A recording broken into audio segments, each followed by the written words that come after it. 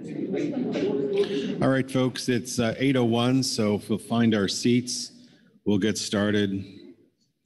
We have a full day of groundfish ahead of us. And uh, before we get started, I'll turn to Executive Director uh, Merrick Burden to see if there are any announcements. Yes, good morning, Mr. Chairman and council members. Um, just to keep you all uh, up to speed on COVID, I think that's just a question on uh, everyone's minds. And just to let you know, we have not heard of any new cases as of this morning. Um, so that is some good news. Um, other than that, we do have a um, couple of agenda items today that should take quite a bit of time. And um, um, that's the end of my announcements. Happy to take questions though. Any questions of Merrick?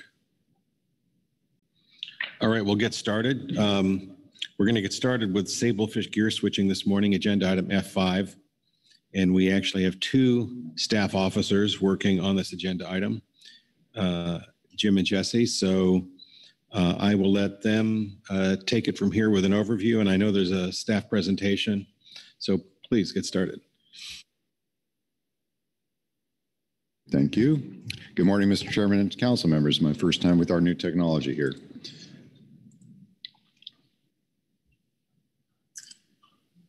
And we'll get the presentation up. There it is for you.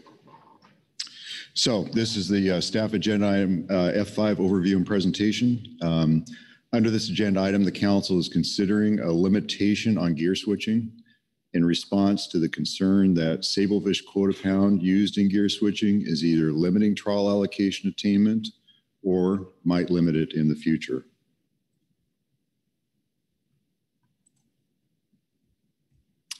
And there we go. It's working. Sorry.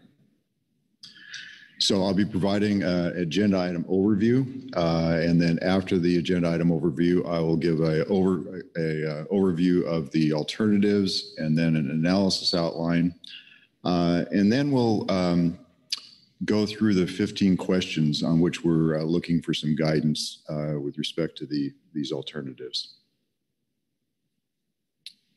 First, a quick orientation on where we are in the process. During the first trawl catch share program review, uh, as the importance of this issue became apparent, the council adopted a control date. Then in the spring of 2018, the council formed the Sablefish Management and Trawl Allocation Attainment Committee, which began development of the alternatives. They worked with over 23 different alternatives that were proposed by SAMTAC members and members of the public and narrowed them down to three in their final report that was provided to you in June of 2020. At its September 2020 meeting, the council committed to following the process through to a final decision, whether that be no action or one of the action alternatives, and adopted a purpose and need statement. In April 2021, the council decided that would develop draft alternatives with the intent that the alternatives would not allow more than 29% gear switching. At its September 2021 meeting, working from the SAMTAC alternatives but making substantial modifications, the council adopted a range of alternatives for analysis. Because of the substantial changes, a check-in was scheduled to give staff time to review the motions and identify any issues that needed resolution prior, prior to moving forward uh, with the analysis. So the council action for this meeting is to receive an update on the alternatives and address issues needed to allow completion of the analysis. And this also provides you an opportunity to review and provide guidance on plans for the analysis. Then at present, selection of preliminary preferred alternative is scheduled for November 2022. And at that time, the council will also have an opportunity to review the preliminary analysis and provide further guidance on information it would like to see when it selects a final preferred alternative in April 2023. At this point, I want to emphasize that in order to meet this schedule, we need firm answers to the questions we have po we've posed, uh, with one exception that I'll identify as we go through. Additionally, meeting the schedule is based on the current suite of alternatives. If this suite changes, we'll need to make an assessment of what's required to complete the analysis. The main challenges we're looking at is completing the bulk of this project before we get into heavy workload, the heavy workload part of the next trawl catch share review, which will be coming up soon.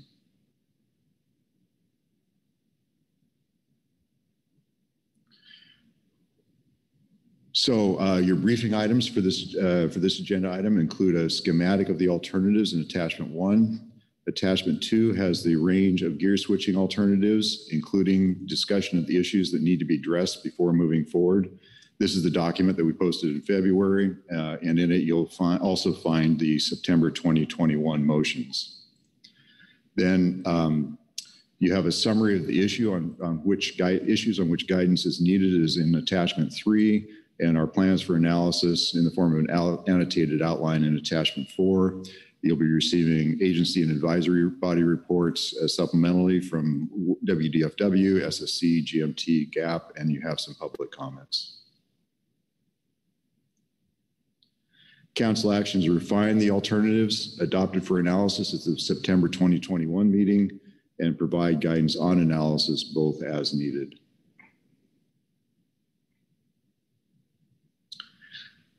Let me step into a, uh, maybe I'll stop there and see if there's any questions on process before going to the next part here. Any questions? All right, please proceed. Thank you.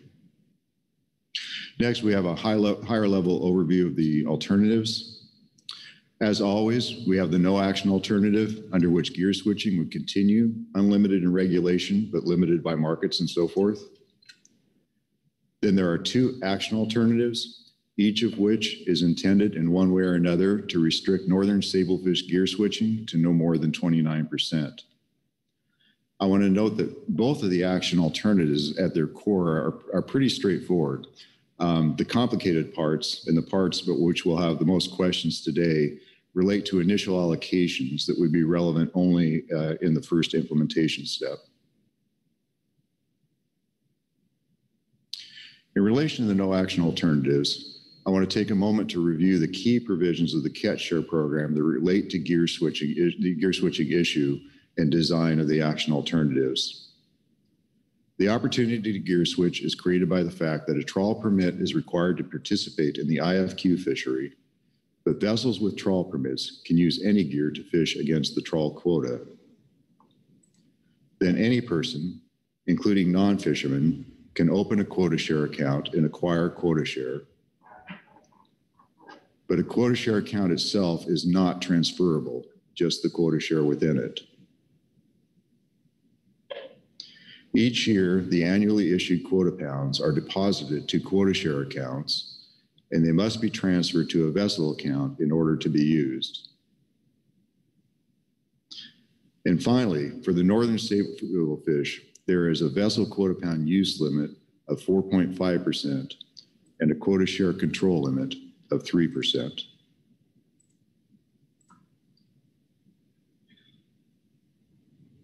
The first action alternative is gear-specific quota shares. Under this alternative, all the northern sablefish quota share would be redesignated as trawl only in any gear, the any gear being like status quo in most respects. Then each year, the trawl only in any gear quota pounds would be issued to the holders of the respective quota shares. The second alternative is gear switching endorsements. Under this alternative, gear switching endorsed trawl limited entry permits would have individualized permit specific annual gear switching limits that would be generally larger than those for vessels fishing under non-endorsed permits. Vessels fishing with non-endorsed permits would all have standardized, relatively small gear switching limits.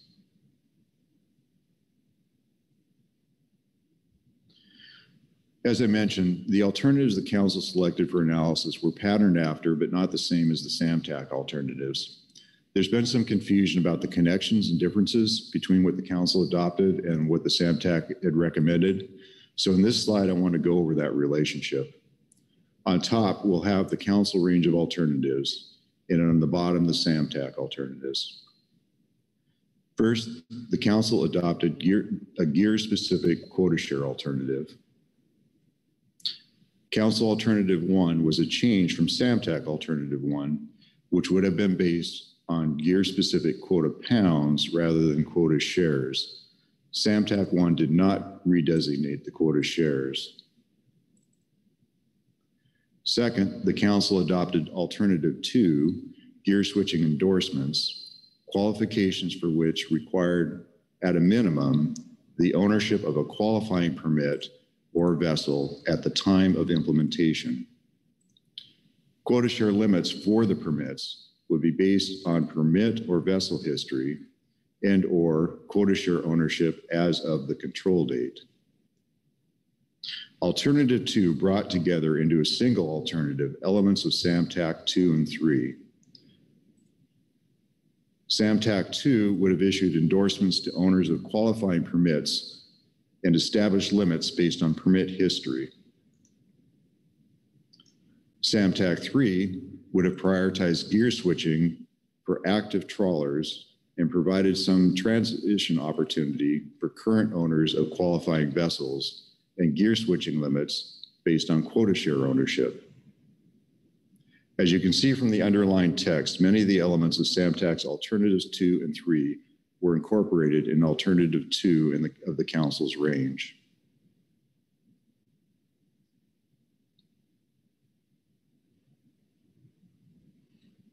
We'll now go through the uh, plans for the analysis.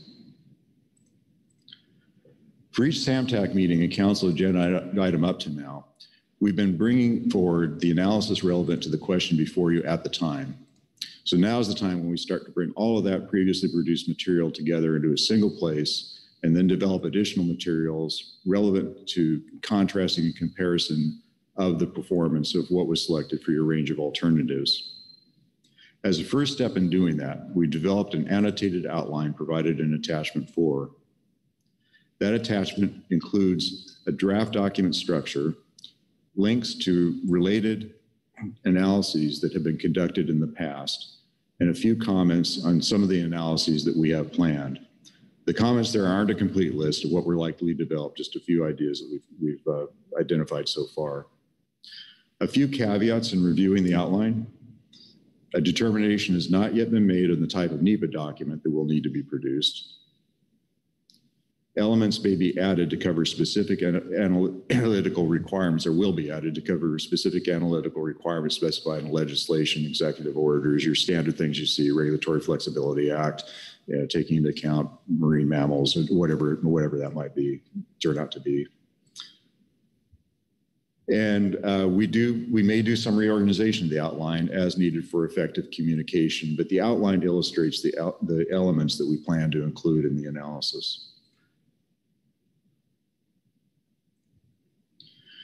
Now we have the outline. The introduction will include uh, the purpose and need, public process, and many of the other of the other elements you would usually see in introductory materials. Then we have the section on the alternatives, including alternatives considered but rejected early on. Next is a section that we don't usually include, analysis of the problem. This is often part of, we don't include it as a separate section. This is often part of the introduction, uh, but because it will be more extensive than is typical, we wanted to break it out into its own section. It'll include evaluation of causes of trawl underattainment and factors influencing, likely to influence future gear switching. Then we have description of the affected groups. This material may eventually get rolled into the description of the impacts of the alternatives, which is the next section. Oops. So we'll look at impacts to affected resources, sectors, and communities. And I want to know that sectors include consideration of impact to quota share owners and their related revenues. And we'll look at some breakouts of those groups in relation to comparing quota share owners that are vessel owners and possibly different categories of vessel owners.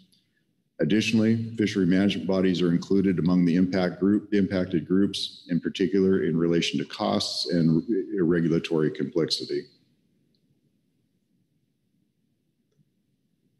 Then we have cumulative effects, which would, is required if this is a uh, one of the more formal NEPA documents or you know one of the, uh, the yeah.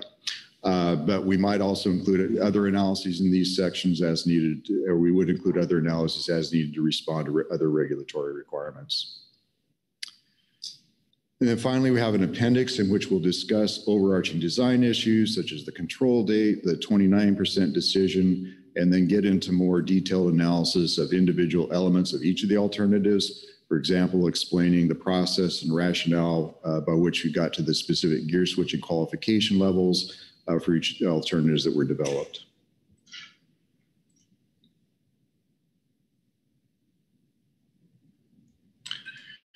Next, there are some challenges identified in attachment four, uh, the attachment four annotated outline, and I'm only going to go over two of those. A key part of the analysis is characterizing no action, and that usually starts with specifying some baseline years, um, often the most recent years, uh, but our current circumstances, that might not be best. Uh, 2016 to 2019 was a period of relative stability with respect to the uh, gear switching vessel activity. But then, as we know, 21 or 20 and 21 were impacted by COVID, and then 21 was also impacted by increasing ACLs. Um, so we're, we were looking at, you know, how do we how do we handle this situation? Uh, and we asked the SSC for some comments on that. And you'll be getting an SSC report on their suggestion, and uh, GMT will be commenting on that as well. Um, as we consider what years to use as a baseline, one thing to keep in mind is, is that this is a long-term policy that may be in place over decades with variable conditions. You might run into overfishing of sablefish or non-sablefish species or changing market conditions and ocean conditions could result in a range from situations where you have a surplus of quota pounds available to those where the uh, sablefish quota pounds are in short supply. So whatever baseline we select, there may be substantial variations from it in the future. And on that basis, our current plan that we came to the meeting with, and as I said, you'll be receiving some other reports, was to use 2016 to 19 as the baseline. But then, where most appropriate, provide guidance as a qualitative discussion as to how results might vary with uh, changes in some of these other conditions that I just mentioned.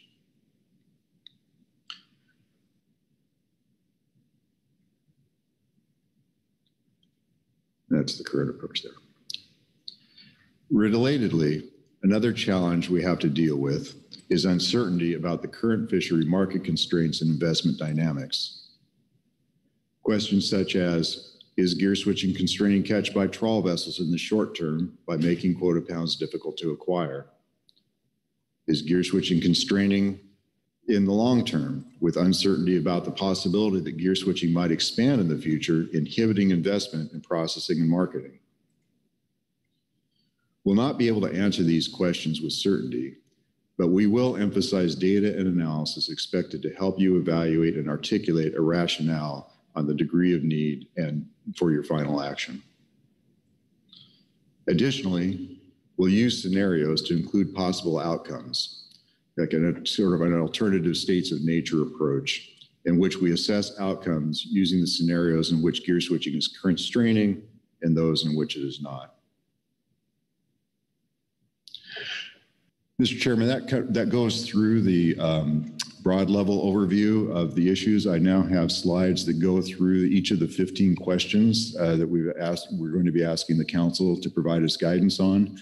But I think this might be a good place to uh, to stop for just a minute to see if there are any questions on what I've covered so far.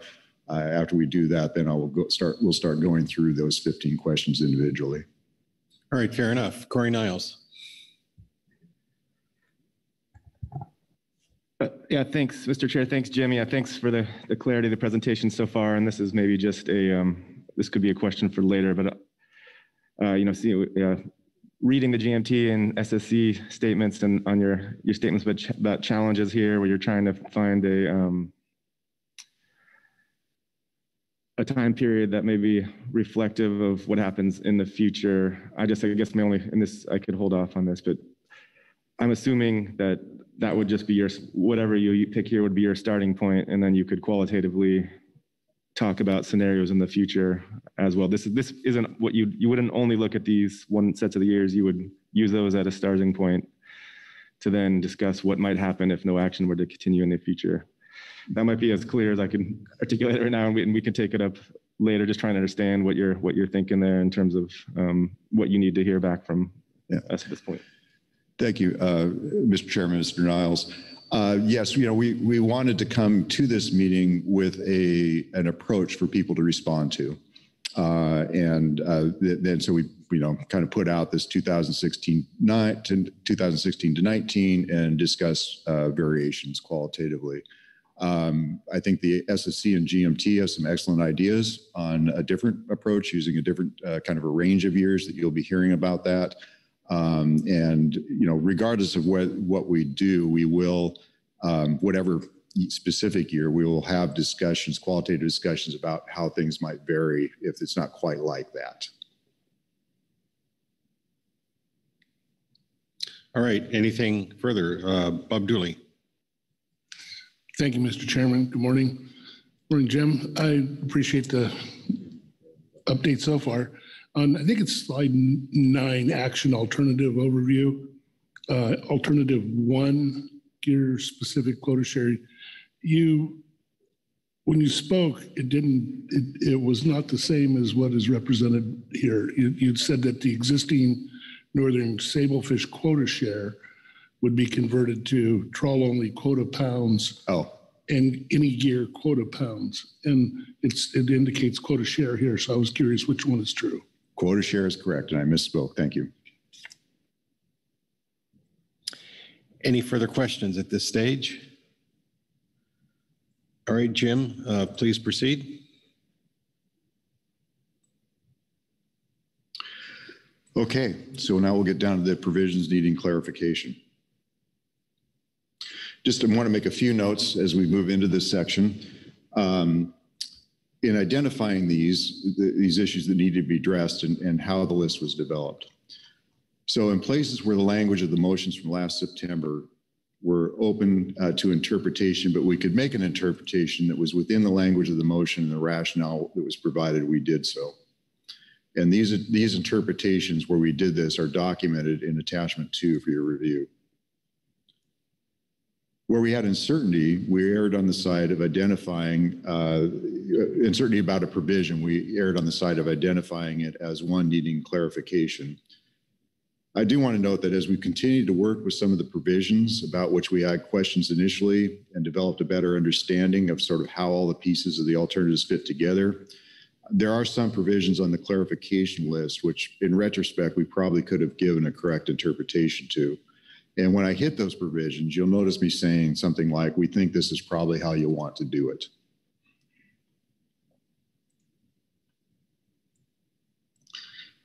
Finally, I just also want to note that the, the kind of cleanup we're returning today to today uh, is uh, typical for these kinds of actions. As has generally occurred with past limited entry actions, allocations options are often more complicated because of larger number of factors you're trying to ba- bring into balance, including equity issues. The details of the allocation options, though, they need to be well specified in order to complete the analysis and for members of our fishing communities to understand how- how they will be impacted and be able to provide meaningful comment to the council. Usually, in your limited entry actions of the past, you've considered one qualifier, a permit or a vessel. So I want to talk now about why the alternatives seem more complex. So usually in the past, you've seen, um, you've, you've had, you've considered one qualifier, usually a permit or a vessel, and who owns the permit or vessel at the time of implementation. Here, we're considering multiple qualifying elements which creates a need to determine the commonality of ownership between these different elements. And we're considering them at, sorry, a little bit behind there. And we're considering them at different points in time, including a future time for some options, future time at which for some options, we cannot be sure of the ownership structure that will be in place. Often the kinds of details we're asking you to look at get worked through in committee before making it to the council floor. I think you'll see in the GAP report that they've made, they may have served you well in that regard. We hope to provide a path forward that will allow you to work through the issues And once these questions are answered, we're confident that the analysis can continue and the alternatives themselves would become easier to understand.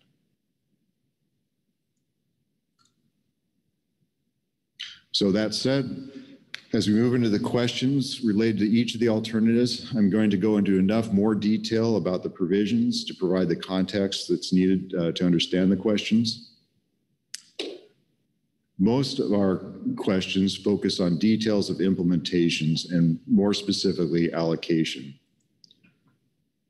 So let's look at that for alternative one. We start with this one-time conversion process in which all the existing northern quota, uh, northern fish quota share would be designated as either any gear or trawl only quota share with respect to with uh, um, with any gear quota share being pretty much like status quo. Then each year, the annually issued northern sablefish quota pounds would be issued as trawl only and any gear quota pounds and given to the corresponding quota share owners.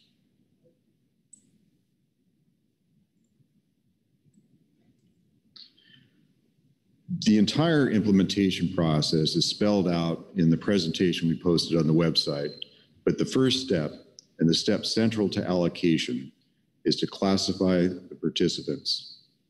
The, uh, those classify the quota share owners as into different participant classes.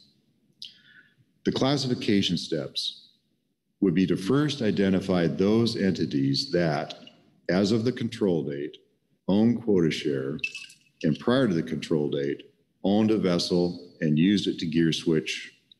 So those would be our gear switching participants. Any quota share owner that is not classified as a gear switching participant would be evaluated to determine if they are an IFQ participant. That name IFQ participant can be a little bit confusing uh, because the gear switching participants are also IFQ participants. So please kind of look past the name a bit and think of these just as quota share owners of quota share accounts associated with trawl vessels or not associated with any vessels, uh, but those that are not classified. In other words, those are not that are not classified as gear switching participants. So there are two options for IFQ participation status to get IFQ participation status. Under the first option, it's simply anyone that's not a gear switching participant. The second option, it would additionally require ownership of a vessel while it made a bottom trawl landing of sablefish, and the qualifying landing would have to occur in the two years prior to the time of implementation so this would be a landing that would have to occur at some point in the future. If the second option is selected, then anyone that did not qualify as a gear switching or IFQ participant would be classified as an other participant. Once the particip uh, participants, once the quota share owners are all classified, for gear switching participants, up to the amount of quota share they held on the control date would all be converted to any gear quota share. For IFQ participants, up to the amount of the quota share they held on the control date would all be converted mostly to trawl only, but some to any gear quota share. For other participants, all of their quota share would be converted to trawl only.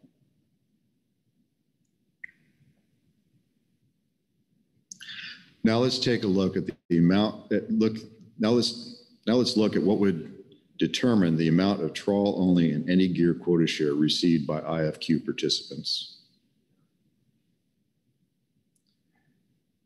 If we assume the target is to have 29% of the quota share as any gear quota share and 71% as trawl only, as shown here on the right, then to get there, we start with the quota share owned by the three different classes of participants.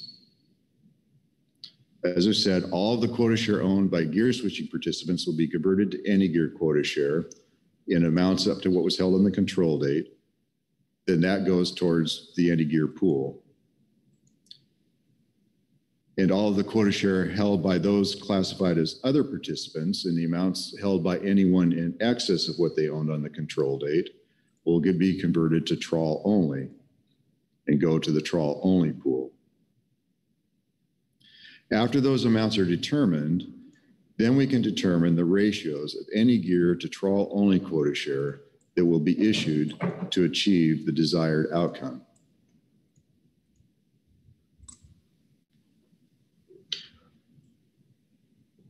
So I'm going through this slide now and you'll, and we'll be popping this slide up again in, in just a little bit and relate it back to the first question. So this slide here as a brief version of the six main questions related to alternative one that are found in attachment three. And I'm going to go through these in, in groups. The first three questions have to do with classification of quota share owners as gear switching participants. The first issue, highlighted in green, is framed in terms of a question about degree of linkage. In order to qualify as a gear switching participant, what degree of linkage or ownership overlap is required between the quota share account owning group and a vessel ownership group that gear switched a vessel prior to the control date. Where such overlap, and then where such overlap is partial, it also asks whether all or only part of the quota share would be converted on the basis of that partial linkage. This probably comes down to a choice between an individual approach or a collective approach, and we'll look at what that means on the next slide.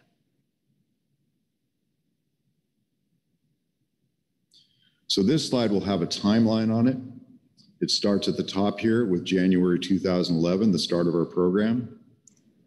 Then this bar represents the control date, and the bar at the bottom, the implementation date. For the period between 2011 and the control date, we're interested in who owned vessels while they met the gear switching requirements. For the control date, we're interested in the quota share ownership groups and the amounts of quota share they owned. And for the implementation dates, we're interested in quota share ownership groups, the amount of quota share owned, and their relationships to earlier groups, the, the ownerships of earlier groups and the degrees of overlap. Let's start with a scenario where we have individual A represented by the circle at the top here. And that person owns a vessel that they use to gear switch. And so we've got this green GS uh, by the, uh, on that individual there. Then on the control date, we find that person is in a quota share owning partnership with two other individuals.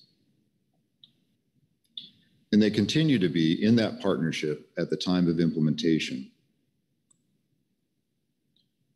To look at an individual approach, we'll look at a diagram with the exact same ownership structures, but break out the individuals with circles representing the individuals and boxes around them to indicate their connection and partnerships. Under the individual approach, only individual A has the history of owning a vessel while it gear switched. So only it is considered a gear switching entity. And only the, oops, excuse me, and only the quota share attributed to its ownership, here 0.25%, would be converted based on its gear switching uh, status. Essentially, all of the 0.25% would be converted to any gear. Next, looking at a collective approach, we have the exact same diagram as on the far left. Under this approach, because individual A would qualify, the ownership group that includes A, the partnership as a whole, would qualify as a gear switching participant, and all the quota share owned by the group would be converted on that basis. Because of this, the implication is that with the collective approach, overall, more quota share would be covered by owners that received the gear switching status And so under that approach, more quota share would be converted to any gear quota share, but not in excess of the 29%. So while choice between the individual and collective approach will have implications for individual situations, it also has implications for the groups as a whole, the different participant classifications as a whole, which we'll look at on the next slide.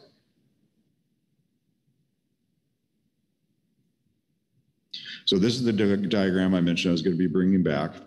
Uh, And when this- earlier, we noted that percentages uh, converted for gear switchers and other participants will determine the ratios of any gear and trawl-only quota share that IFQ participants receive. You resolve those question marks that are in the arrows in the center. The means, this means that relative to the individual approach, the collective approach, which results in more quota share held by individ, by entities being, cl- more quota share held by entities classified as gear switchers will be converted to the any gear quota share, sort of filling up the 29% bucket more than the individual approach would. And that then would reduce the amount of any gear quota share that would be going to IFQ participants.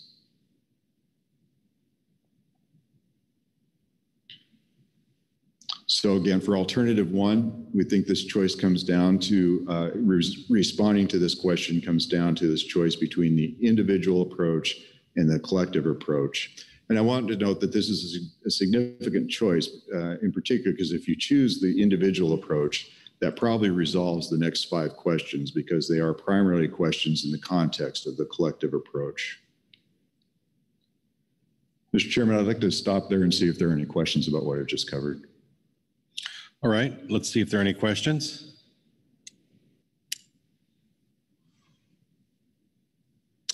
I don't see any hands. Oh, Phil Anderson? Thanks, Mr. Chairman. Um, Thanks, Jim. Um, So, the- I, I'm sorry, I didn't keep track of the numbers of the slide, but the one that is just prior to this one. Um, One more back, please. Uh, Let's see. what we're doing Or if that's, here. This the one?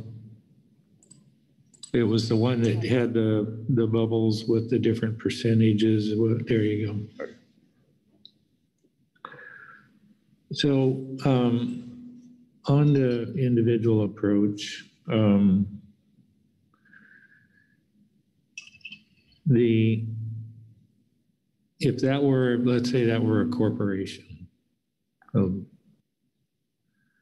um,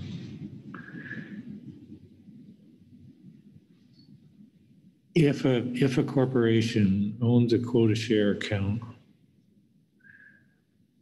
uh, Is that considered an individual approach? Or conversely, uh, does this suggest that we would break down the different components of a corporation, move it over to the collective approach? Well, either, either break it down and, and determine what, who brought quota share into the corporation um, that ultimately owns the quota share account? Uh, Or would would we just consider that an individual entity? And I know there's some legal definitions here that come into play about individual versus persons. Um, and I'm trying to ask the question in a way that's notwithstanding um, the legal definition of an individual, if that's possible.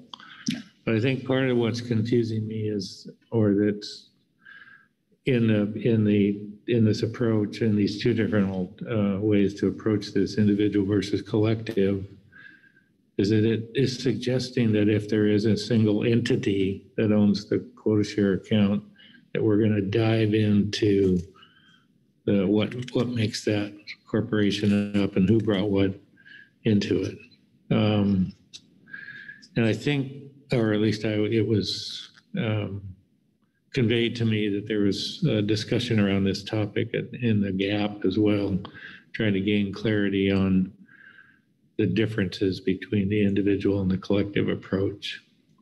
So I don't know if that Okay.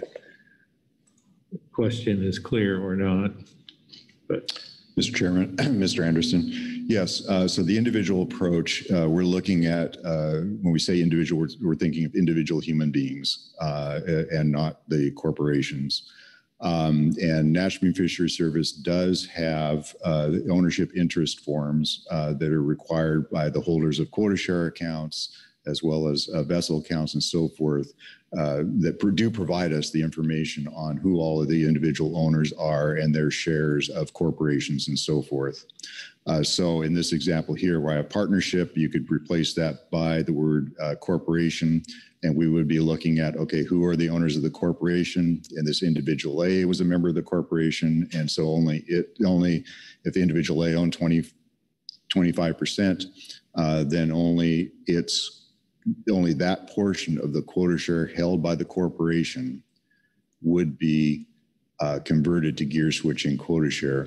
Now, one of the things that came up in the GAP and one of the concerns was it kind of sometimes the way this is phrased, it sounds like individual A has its own quota share that NMFS would then give and convert.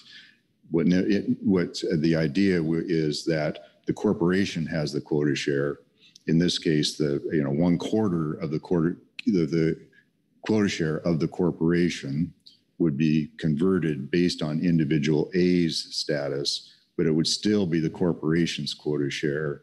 And the, whatever the rules are of the corporation for how it distributes the quota share among its members or handles the quota share, that's all within the corporate structures and rules. We don't get into that. So that was one of the points of uh, discussion in the GAP, which after we clarified that, that seemed to help progress the discussion there. So I'm not sure if that's maybe is getting to what you're asking. yeah, that, that helps, Jim. I may have some other questions later about all that, but that helps. Thanks. Any other questions? Am I missing a hand somewhere? All right, you want to continue, Jim? Okay.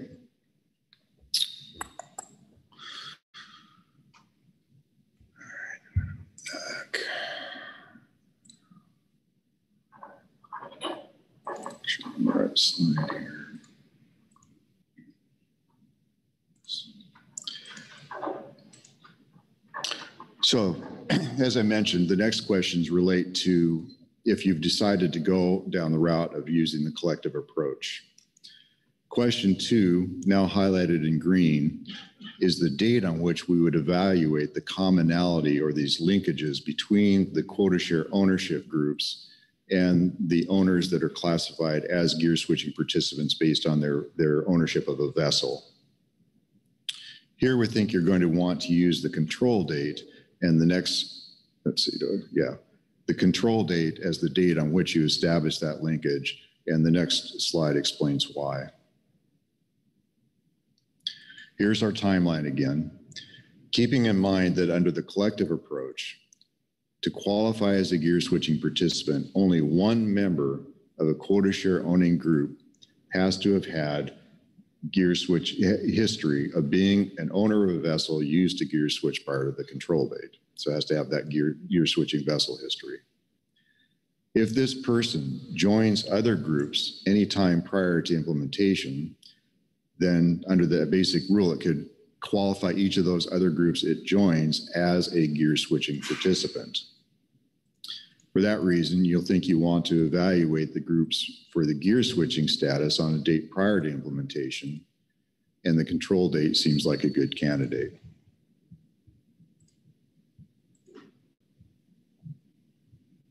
I think I'm going to stop with each of the questions as we go forward at this point and just check in to see if there's any uh, questions that we have. So.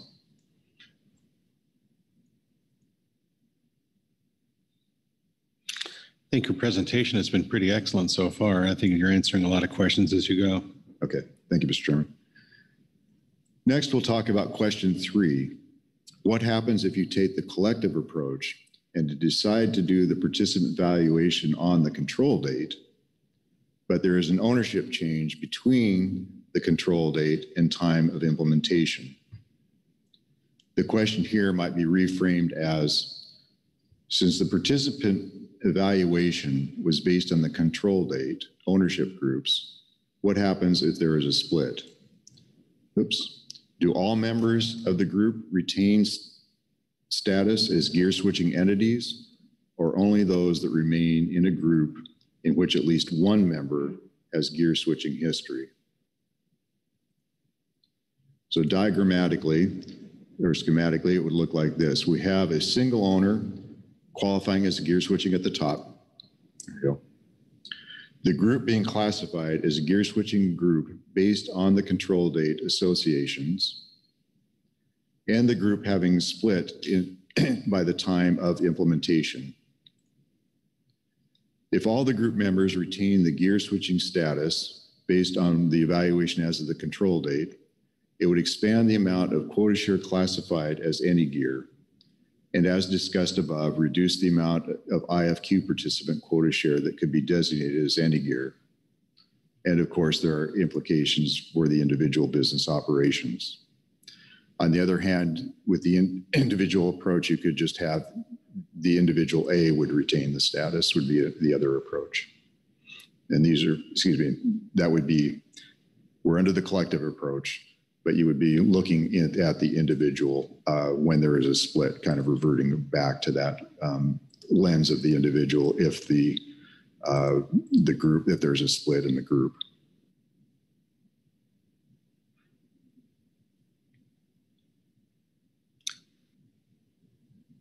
And I'll just look around very quickly to see if there's any, any questions. Okay. Next, we switch from consideration of gear switching participant classification to IFQ participant classification and what the implications might be with respect to application of the individual or collective approach for IFQ participants. Recall that under one IFQ participant option, everyone that is not a gear switching participant would be an IFQ participant. But under the other option, option two, a quota share owner would have to make a bottom trawl landing in the two years prior to implementation in order to qualify as an IFQ participant. So here, with respect to implementing option two, we're looking at activity that is probably occurring at some time in the future. As with gear switching participants, the choice here seems to be between the individual and collective approaches. And to limit complexity, whatever you decide for gear switching participants, you might also want to apply here.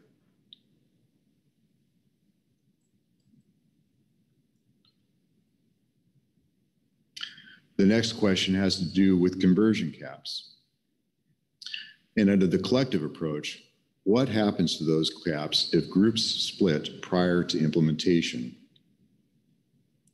This question applies for classification of both gear switching and IFQ participants under the collective approach evaluated on the control date. This figure was used to explain conversion caps and other materials we've provided. I'm popping up here as a memory jog. Recall that at the time of implementation, the maximum amount that can be converted based on a quota share owner's participant status is the amount that that quota share owner had as of the control date. And we're, we've been terming that the cap.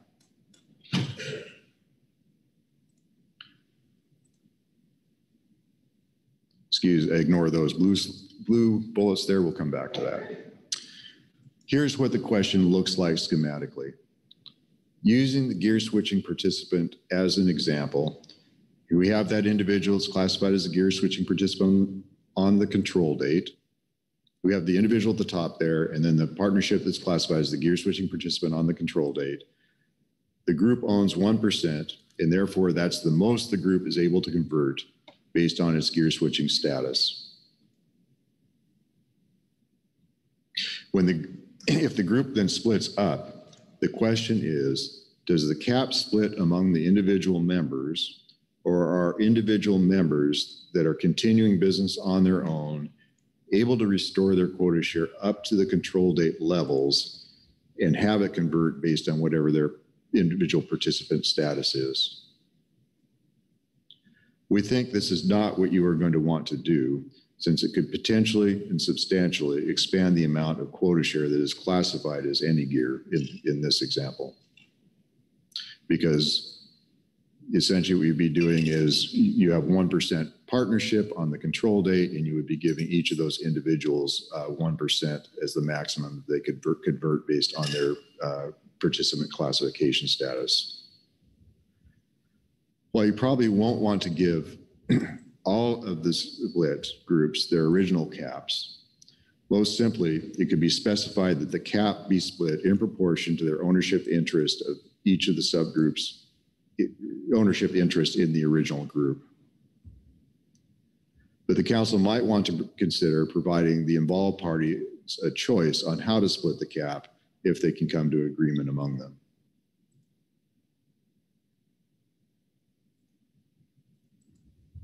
You stop there, just questions? Questions for Jim? Corey Niles. Thank, thanks, Mr. Chair. And I should also say, I probably will holding questions until maybe uh, later and hope, you I'm assuming you'll be available during discussion to answer. But I guess on this one, and not to get, so I don't understand why a choice would be necessary. Like in this example, if after the control date, this entity broke up and its individual started new quota share accounts, why would we need to offer them a choice if we limited it to limit the excuse me limit um, limited them to what they own proportionally on the control date. That's so if we knew like there were three people that they each owned, well, 33.3% of the of the of 3333, but you know, one third of the of the of the quota share on the control date. Why couldn't they just be capped at one third of the quota share they owned on the control date? I'm not, what would the choice be above and beyond that is my question. Yeah. Mr. Chairman, Mr. Mr. Niles, thank you. Yeah, um, certainly it's not necessary. Uh, the the in terms of the uh, the the reason you might want to consider it um, would be that uh, you know maybe two of the individuals retired or one of the individuals retires and they have a good relationship and and it was a gear switching vessel uh, operation. And uh, it's like yeah you you know convert all of yours to any gear you know we don't need that. You know you need it for your vessel. So let you restore your business get back up to your 1% that you had when we were all working together and then you can have it all as any gear that said the other approach would be if they all have that good of a relation just keep it at the proportions that you suggested the one third example and then after it happens they could all on a friendly basis do the exchanges necessary to get to that same endpoint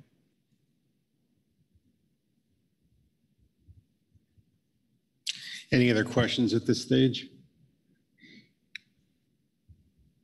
Please continue. Thank you.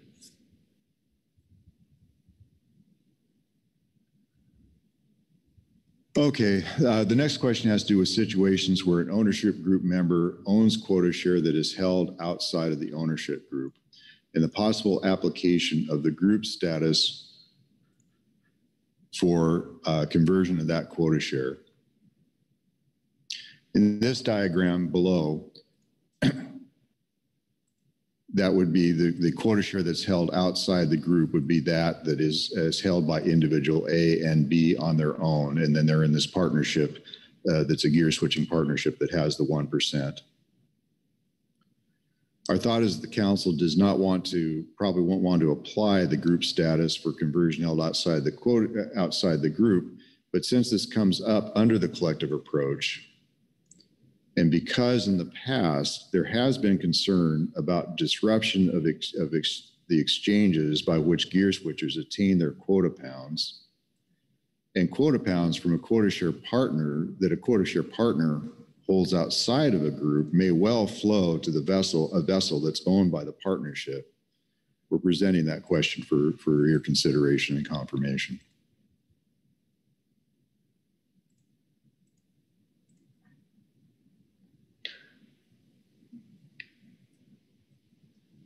Let's just see if there's any questions and we're ready. I don't see any hands, so So here's the list of the first six questions. We worked our way through them with respect to alternative one and the initial allocations. Uh, These are the more difficult questions, but we do have three others for you to consider that we think are a little more straightforward.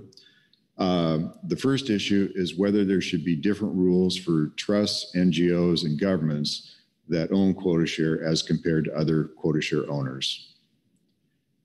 And uh, we expect that there wouldn't be any difference, but uh, we did want to check in on that. Uh, The second is how to apply the rules when shares of an ownership group don't add to 100%. So if, you know, some, here we've talked a few times about prorating among some different groups.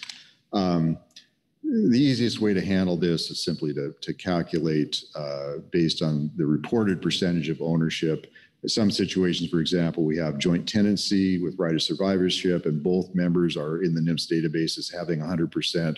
So we would just say, well, you know, 100% is half of, of the 200% that you have as a total. So we still go 50 50 on that.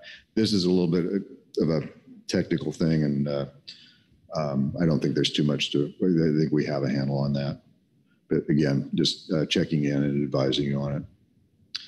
Uh, the third issue has to do with the potential need to modify the accumulation limits.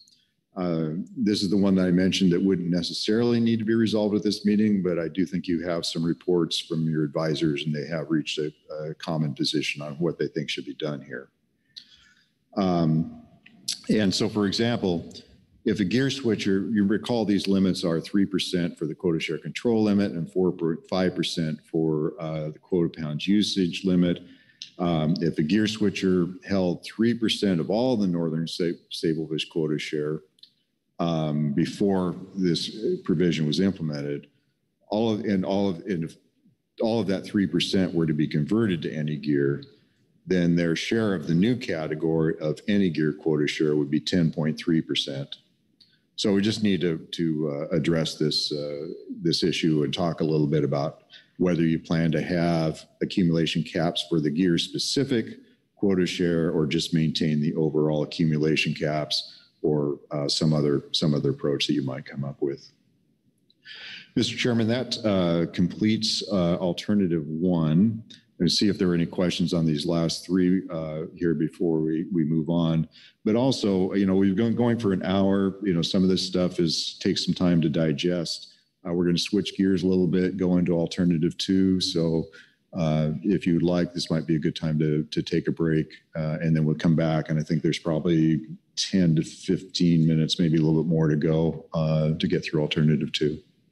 All right, well, switching gears on the topic is, on a topic about switching gears, is probably an appropriate thing to do. Um, Why don't we come back at 9:10? And at that point, see if there are any questions on the material you've just presented. And then we'll continue on with the balance of your presentation. Thank you.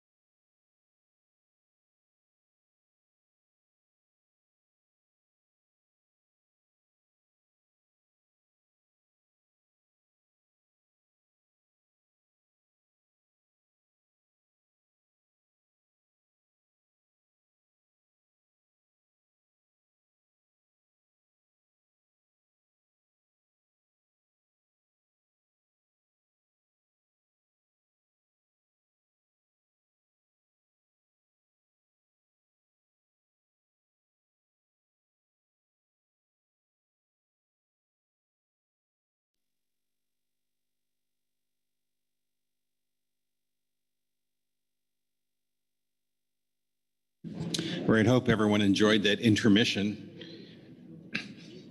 in our feature presentation of the day.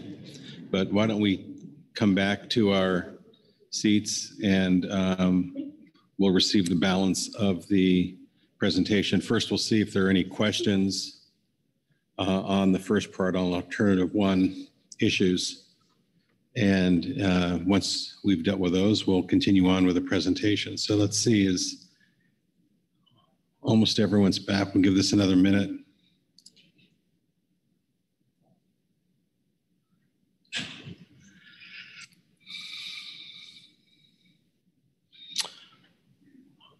All right. Um, Are there any questions on the presentation so far that um, you'd like to have answered at this point?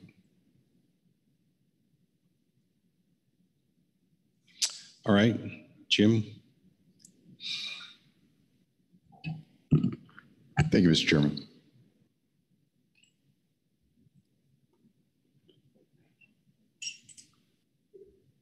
There we go.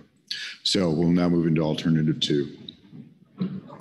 Recall that under alternative two, some permits will receive endorsements for gear switching, and they would generally have larger gear switching limits than vessels under non-endorsed permits. And then also, the limits for the endorsed permits would be individualized. So as part of implementation, there's both a need to identify which permits receive the gear switching endorsements, so the qualifying requirements, and then the size endorsement limits that will be given for each of those permits.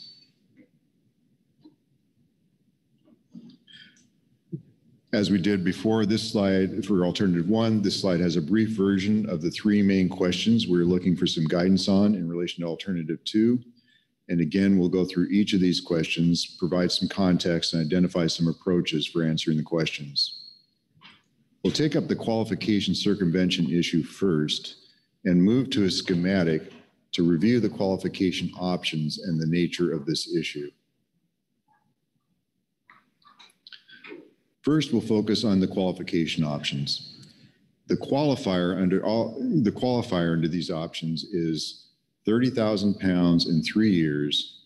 And then there are three options that would require that of a permit and three options that would require those amounts as of a vessel. In this slide, I'm going to focus on the permit, but the pattern we look at would be the same for a vessel. For option one, the only thing required is ownership of a qualifying permit at the time of implementation. For option two, in addition to ownership of the permit, ownership of a vessel as of the control date would be required. Thus, the endorsement recipients, in this diagram, the endorsement recipients would be in the area of the intersection between these two circles for option two. However, those who, let's see, those who own quota share on the control date would be able to move into and expand that area of intersection by joining with those who have a qualifying permit. Perhaps just taking a token ownership in the partnership owning a qualifying permit. So between now and the time of implementation, the folks that, that did have quota share on the control date could find a permit to get and, and expand that circle, or the owner of a qualifying permit now who's looking at option two and saying, well, I'm not going to qualify, could find a owner of some quota share and say, hey, let's, uh, let me give you a small share of my permit here so that uh, I can get the uh, endorsement and we'll make a deal uh, to, to make that happen. So that is where the circumvention issue comes with respect to option two. For option three, in addition to the qualifying permit and quota share, ownership of a vessel as of the control date would also be required. So those receiving the endorsement would be at the intersection of all three of these circles. However, again, individuals who on the control date both own a vessel and a quota share as indicated by the uh, X here, that, that, that intersection of those two circles, would be able to move into that three-way intersection of all of these requirements by joining with someone that has a qualifying permit. So these are the opportunities for, for circumvention of the intent of these options two and three that are currently, we currently see uh, in the alternative.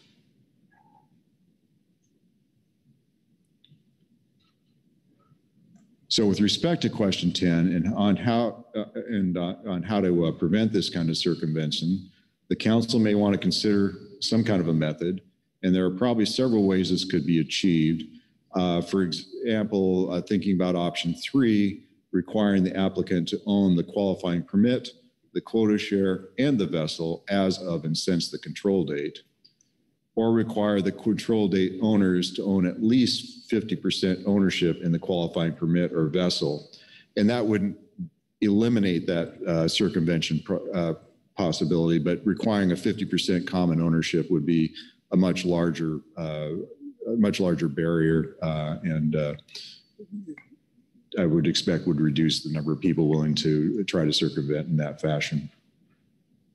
So let me stop and see if there's any, any questions about that, question 10.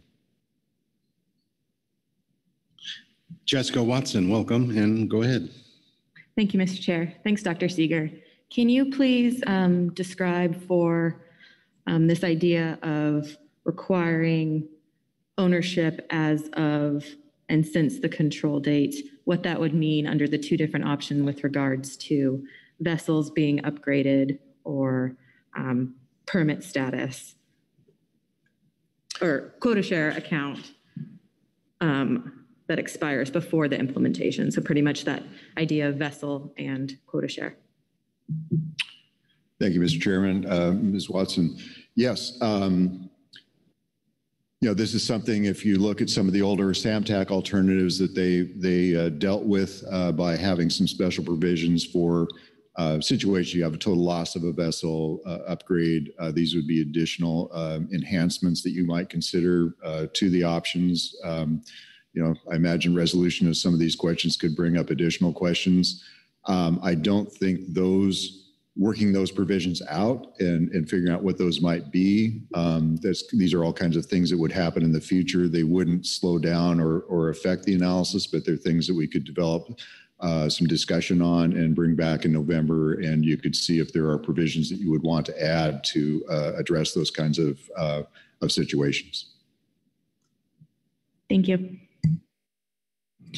Any other questions at this stage? All right, please continue. Thank you, Mr. Chairman. Oh. So the next question has to do with endorsement limits. And before we look at that, we'll, we'll review uh, the endorsement limit options. As with the endorsement qualification options, there are two sets of three options for the limits. Each set of three is similar, but there are differences depending on whether the qualifier is a permit or a vessel.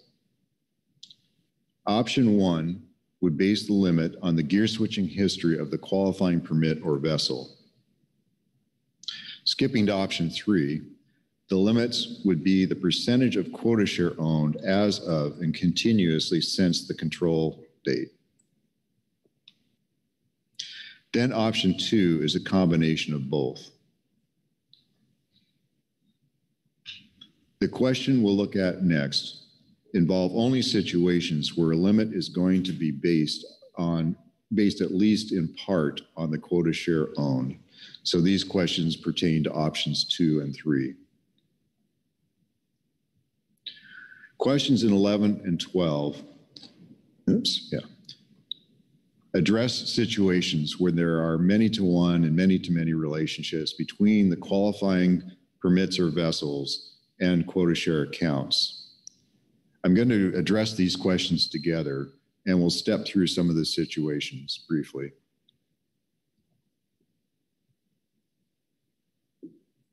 In this example, you have a individual in the center here that owns a single qualifying permit or vessel. Then on the left, it, let's see, it- that's shown on the left. And then two quota share accounts that are shown there on the right. The question that we have about the resulting endorsement limit, what that is, is represented that by that bluish box in the lower uh, left-hand corner. This one is relatively easy. You're just summing across the quota share accounts to get the, those quota share accounts contribution to the endorsement limit would make sense in the context of the alternatives so that the individual gets full credit. But relative to this question is what to do if one of the accounts is owned by a partnership such that individual A is only a part owner of the quota share account. Let's say that in there here, uh, account X in the upper right-hand corner there, that they only own half of that account, that they're in a partnership with another individual not shown in this diagram. Would you take a more collective approach that we, like what we talked about under alternative one, where all the quota share in that account would count towards the limit, or go more individually so that only what is represented by individuals a share of that account uh, would count towards the um, towards the limit for individual A's uh, qualifying permit or vessel.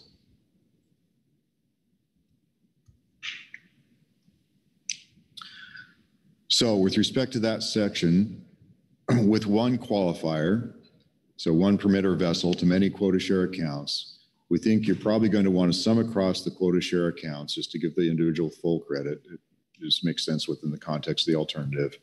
But we're looking for guidance on this issue of whether to provide full or partial credit where quota share accounts are only partially owned.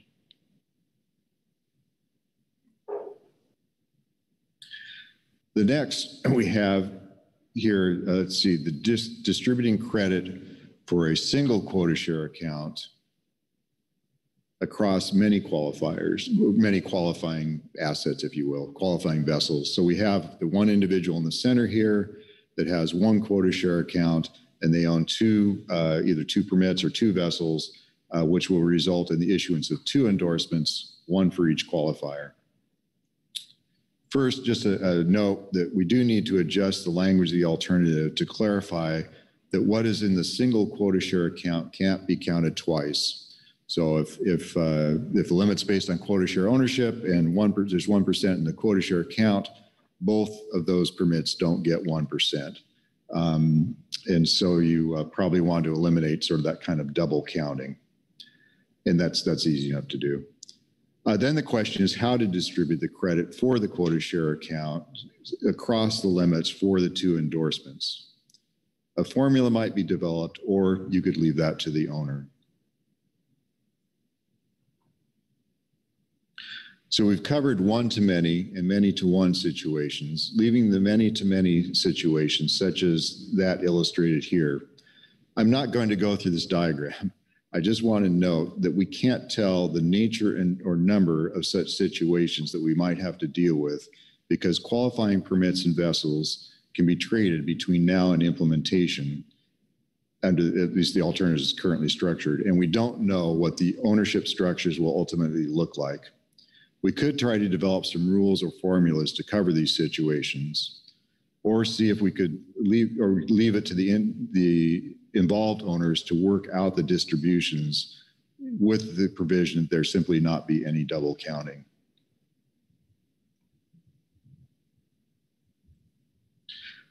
So back to our previous slide, we're going to add the other situations we've now added, clarify there's no double credit, and either allow owners to decide how to distribute credit for quota share accounts or develop rules or formulas.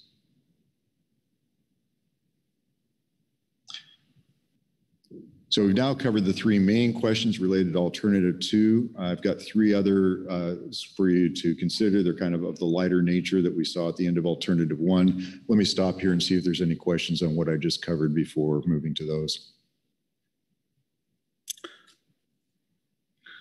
Looking, oh, Keeley Kent, please. Thank you. Um, I think this is an easy question. Um, just Jim, could you remind us, the council has decided what has hap- what would happen um, when that limit was hit under alternative two? You mean uh, we establish the endorsements and then we establish a, uh, a limit, a gear switching limit, and then the vessel is out fishing and they go over that limit? Yes. Oh, let's see. Yes, that has been addressed in the alternatives. Let me kind of try to upload my memory on that. I haven't thought. uh, If it's I in the think there are document, some I can take options that. on- What's that? That's If enough. it's in the document, just tell me that. Okay, yes, and there are options in that regard, a couple of different approaches for handling it. Any other questions at this stage? All right, please continue. Thank you, Mr. Chairman. So these are the other, uh, some other questions to consider. Uh, The first two that I'll present here relate to determination of the size of those endorsement limits. The first question, 13, addresses the potential need for an adjustment in relation to the adaptive management quota pound distributions if the endorsement limit is based on quota share owned. So if it's based on quota share owned, and the idea is to allow the qualifying gear switchers to gear switch all of the quota pounds that they would receive based on the quota share they own, the- including the AMP quota, then an adjustment to the current options may be needed so that uh, the limits based on the quota share owned would be large enough to cover that, A- that additional AMP quota pounds that they're issued. So if they have 1% of the quota share uh, and you base the limit on that, then they're going to actually receive, when the AMP is distributed, they'll be receiving 1.11%, and that AMP distribution wouldn't be covered. So it would be relatively simple then to just say that the actual limits will be, you know, 1.11 times the, the quota share.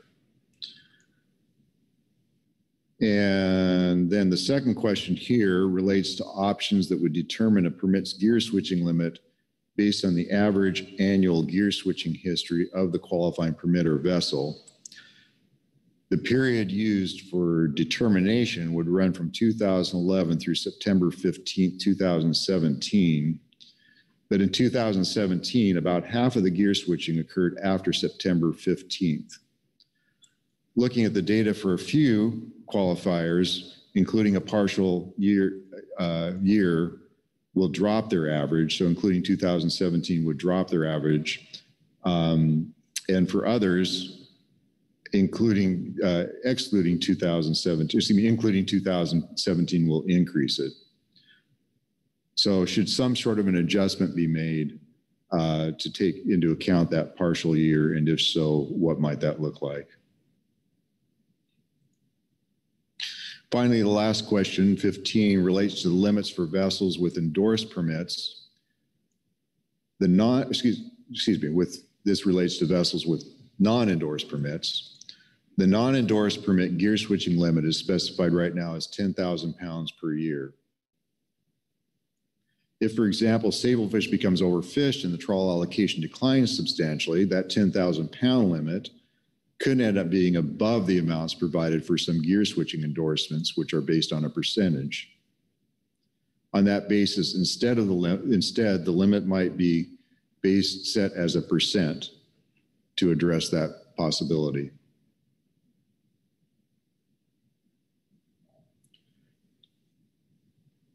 Then just to wrap up here, uh, again, the council's uh, actions uh, and uh, the related attachments are displayed here on the slide. Uh, These attachments have developed to support your deliberations. So we have attachments one and two on the issue of refining the alternatives and the key questions in attachment three. And then we're looking for guidance on the analysis and that uh, information related to that is covered in attachment four. And that completes the uh, presentation, Mr. Chairman. And uh, I realize that we didn't stop for that last set of questions, so we can go back to those last, uh, that last set of three questions on that slide if anyone likes as well. Uh, Thanks, Jim. And I think at this point, uh, any questions on the presentation, um, whether it was about option one or two. So let me see if there are any questions on this presentation. Obviously, we'll be able to come back to you during the course of this agenda item. And I am not seeing any hands at this moment, but I know that there will be some questions later.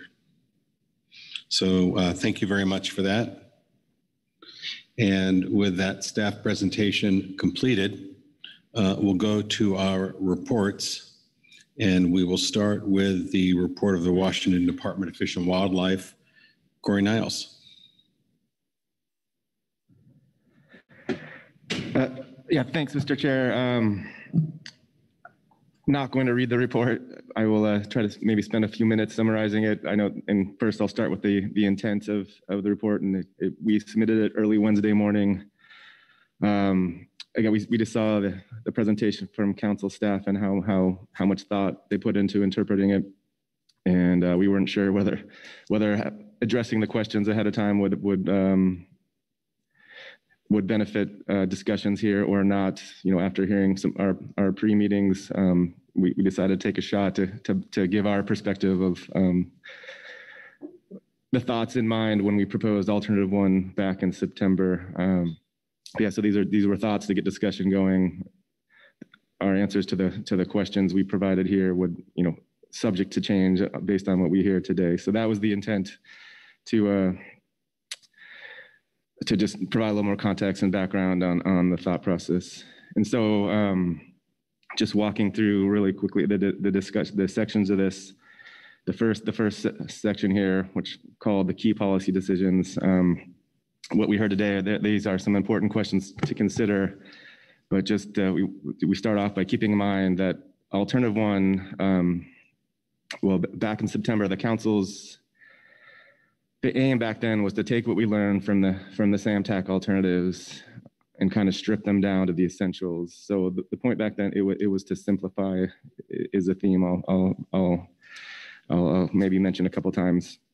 And so to simplify, we really the alternative one, the the, the main the main questions it asks are you know basically um, what's needed to show meaningful gear switching participation in the fishery. And we have two options. So question number one is, is it any kind of landing or is it this, should we require more in, in 30,000 pounds for three years?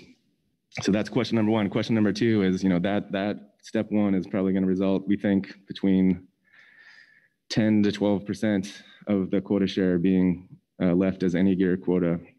So the question number two is, what do you do with the rest? And, and this is what Jim went over nicely in his diagram with the rest, you give it just to the everyone else in the, who owns quota share, or do you use the bottom trawl participation criteria to just direct it to the people who are actively bottom trawling?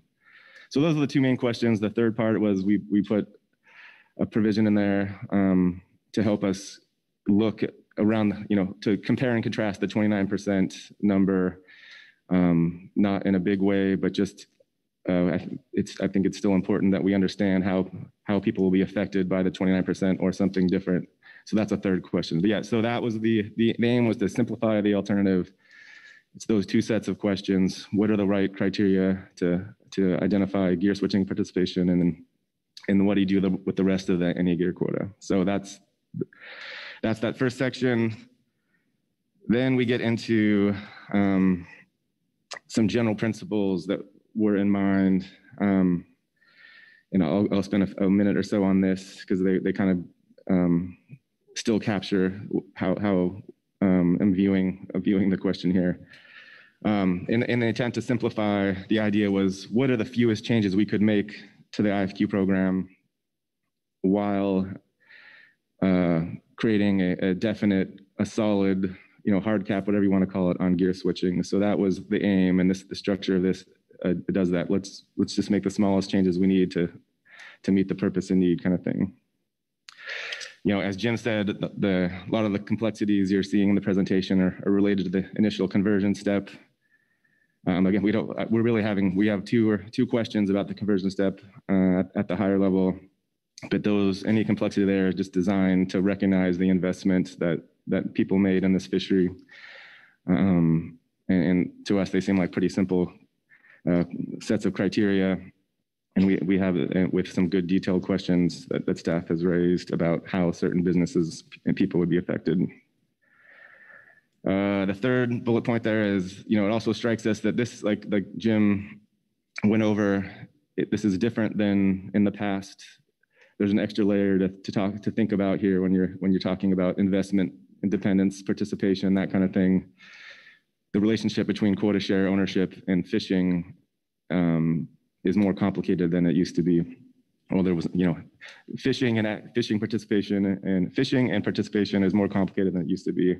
And therefore, we didn't have any established rules for what people should expect on how the council will um,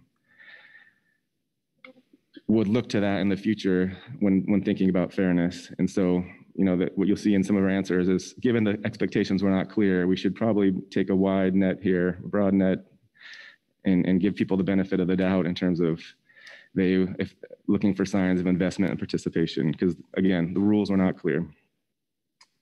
And lastly, uh, that last point in this section was that, um, you know, all kinds of questions pop around in the, in the SAMTAC discussions and, and since then about should it be the vessel, should it be the permit?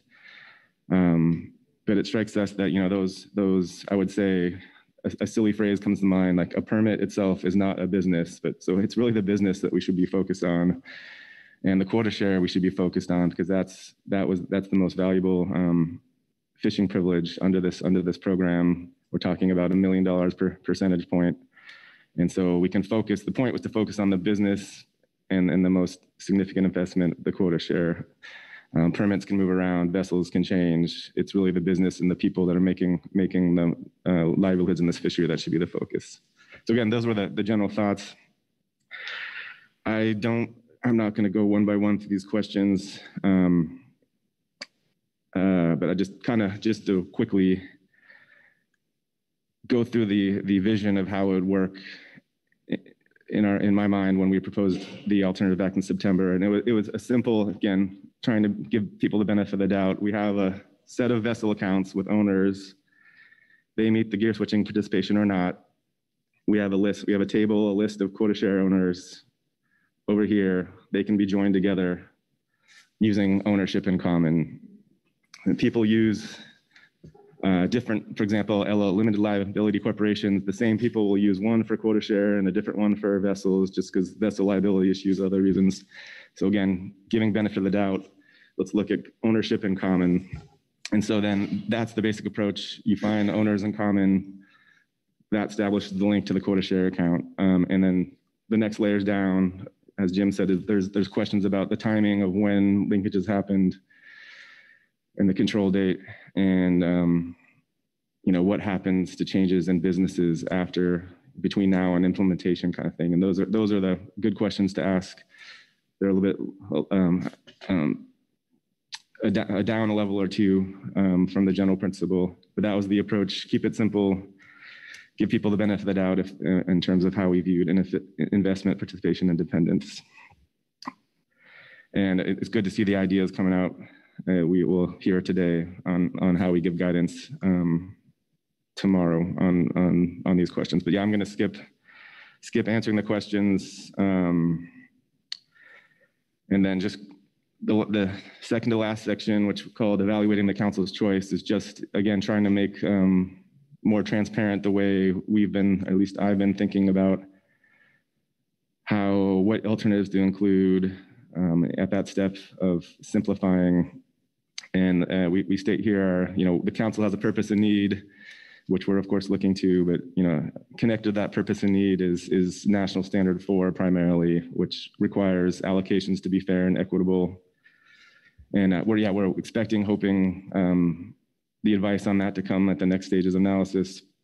Just putting our just again to be more transparent about how we think we've been thinking through this um, those guidelines say basically when you're, when you're making allocations, changing allocations of fishing privileges, you know, the council has a lot of policy leeway, but you, you can't just create winners and losers for no reason, you know, to, to take fishing privileges from one group and give it to another without, without cause is the definition of arbitrary and capricious. But so they, they the guidelines um, say to avoid that, weigh the benefits and costs. We, you know, if the benefits to the winners outweigh uh, the disadvantages and the hardships to the losers, that is considered fair and equitable if we have the rationale. So that's just, it's kind of a weighing of the, the benefits and the costs. And so alternative one was proposed as a way to keep the cost, the cost side of the equation as low as possible while, while um, giving, you know, increasing the benefits as much as possible. And so the more you, the more you uh, raise the disadvantages and costs, the more benefits you need. So that's just the weighing, the general weighing of, um, again, how we were approaching the question of how should we really try to simplify this back down in September.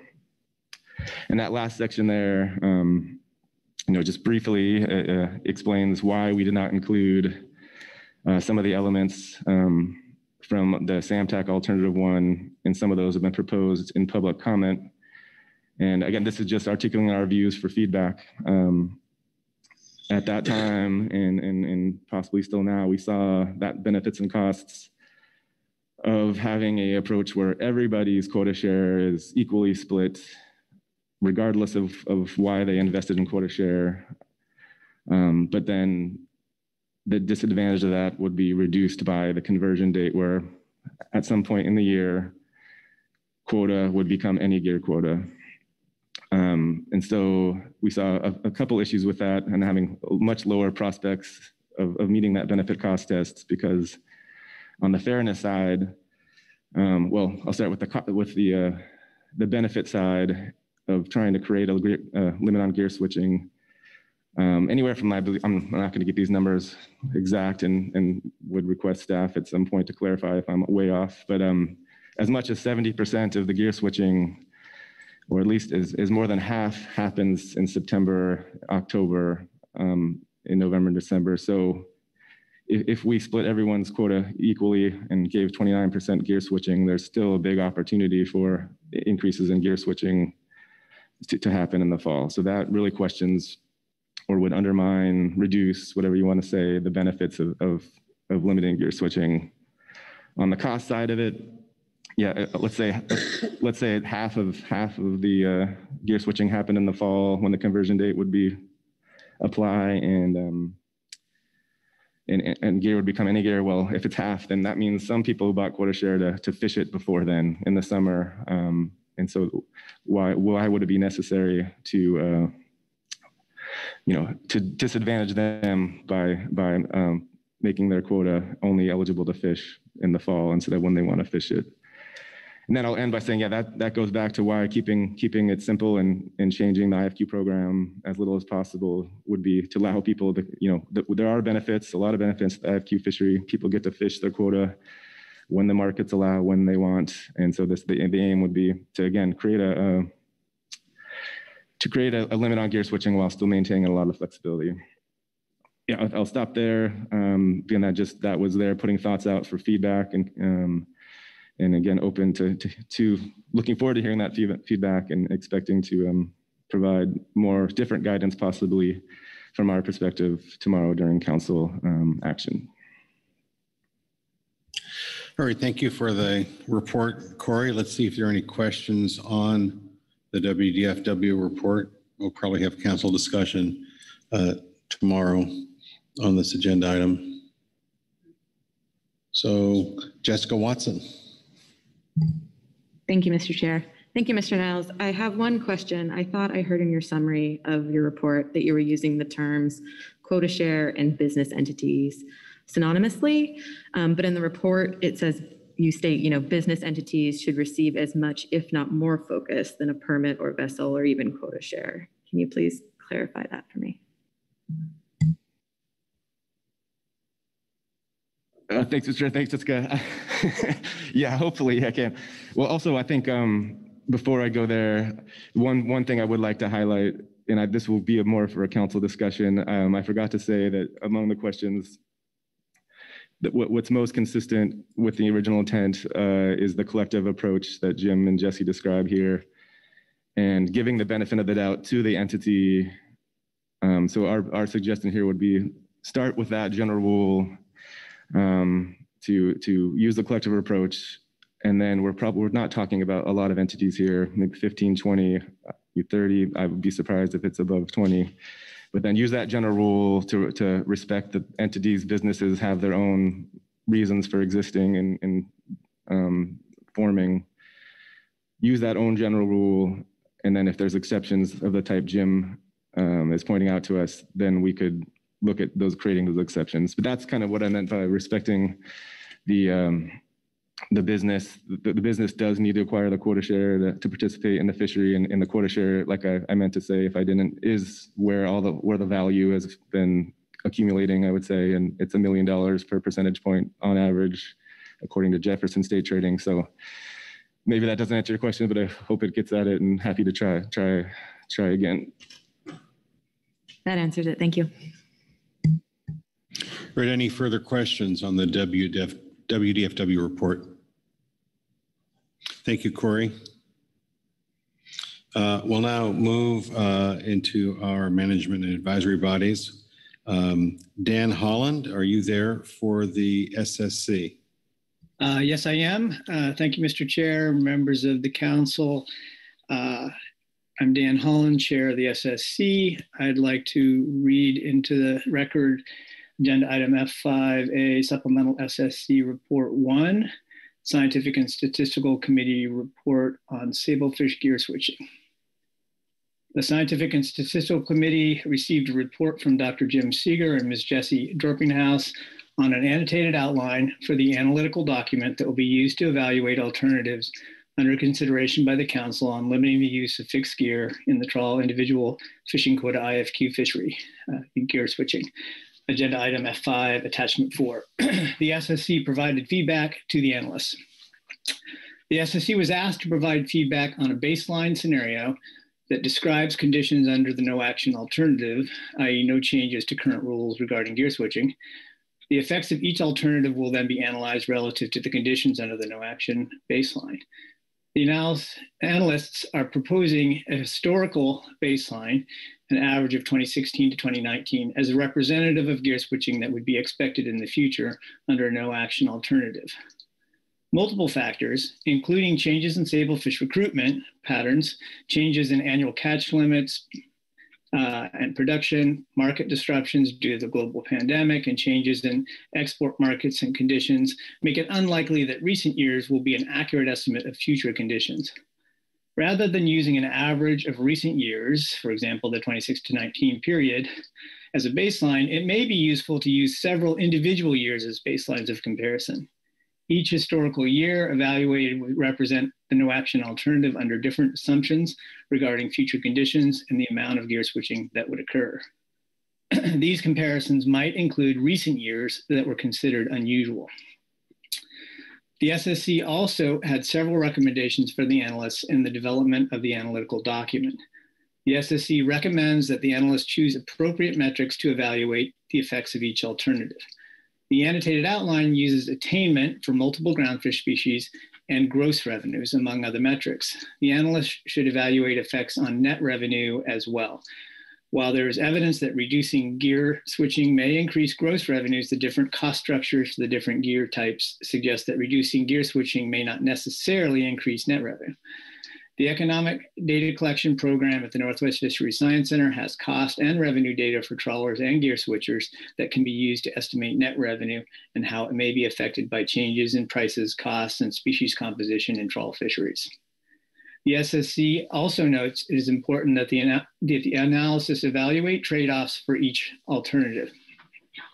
While limiting gear switching may increase attainment of some species, it may have negative in income effects on participants that would prefer to gear switch and on the value of quota shares. Finally, the, anal the analysis should address whether and why the current market-driven allocation of sablefish quota pounds is undesirable and what problems the proposed alternatives are trying to correct by constraining the market. This context is important for evaluating whether the alternatives under consideration are meeting their desired obje objectives or may result in unintended consequences. That concludes the SSC report. I'm happy to take questions. All right, thank you very much, Dan. Are there questions of Dan on the SSC report? Corey Niles. Thanks, thanks, Mr. Vice Chair, and, and thanks, Dan. On, I guess I'm seeing a connection between your last paragraphs, or maybe all the paragraphs, and and and, and well, all the paragraphs, I guess. But on this question of the of the baseline, um, as you all are acknowledging the the um, the extent to which gear switching is contributing to to the, the lack of attainment in the um, in the IFQ program is, is, is somewhat is, is debatable among stakeholder, stakeholders is how I'll phrase it. But in terms of uh, you know a baseline, which I I, I think is um, we we heard is intended to really be a forecast of what would happen if the no action if the council were to choose a no action alternative. So there is, for example, a scenarios you can envision, and people have been arguing.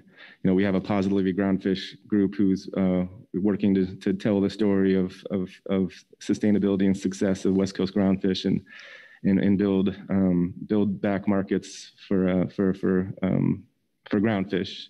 Let's say that scenario succeeds, and more and more people are able to, as you say, maybe earn more net revenues per pound of sablefish than they do now. And so we would see the IFQ program, we would see less leasing to fixed gear uh, vessels, you know, you would expect in the future. But um, yeah, I'll stop there and just say, am I, uh, am I kind of articulating somewhat your thoughts on on the baseline and, and what kind of scenarios could we should be asking the staff to consider in, in the next rounds of analysis?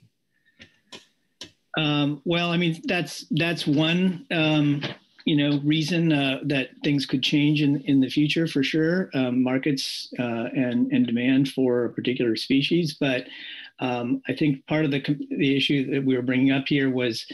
Uh, that that the the analysts were um, kind of deciding that they were going, thinking that they would exclude the last couple of years as base as baseline, um, because mainly because of COVID considerations, I guess.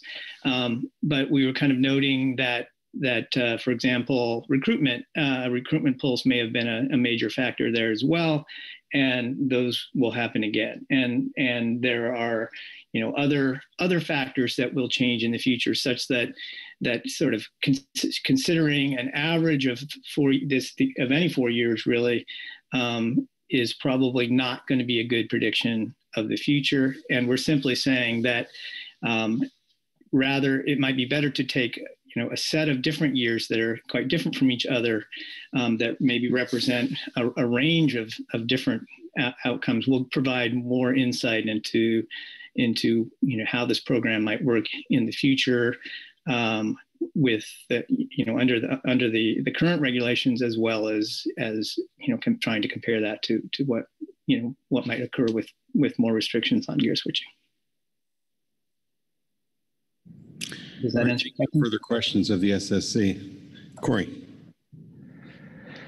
Uh, thanks, thanks, Mr. Chair. And yeah, Dan, knowing knowing uh, you may be more comfortable answering these questions about economics than um, than you were about our, the, the, the stock assessment issues yesterday.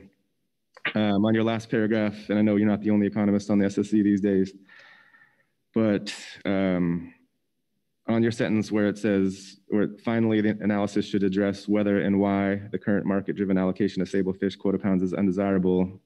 So that that sentence, you know, one issue I think we've left to the to the decide at the moment is um, the effect that the control limits have had.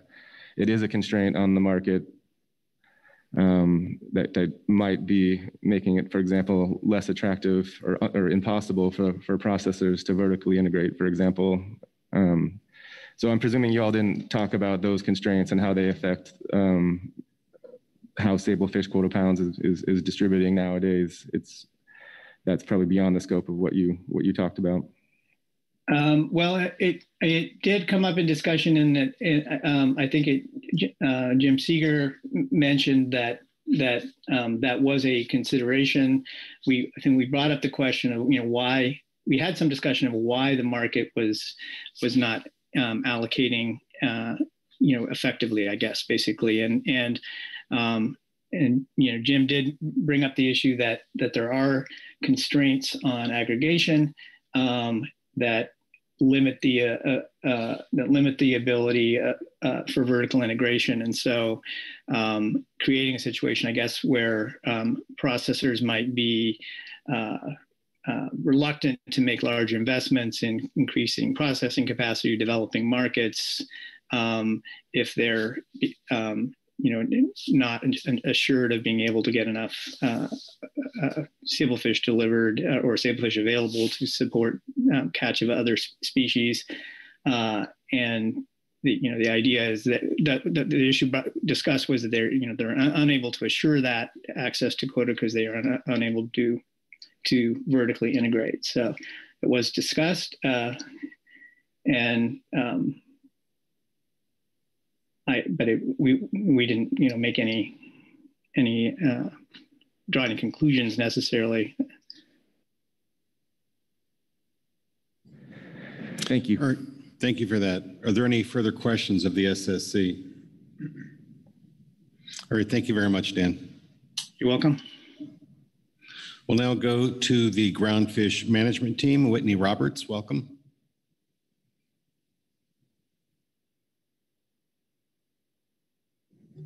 Good morning, Council. For the record, my name is Whitney Roberts from the Groundfish Management Team, and I will be reading Agenda Item F5A, Supplemental GMT Report 1, Groundfish Management Team Report on Sablefish Gear Switching. The Groundfish Management Team reviewed the briefing book materials and public comments and received a presentation from Dr. Jim Seger of Pacific Fishery Management Council staff, as well as guidance from Ms. Jessie Doerpinghaus of Council staff.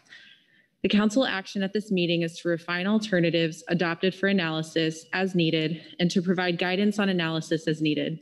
As the GMT has stated in the past, we recognize that action on this item is largely a policy call, but we do offer some comments based on our understanding of the council's goals and objectives for this overall action.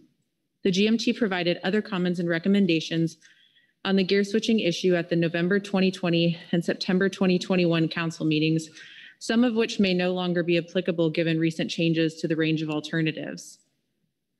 The council is currently scheduled to take preliminary preferred action on this item in the November 2022, oh, sorry, in November 2022, followed by final preferred action in April 2023.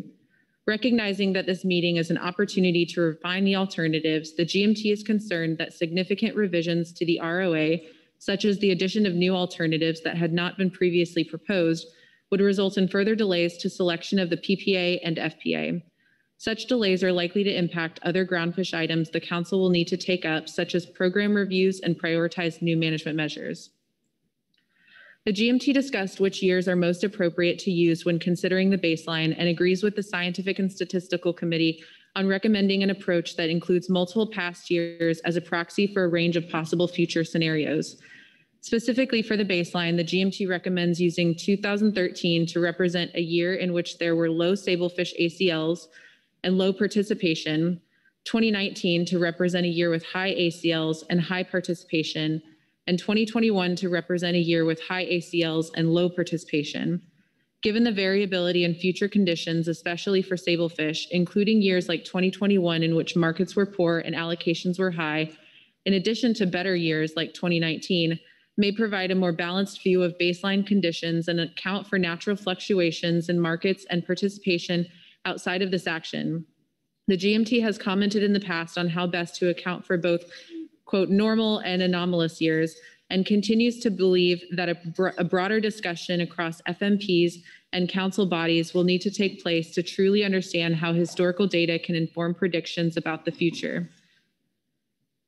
Regarding the range of alternatives, keeping in mind the potential impacts to other groundfish items if this action is delayed, the GMT is generally supportive of an ROA that attempts to maintain as much simplicity as, and flexibility as possible. For simplicity, the council should consider whether or not alternatives, options, or sub-options included, with the exception of no action, would accomplish the council's objective of keeping northern sablefish gear switching from impeding the attainment of northern individual fishing quota allocations with trawl gear while considering impacts of current operations and investments.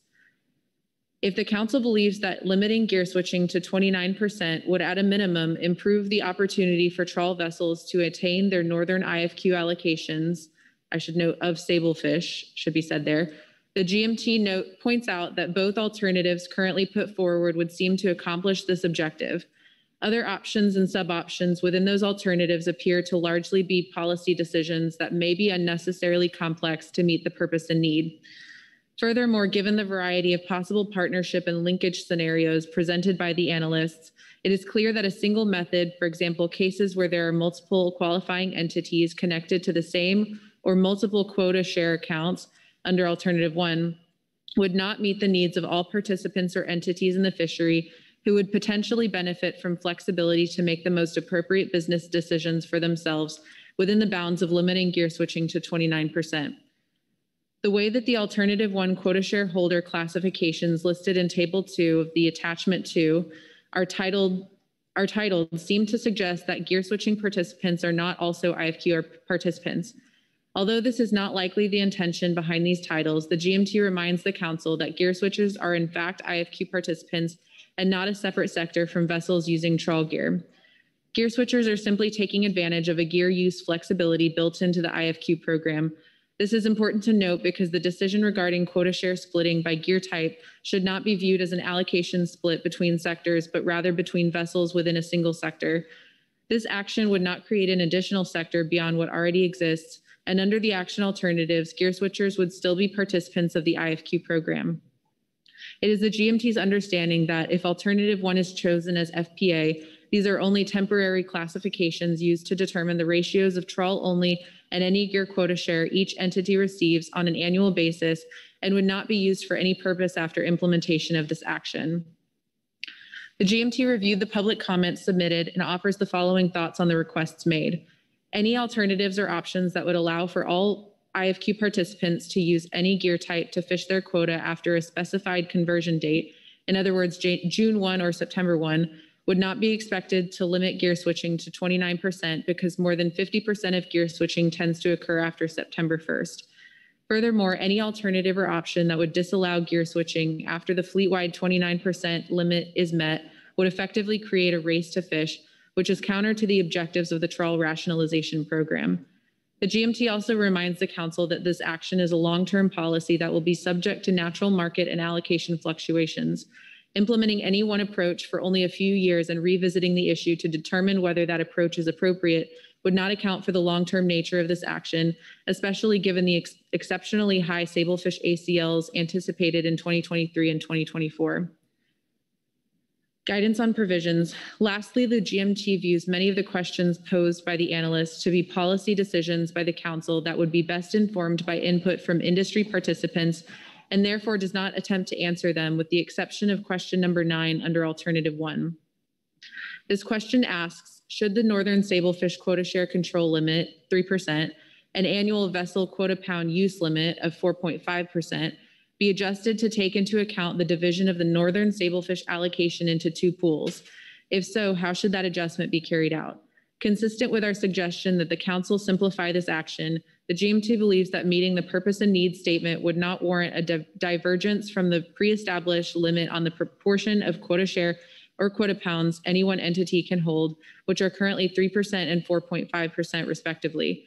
Therefore, the GMT recommends maintaining the 3% and 4.5% quota share control and quota pound use limits respectively for all gear types and not dividing those limits into gear-specific limits to further simplify this gear switching action, recognizing that the control and use limit provisions are unrelated to the objective of limiting gear switching.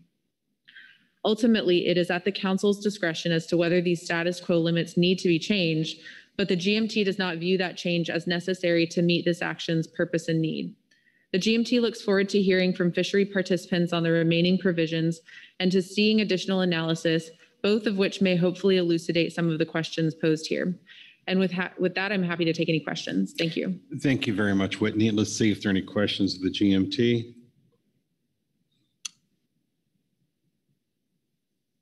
I'll check online.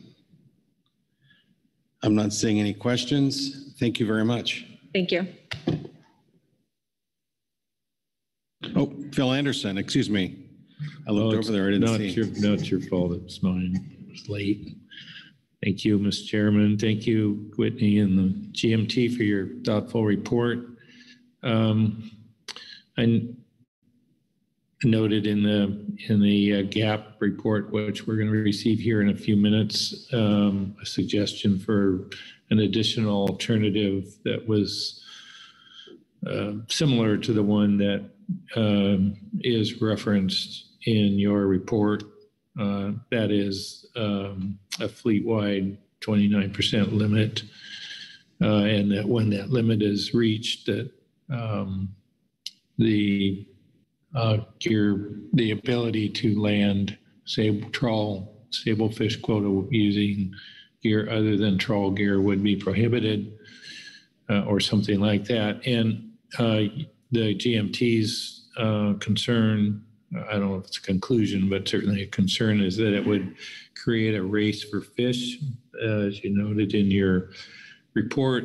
And I w- I wondered if you had had an opportunity uh, to consider the GAP's discussion about that and why they uh, came to a different conclusion uh, about whether or not it would uh, create a race for fish before offering that as a perspective from the GMT. Through the chair, thank you, Mr. Anderson, for the question. Um, we did not have access to the GAP report before submitting our report. Um, we also were, the GMT was not scheduled to have a joint session with the GAP on this action item, so we weren't able to have that dialogue with them that, that may have answered this. Um, we also were under certain time constraints given that um, several reports were due yesterday. And so the GMT ourselves did not have a lot of time to talk at a at great length um, for some of these issues. Fair enough. Thanks very much. Thank you. All right, any other questions? Corey Niles. Thanks, thanks, Mr. Chair, um, and, and thanks GM, uh, to Whitney and the GMT. Try to say those both at the same time. Um, yeah, on that same on that same paragraph, I guess would it be unfair to say that the GMT on on this on the issue of the conversion date and not sticking to the not likely to limit it to 29% with a high probability? Is it fair to say this is not the first time the GMT concluded that this was a conclusion that's you you've reached, you know, looking at the SAMTAC analysis and back in September if in, in before then? Through the chair, thank you, Mr. Niles, for the question. That is correct. The GMT has commented on this in the past because it has been considered in some of the analyses proposed in prior meetings.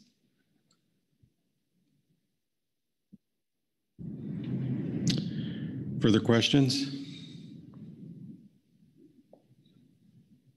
Right, thank you very much. Uh, we have one more report. It's from the GAP. It looks like it's a panel presentation. Uh, just to let folks know where we're going after the GAP report, uh, we'll take a morning break and then we'll come back and have public comment. Um, we have quite a bit of public comment lined up on this agenda item.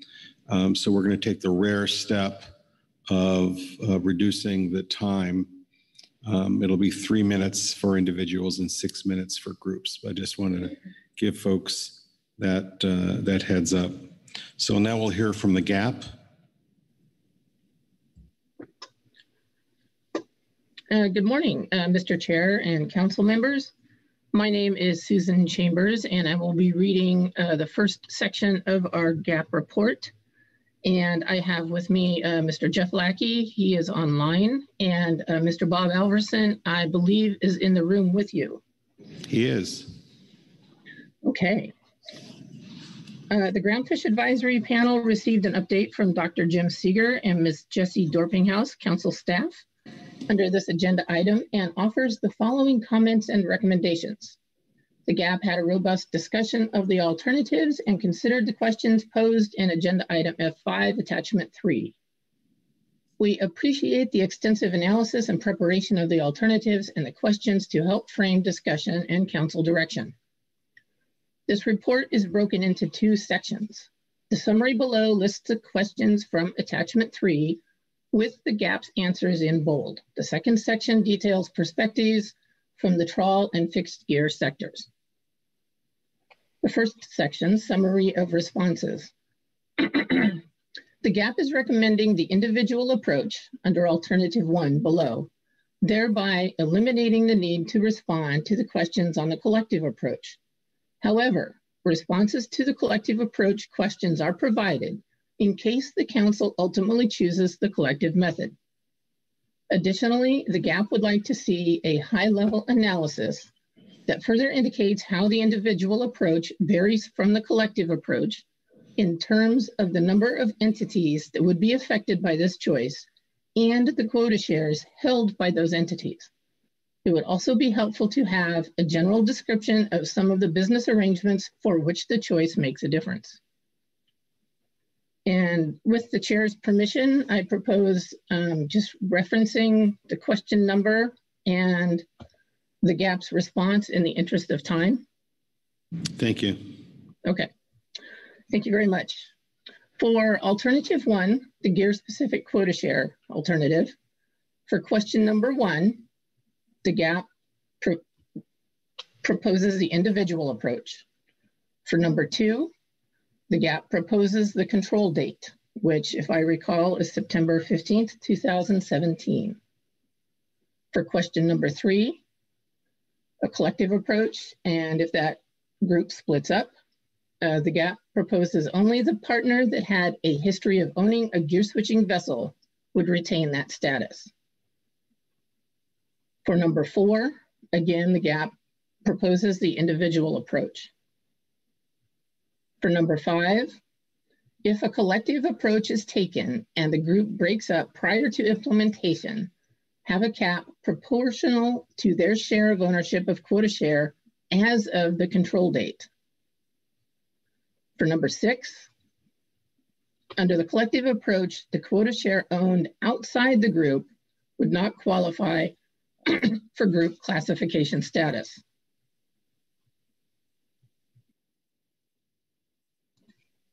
For other alternative one issues to consider, for number seven, the gap suggests that yes, apply the same as they would be applied to all of the quota share owners. For number eight, um, the formulas, the gap suggests calculation based on reported percent of ownership. For number nine, the gap recommends applying existing accumulation limits only at the aggregate northern sablefish level. level. For alternative two, the gear switching endorsements.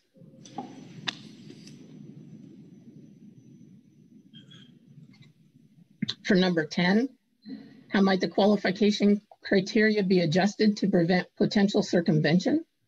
The GAP prefers that to prevent potential circumvention of qualification criteria, all transfers of ownership after the control date, whether it be at the permit, vessel, or quota share level, won't qualify a person or entity for a gear switching endorsement. we combined questions number 11 and number 12. So in response to both of those combined, partial credit for partially owned quota share accounts with no double counting and in complex ownership situations, allow the involved owners to decide how to distribute credit for quota share accounts owned among gear switching limits that will be provided for the related endorsements. Taking into account the double counting would not be allowed. For um, other alternative two issues to consider for number 13 regarding uh, adaptive management program quota pound distributions, the GAP recommends changing the option language to clarify that the resulting gear switching limits that are based on options that take into account quota share ownership provide a limit sufficient to cover the AMP quota pounds issued for the quota shares.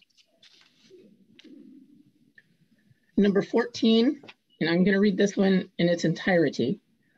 Uh, number 14, should there be an adjustment to the gear switching limit formulas based on gear switching history to take into account a partial year? Some members of the GAP recommend examining ending dates of December 31st, 2016 and December 31st, 2017 to be more fair to examine a full fishing season since many gear switchers wait until after September to catch their sablefish. Other members of the GAP believe it is important to maintain the integrity of the control date and use September 15th, 2017. Number 15, the GAP suggests the limit for non-endorsed trawl permits should be specified as the smaller value of 0.11% or 10,000 pounds. So for the second section of our report on the perspectives, as the council is aware, the two primary sectors, fixed gear and trawl, have had very differing viewpoints of this issue in the past. We have presented these to the council in our gap statements in an effort to provide the council with the best representation of the issue. In keeping with that form, we provide those perspectives below. And for these two section, these two parts of the, our report, I will refer to Mr. Bob Alverson for the fixed gears sector perspective, and then to Mr. Jeff Lackey for the trawl gear sector perspective. So, ahead, Mr. Bob. Chair, Mr. Chairman, um, from the fixed gear sector perspective, uh, the minutes read, the fixed gear representatives of the GAP who are interested in gear switching recommend the following revisions to the existing gear switching alternatives. The first one, we re- recommend the council consider the proposal presented in the letter to the council from Ocean Beat Consulting LLC, which is part of the written record, public record, found under agenda item F5 as a sub-option to alternative one. Second, we recommend that the the phase-out option, endorsement expiration option one of alternative two be dropped. And third, we recommend the council consider an alternative refinement that would allow for 29% of the trawl sablefish quota to be gear switched, and when that amount has been landed, the gear switching would be closed. Some have worried this would create a race for fish. We discount this based on the low level of numbers of vessels that actually gear switch, and the allocation to gear switch at 29% is approximately 85% of historical levels of gear switching activity based on the years 2016 through 2019 um, utilizing, utilization of allocation by fixed gear. We do not see a classical race for fish materializing with this refinement. All right, thank you, Bob. Travis, or Jeff Lackey? Yes, um, for the trawl gear sector perspective portion of the report, uh, first comments on alternatives. One, the current range of fixed gear limitation of about 5% to 29% with an expiration option in alternative two is appropriate to provide for a robust analysis. Second, the 5% limitation is appropriate for analysis as a base number since it represents a combination of qualifiers like QS ownership by vessel owners that fished 30,000 pounds in any three pre-control date years. Third, alternative one currently has only a 29% limitation, and therefore an analysis that compares alternative one to status quo is not likely to provide much or any of a contrast for impacts to items such as purpose and need, optimum yield, FMP, and program goals and objectives. Fourth, both alternatives have a fair amount of complexity. Although the analysis in November could provide some clarity in terms of the impact from different sub-options. Proposal for a third alternative. Issue sablefish and north quota pounds each year to all quota share accounts in the same proportion of trawl-only quota pounds and any gear quota pounds for each QS account. Analyze at 5% to 29% any gear quota pound uh, range and remainder trawl only quota pounds, so it has about the same limitation range as alternative two. Comments on future analysis. One, it is desired for the analysis prepared for November council meeting to compare and contrast the impact of 29% versus 0% fixed gear attainment limitation of sablefish north trawl quota on the long-term capacity of the program or fishery to A, achieve the goals and objectives as, as outlined in the Pacific Coast Groundfish Fishery Management Plan in Amendment 20, with emphasis on multi-species optimum yield on a continuing basis. B, contribute to necessary continuity of markets, infrastructure, and year-round employment anchored in coastal communities. C, maintain necessary continuity previously mentioned in years when sablefish incidental catch is trending high in the shoreside whiting fishery. D, maintain a geographically distributed fishery that connects communities to the sustainable trawl-dependent groundfish resource. And E, maximize contribution in amount and affordability to the nation's food security. Two, it would be informative to have analysis showing percentage of sablefish north quota share, that is, A, owned by vessel owners as of and since the control date, and fished with fixed gear, 30,000 pounds in any three pre-control date years. B, and in addition, have maintained their permit and vessel ownership. C, and in addition, have fished fixed gear in the trawl IFQ fishery in the in the in at least two of the last three years, 2019 through 21. And that concludes the report. All right, thank you, Jeff, Bob, and Susan. Let's see if there are any questions on um, the GAP report or any part thereof. Corey Niles? Th- Thanks, Mr. Chair, and um, yeah, thanks to the GAP for a well-organized report. Um, My question is, um, oh, to- just lost my window one second here.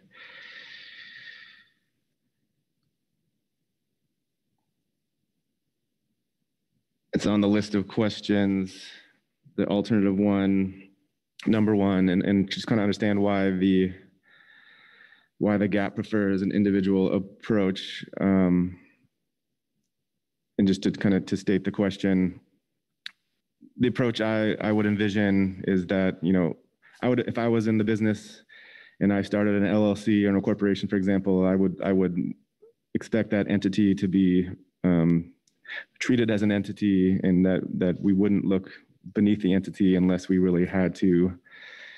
And I'm, uh, I'm seeing the only reason we would want to is in case there were uh, issues we didn't anticipate, like the type, type that staff has um, raised about changes to uh, companies after the control date, all that. So is there any other reason, I guess the question, why does the gap uh, support the individual approach? If there was a way to just look at it entity level while while taking care of it exceptions, would would there be any objection to that? Would be another way of, of stating the question. And I'll stop there, see if I can clarify um, what I'm what I'm after here. Bob? Mr. Chairman, um, the um, trawl and uh, uh, fixed gear people pretty much agreed with each other on these questions. In answering this first question, we took at least probably an hour of questions before we came to this conclusion. And the primary focus that we had is asking how would a family partnership or a LLC or a small corporation, what would be the fallout of the fishing privileges and rights and how does this affect that? And after quite a long discussion, um, the fixed gear and trawl folks on the on the um, on the gap felt the best um, analysis would be in the individual approach. Um, having said that, we're probably not completely sure that's the right answer, and so we'd like to see the analysis before we take a final on that. But um, we did, I think, um, come to the conclusion that the uh, the uh, the trawl and fixed gear people have similar ownerships in their boats, so they have similar answers on these questions. Um, and pretty much we were in agreement on all 15 of these questions, uh, Mr. Chairman. Yes, the best I can do, Corey. All right, thanks, Bob. Let me just see if, if Jeff has, just to confirm that perspective. Yes, I think Bob said it well. All right, thank you. Mr. Chair. Yes, Susan. Hi, this is Susan. Um, I just wanted to add one more thing if I could. Um, we did ask for uh, the analysis, like uh, Bob mentioned um, in a paragraph above alternative one. And we did that because, um, and Jim, Mr. Dr. Seger, correct me if I'm wrong, if we do that analysis, it will not slow the progress of this action, but it will allow an opportunity for the council to, you know, if we do find something that is seriously um, wrong with the individual approach, it will allow the council to return to consider the collective approach in the future. All right, thank you. Uh, Christa and then Brad. Yeah, thank you, Mr. Chair, and thank you for the report. I will say that I am encouraged to hear that there appears to be some common ground among people um, that are involved in the process. Uh, my question stems around the proposal for a third alternative. Uh, the way it's laid out in uh, this report, it, it looks a bit like it's coming in under the trawl gear sector perspective. And just wondering, is, is that a collective gap perspective uh, for proposal for the third alternative? Is there consensus around that? Um, Or is that specifically coming out of the trawl sector? Mr. Chair, uh, Ms. Svensson, um, I think, and I'd have to look again, I think um, as proposed specifically here, it is coming out of the trawl sector. I think there was public comment that also proposed the third alternative, but the difference was on how much um, of the quota pounds were analyzed. And I would defer to Jeff and Bob to correct me on any part of that comment. If I may? Yes, go ahead, Jeff. Um, yes, thank you. Um, yes, at, at first there was talk of making it consensus, but there was enough differences. The vehicle was proposed by both. There was a public comment letter from uh, Michelle Robinson, and and and that was advocated in the gap. But the difference was there was a conversion date in the public comment letter, and the range was 29%. Now for the trawl, it's the same vehicle, but there's no conversion date. And the request is to analyze a range of, of between 5 and 29%. All right, thanks for that response. Uh, Brad, before I go to you, I, Marcy actually had her hand up and I had forgotten. Was, was there another, Bob, are you going to respond to that? Yeah, the, the main, the main uh, issue for the fixed gear people is, is uh, the 5% uh, lower level in that analysis that the trawlers wanted to look at. And we didn't, un- I still don't understand the 30,000 pound in item two under comments. So we took the Ocean Beat Consulting LLC at, at its face value as presented. All right, thanks. Marcy and then Brad. Thank you, Mr. Chair. Um, I had a question similar to Christa about the organization of the report and if the comments on future analysis fall under the trawl uh, gear sector perspective, or if that was a full suite of gap recommendations on the future analysis. So that's question one. Do you want to address that to Susan? Sure, thank you. Sure, I can I can take a stab at that. Um, yeah, as as uh, Jeff and Bob have mentioned, um, you know there was interest uh, for that uh, third alternative. The difference was only on the conversion and the percentage change. So um, I think we kind of wrap that in with the uh, the fixed gear sector wrapped that in with their support for the Ocean Beat Consulting public comment letter. Um, I don't know how much more workload that would create for um, council staff, but that that was my understanding. If I could clarify the structure and answer that question. Okay, Jeff, go ahead. Yes, in the report, the blue header trawl gear sector perspective, everything below that is trawl gear, uh, e- everything from the rest of the report.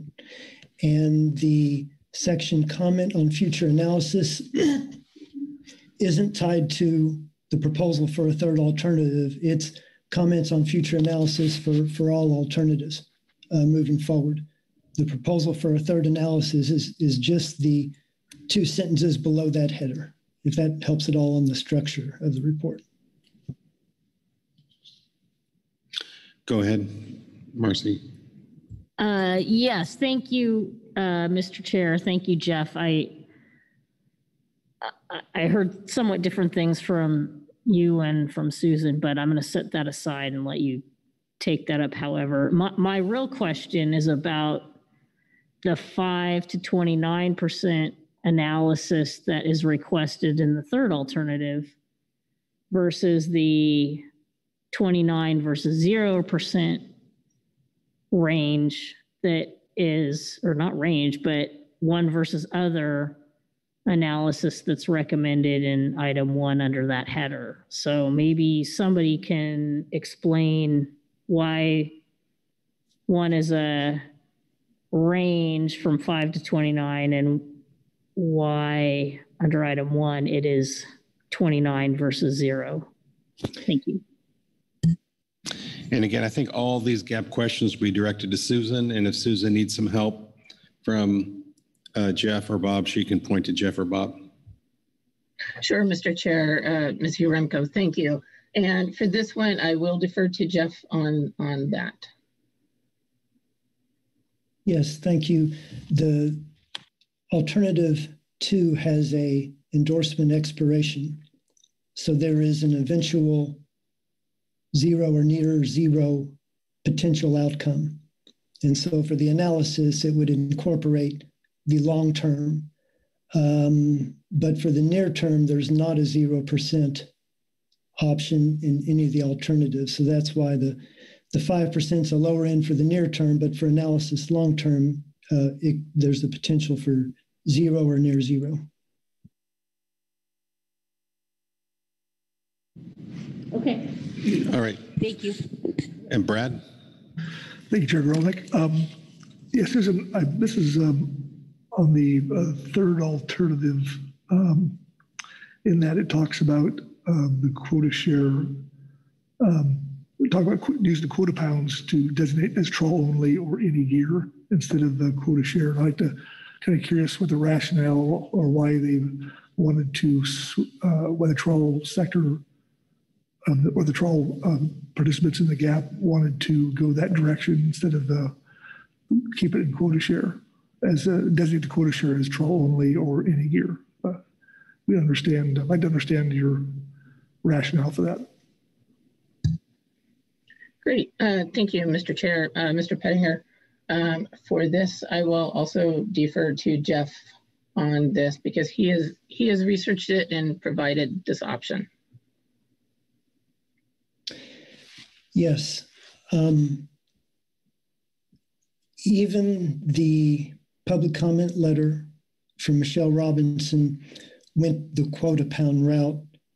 Um, if I recall, I don't want to mischaracterize her rationale. Part of it was simplicity.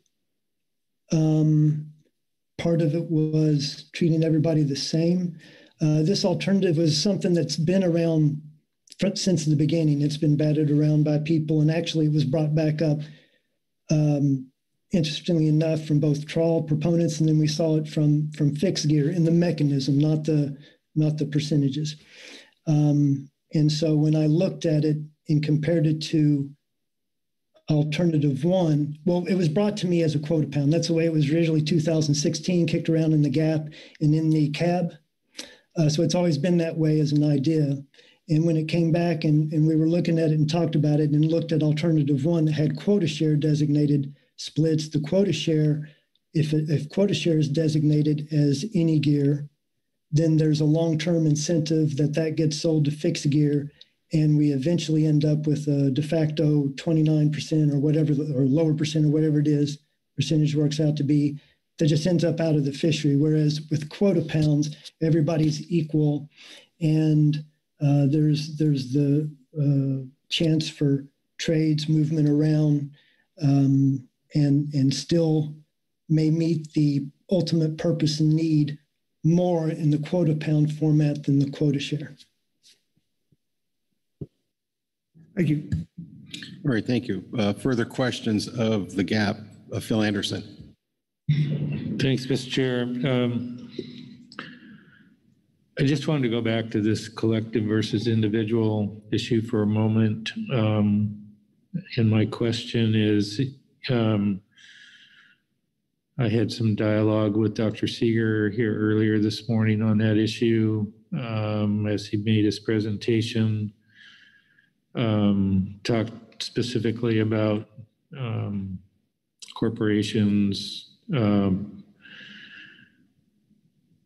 and I, I didn't speak to uh, domestic partners, um, but the the the answer that, or at least my interpretation of the answer that we got was that um, corporations uh, like small LLCs and part, small partnerships, the types of organizations that the industry uses or is commonplace amongst the trawl and the fixed gear sectors or gear switching uh, participants uh, would not be considered an individual.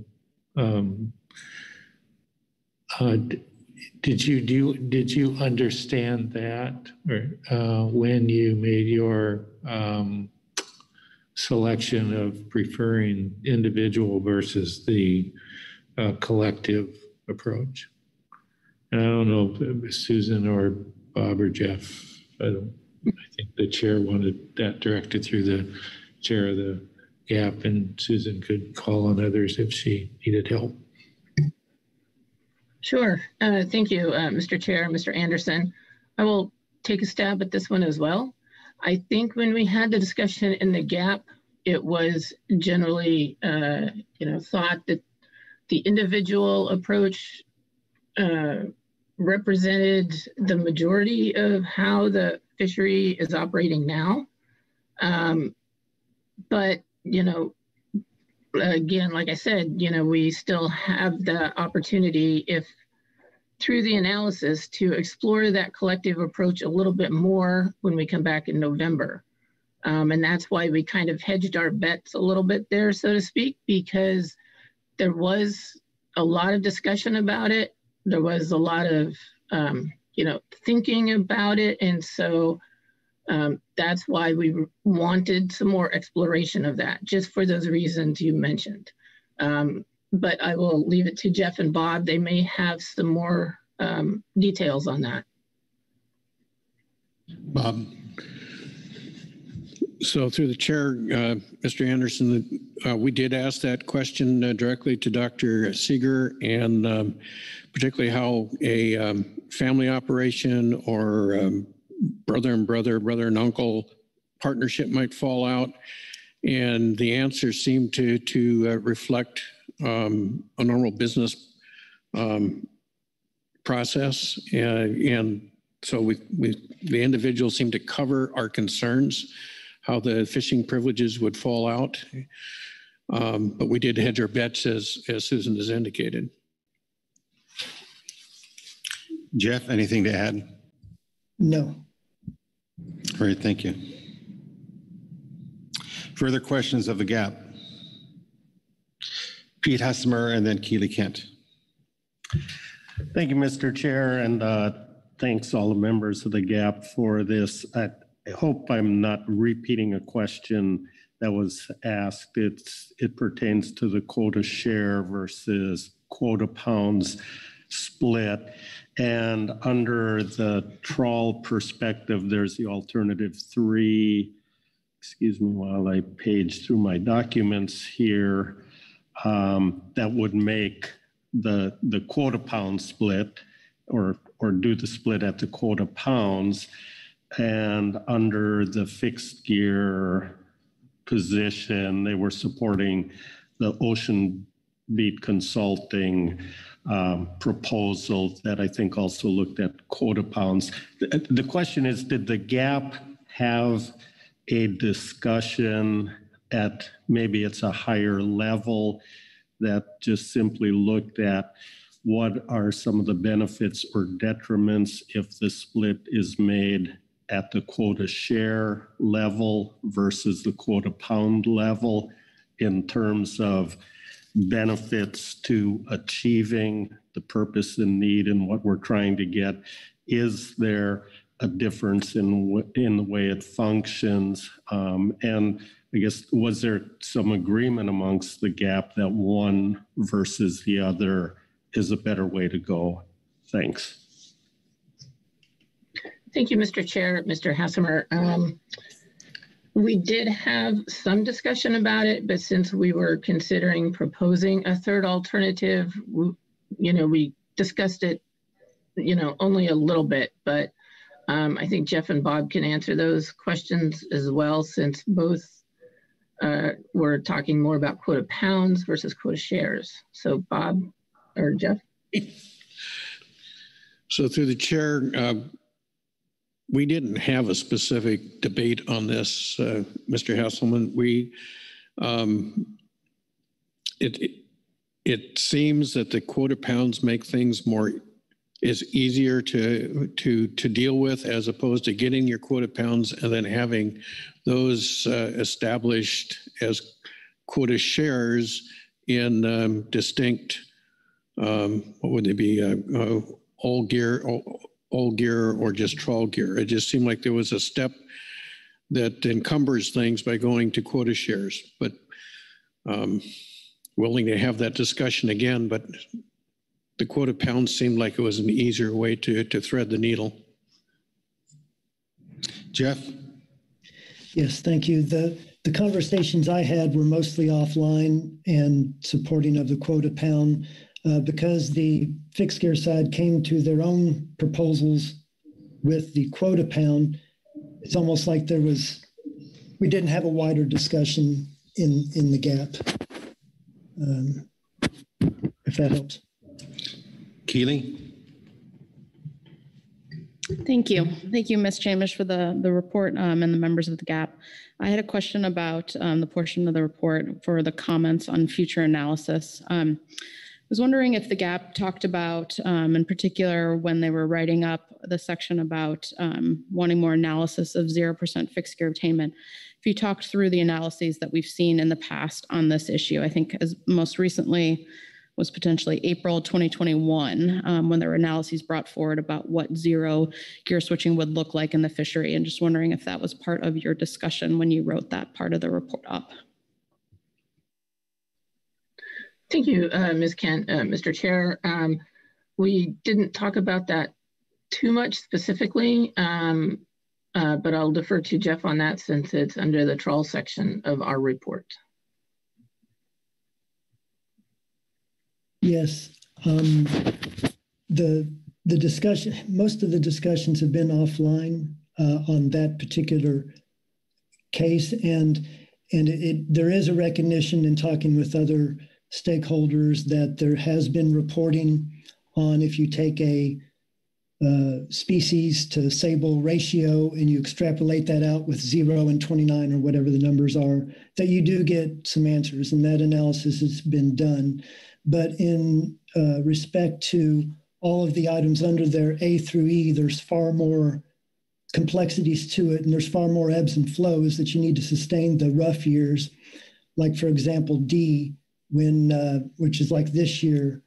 Um, I'm sorry, um, C, C like this year when the when the whiting fisheries catching a lot of sable, that changes the dynamics uh, a huge amount, and so um, analysis that would incorporate all A through E, in addition to sort of the the sable to something ratio and extrapolating out something in sort of a, a generic year, looking for a little more wider analysis along those lines.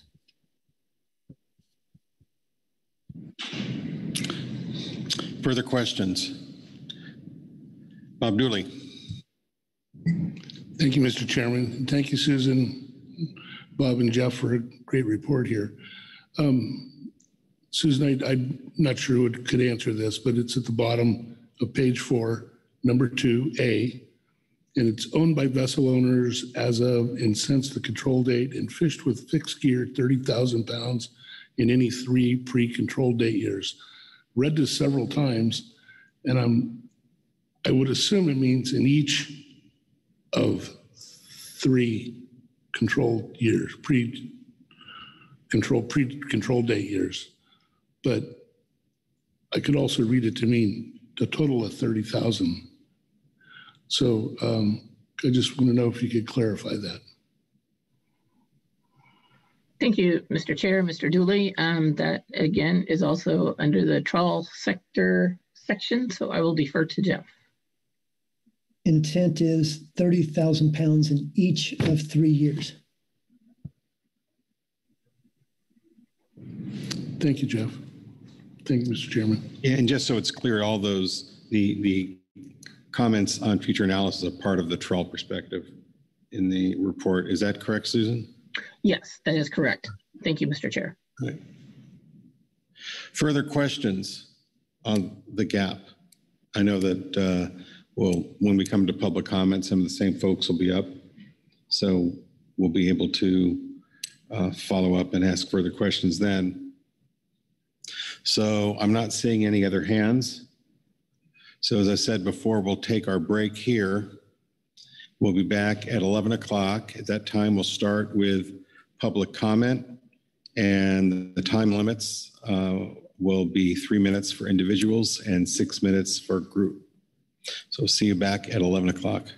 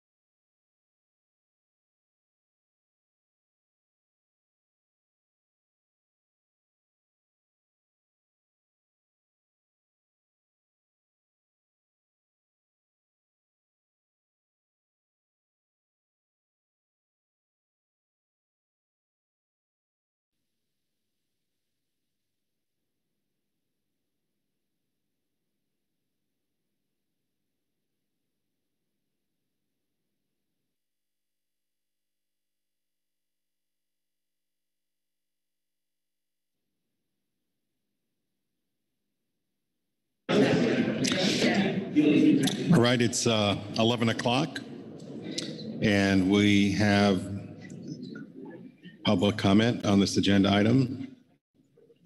So why don't we all return to our seats?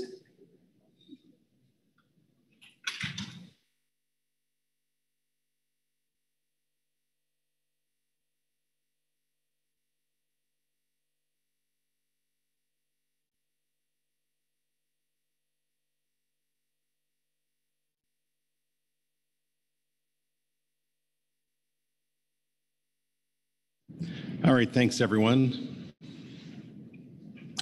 We will start with public comment. We have a fair amount. And uh, we'll take it on the list we have in front of us. Uh, First is Bob Alverson. Welcome, Bob. And just as a reminder, um, we- we're shortening the time a bit here uh, because of the length of public comment of to six minutes for groups and three minutes for individuals. So for the record, Mr. Chairman, my name is Bob Alverson. I'm representing uh, Fishing Vessel Owners Association out of Seattle. We submitted a written public comment, which is under your uh, um, F5 uh, agenda, and I'm going to speak specifically to the uh, uh, sub-option that we recommended, which is found on, uh, believe, the, the second or third page of that, uh, those comments.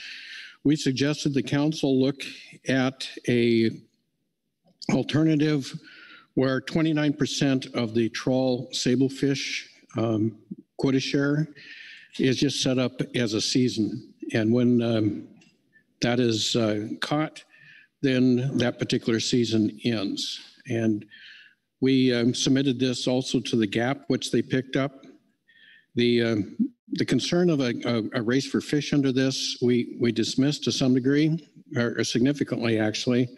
This 29% um, since the inception of your trawl ITQ program um, is probably very close to the historic average. The last five years before COVID, um, which goes 2016 to, to about 2019, uh, we saw record prices up and down the coast for sablefish that also preceded these in, increased harvest limits that both in the North Pacific Council and this council um, have provided to the to the industry uh, based on the increasing population of this this resource. Uh, we we do not see a classic race for fish uh, such as we had uh, in the early 2000s for our tiered program, where it collapsed to nine day seasons. Um, we see a similar season as we see now with the majority of gear switchers, which account for about 19% of gear switching coming in in the September timeframe and fishing to uh, to uh, December. And I would imagine those who have bought quota share for this uh, or have quota share and only have ever caught it with fixed gear vessels or fixed gear uh, uh, type of operation um, would probably be encouraged to to, um, to get their quota in sometime around August, early September, so they make sure that their investment has been um, uh, amortized and and and caught.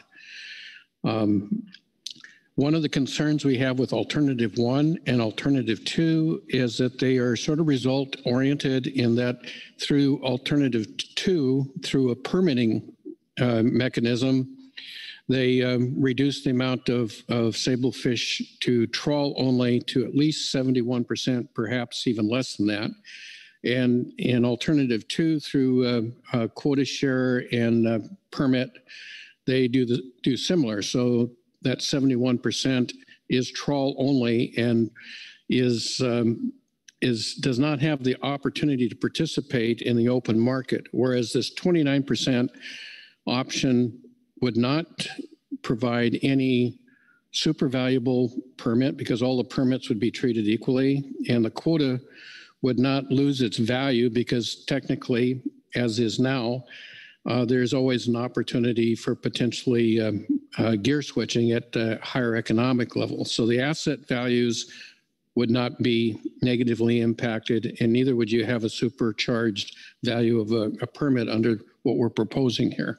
which we see as an issue under alternative one and alternative two. So we'd like to see something as, that has a limit that the council has voted on, which was no more than 29%, and something that is more market-based, has some market-based aspects to it. So, Mr. Chairman, that completes our comments. If there's questions, be happy to answer them. Thank you very much, Bob. Are there questions of Bob? Corey Niles. Thanks, Mr. Chair. Thanks, Bob. You said something there. I would, I, and you, I, I think, well, uh, you, you said alternative two twice, but you meant alternative one. But a distinction I'm not understanding between your, you're just open it to the 29% option you want to add versus alternative one, which would create the same amount of quota share, 29%. So, uh, am I understanding the difference to be what you're saying is under your option? So, under, under, either way, there, there'd still be only 29% of quota that could be used with fixed gear. But under the way you're proposing, am I taking you to mean there'd just be more people that you could lease lease that quota from? Because in either case, I'm saying there's still only 29% of the quota pounds that could be used with fixed gear. Through the chair, uh, Mr. Niles, um, the 29% is the same. So that result is the same. But uh, the a person holding quota share would not have it designated as uh, trawl only, which can only be delivered probably logically with some other ground fish to, to the processor. Um, currently, you have probably 71% of the trawlers who have never participated in, um, in gear switching, but yet their asset value reflects um, uh, the, the um, higher value of a, a long line or pot fish. Um, because they they have the opportunity, even though they don't exercise it, to participate in um, in uh, fixed gear operations. So our proposal would um, would not result in the trawler's asset value being downgraded because it's designated specifically as trawl only. That's that's the difference. Thank you. Further questions? Thank you, Bob. Thank you.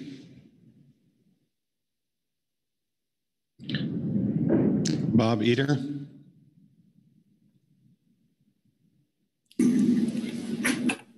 Can you hear me, Mr. Chairman? You bet. Good morning, Mr. Chairman, council members. I'm Bob Eder, a sablefish trap fisherman out of Newport, Oregon. I would say that we, we agree with the GAP report insofar as addressing the questions presented by the staff, but take strong exception to the request for an alternative, either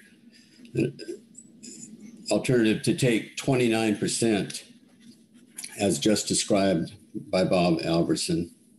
And this may be attractive in its apparent simplicity, but please keep in mind that we're talking about a possible adjustment to the Trawl IQ program, a quota share system. This alternative would be inconsistent with the basic philosophies and policies of the greater program that we're operating within. It would be unquestionably regressive the GMT points this out. They describe that it would create a race for fish, and I agree, having been involved in many races for fish in the past. It would also um, deal with an unknown number of participants. If we were really addressing a problem in this IQ system, why invite more participation? the trawl proposed proposal for a third alternative is, even worse. Um, as an owner of a substantial amount of quota share, to, to compel me to only fish 29% with my chosen, chosen legal gear is a horrible idea.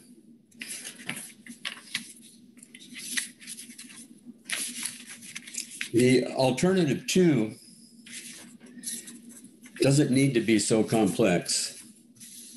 I think once the council makes a decision deciding either ownership of vessel, permit, or quota share, this becomes very doable and clear. It's consistent with the greater IQ program.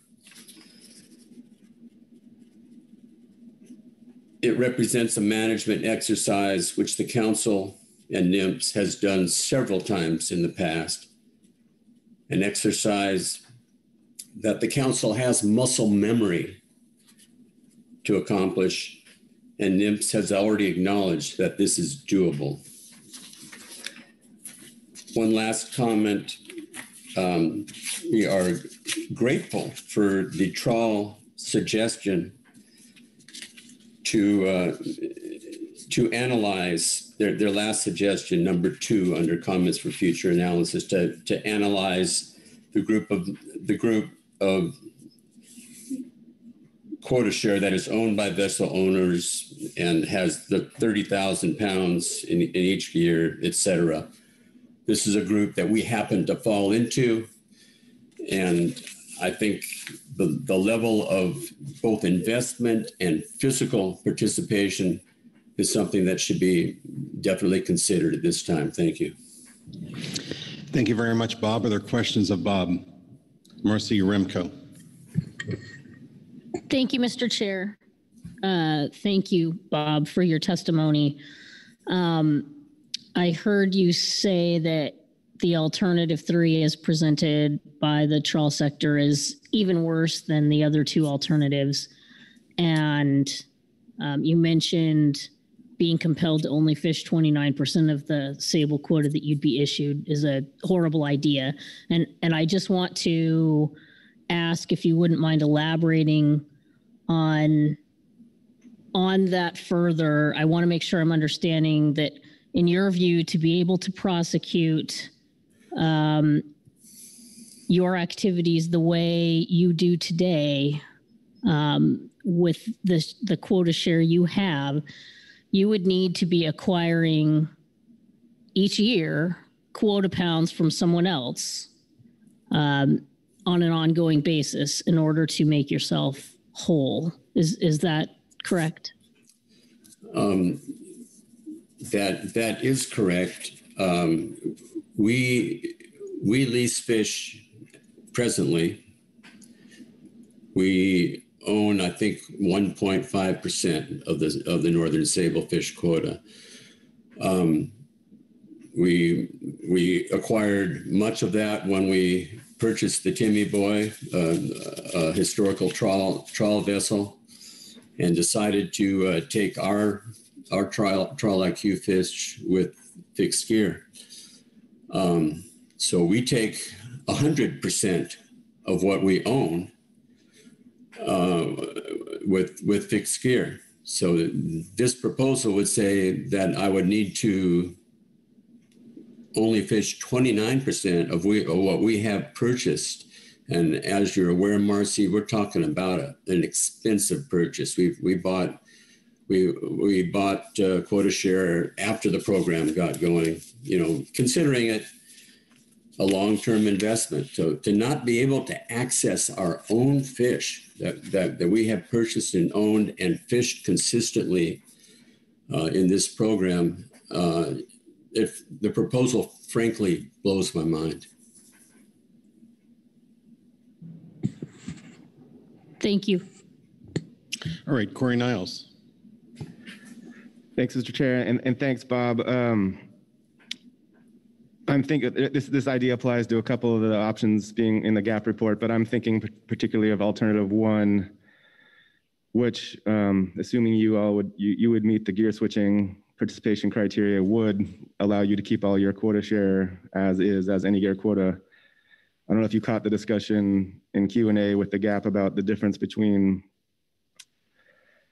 um, having it structured so it's any gear quota share versus some one type of quota share that and there's two types of quota pounds the one difference i've I heard Jeff Lackey mention would would be that if you did the quota pounds, it would affect the long-term investment climate, maybe of of investing in in any gear quota share. Uh, I'll, I'll see there if you're following what, what, what I'm after and, and just wanting to know if you had any opinions on how, what the difference would be if we, if we looked at alternative one as having two types of quota share or just having one type of quota share and two types of quota pounds that derive from it. And I could state that if I was unclear.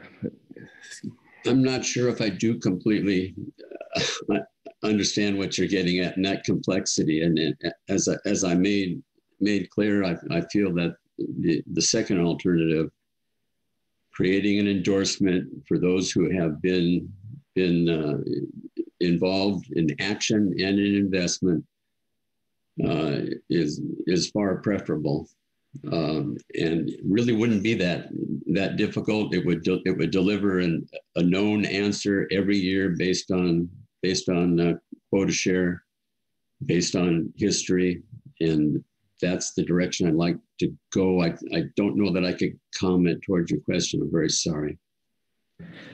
Oh, fair enough. Thank you. Thank you uh, for that answer.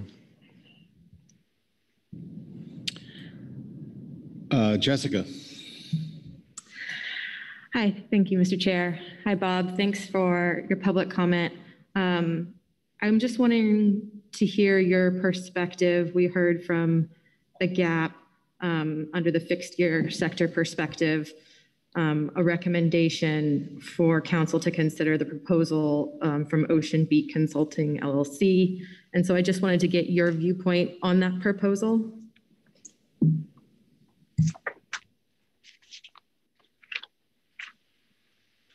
I'm not fully familiar with uh, with with that proposal. It, it, it's a modification to uh, to alternative one, correct? Yes, through the chair. Yes, that's correct. And so it's that modification um, where there is quota that is designated trawl only, and then it reverts um, to any gear on a specific date. I believe September 1 is. Um, I, I haven't been fond of, of the, uh, the conversion date. Uh, if, if that that's if that's what you're asking about, Jessica, again, it, it it creates a compressed time. We fishermen will race one another, whether there's only two of us, you know, or 40, and uh, being able to choose when when to fish, and we we have fished in the spring, we have fished in the summer, we have fished in the fall. But um, that that choice has has been something that we've really enjoyed as IQ participants, and it was my understanding from the start that that's one of the one of the rationales for creating the program. Um, so I, I'm not really supportive of that. Did I answer your question? You did. Thanks, Bob. Through the chair. All right. Are there any more questions for Bob? All right. Thank you very much, Bob. Uh, we'll now hear from Paul Clampitt, who will be followed by Travis Hunter. Welcome, Paul. Thank you, Chair. Can you hear me? Loud and clear. Thank you very much. Uh, I'm Paul Clampitt. I own the fishing vessel Augustine, and I'm the president of the Sablefish and Halibut Pod Association. Um, we have participated in the Pacific Coast groundfish fisheries for over 40 years using fixed gear. We primarily fish sablefish, but have harvested halibut, rockfish, both directly and as bycatch with sablefish. Our current vessel is the fishing vessel Augustine, which my oldest son operates, and my youngest son is a member, crew member. We purchased a trawl permit and trawl quota as soon as it was possible when Amendment 20 was passed. We saw an opportunity to regain, regain, through the purchase of trawl quota what was lost after the last allocation fight in the early 90s when a change in the division of sablefish went from 50% trawl and 50% fixed gear to 58% trawl and 42% fixed gear. Fixed gear um, is again being punished for being more species specific, even though we have a lower impact on the environment. There's a lot of discussion on how sablefish is constraining in the Dover, Dover Thorny Head Sablefish fishery. Uh, but there isn't any explanation of how it's constraining. Is it constraining because it's needed to catch Dover because they're mixed, or are trawlers topping off Dover trips with sablefish and it's not constraining? How can it be constraining if processors have imposed trip limits on Dover sole? These questions haven't been fully answered or studied. We are just we- we're just expected to assume it's true, in which case limiting gear switching becomes purely an allocation issue that the market should decide. I don't believe gear switching is the cause of their problems, but this is actually an attempt to remove fixed gear competition from the sablefish market in order for them to purchase trawl sablefish at lower rates to gain higher profits. If the lack of sablefish was truly inhibiting their ability to land Dover sole, there wouldn't be trip limits imposed by processors on their deliveries. There wouldn't be 1.8 million pounds of sablefish unharvested in the north and 1.5 million pounds unharvested in the south. The Sablefish Survey in Alaska shows the possibility of another big year class coming in 2020, and the year classes all the way back to 2014 are still looking strong. There's every indication that this fishery is booming and the quota will be going up. There is no reason to eliminate or curtail gear switching, and if the council deems it necessary to in some way restrict gear switching, it is my belief that anyone who has been involved at any time in gear switching needs to be made whole. We invested in gear switching in good faith. There was no indication that it would be eliminated, and if it is, it will be done completely arbitrarily and to the benefit of a few. Thank you very much. Thank you, Paul. Uh, Questions for Paul? Christa Svensson. Yeah, thank you, Mr. Chair. And uh, Paul, thank you for the testimony. I know today you're representing the Sablefish and Halibut Pod Association. So just uh, wondering what your association's thoughts are on uh, the Ocean Beat proposal um, and potentially the proposals coming out of the GAP or the proposal coming out of the GAP. Well, thank you for the question uh, through the chair. Um, well, we are um, for our, for all the proposals being um, presented.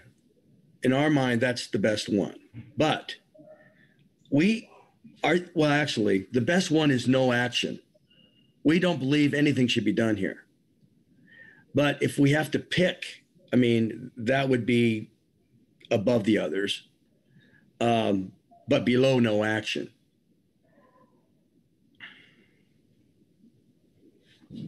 Corey Niles.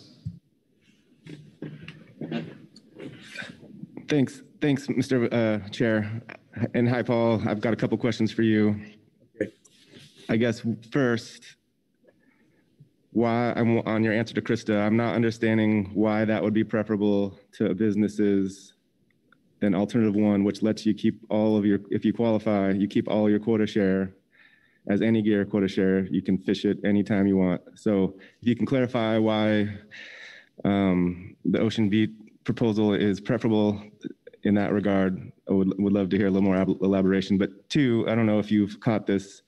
There's a couple ways to do this quota-based way. One is to have two types of quota share or one type of quota share and then two types of quota pounds, the two types being any gear or trawl only. And just fair enough if you don't, but if you had any opinions on how that might affect you and your operations, uh, I would appreciate hearing those thoughts. And yeah, thanks for being here.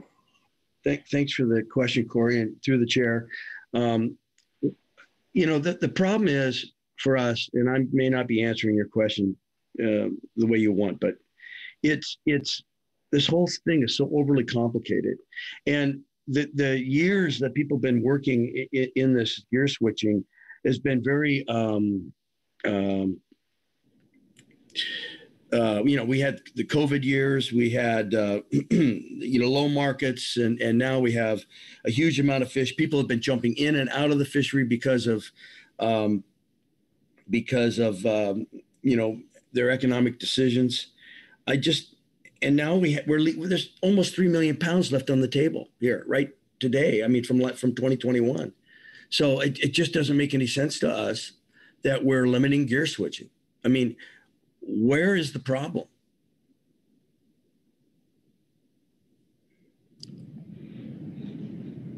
All right, any, any further questions? All right, thank you very much, Paul. uh, Travis Hunter, followed by Paul Kujala. And just, uh, folks, if your name is on the list, if you signed up for public comment, please uh, use the RingCentral feature to raise your hand. It'll be much easier for us to find you in the list and enable your microphone. So welcome, Travis.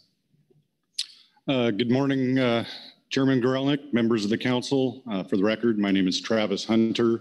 I am a uh, third-generation trawler based out of Eureka, California, and the bottom trawl rep on the GAP. Um, I want to lend my support and agreement um, to the questions or to the answers of the questions uh, in the GAP report and lend my support to the trawl perspective on this issue. Um, I've, uh, I, I won't rehash why I think we're all here now and still discussing this. Um, so I'll just uh, make these more specific. Um, I would like to see um, on all the, the alternatives, the, the two that were posted here and the third proposed alternative, a range of five to 29, um, realizing that um, 29 was intended to be the maximum number and, and not the, the target in my mind. Um, and in, in crafting the, the GAP statement, I'm always trying to find where we might have some common ground.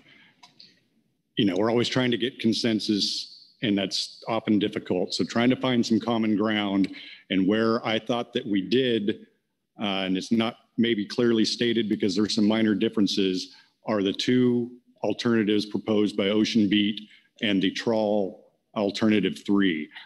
I think the frameworks are similar and, you know, some of the, the details on the, the range and, and I believe a, uh, a conversion date may be different, but I, I think that may be a, a path forward uh, for simplicity's sake. Um, you know, a little easier to perhaps wrap everyone's head around where we're, we're trying to go with that. So uh, with that, that concludes my comments. All right, thank you very much, Travis. Questions for Travis?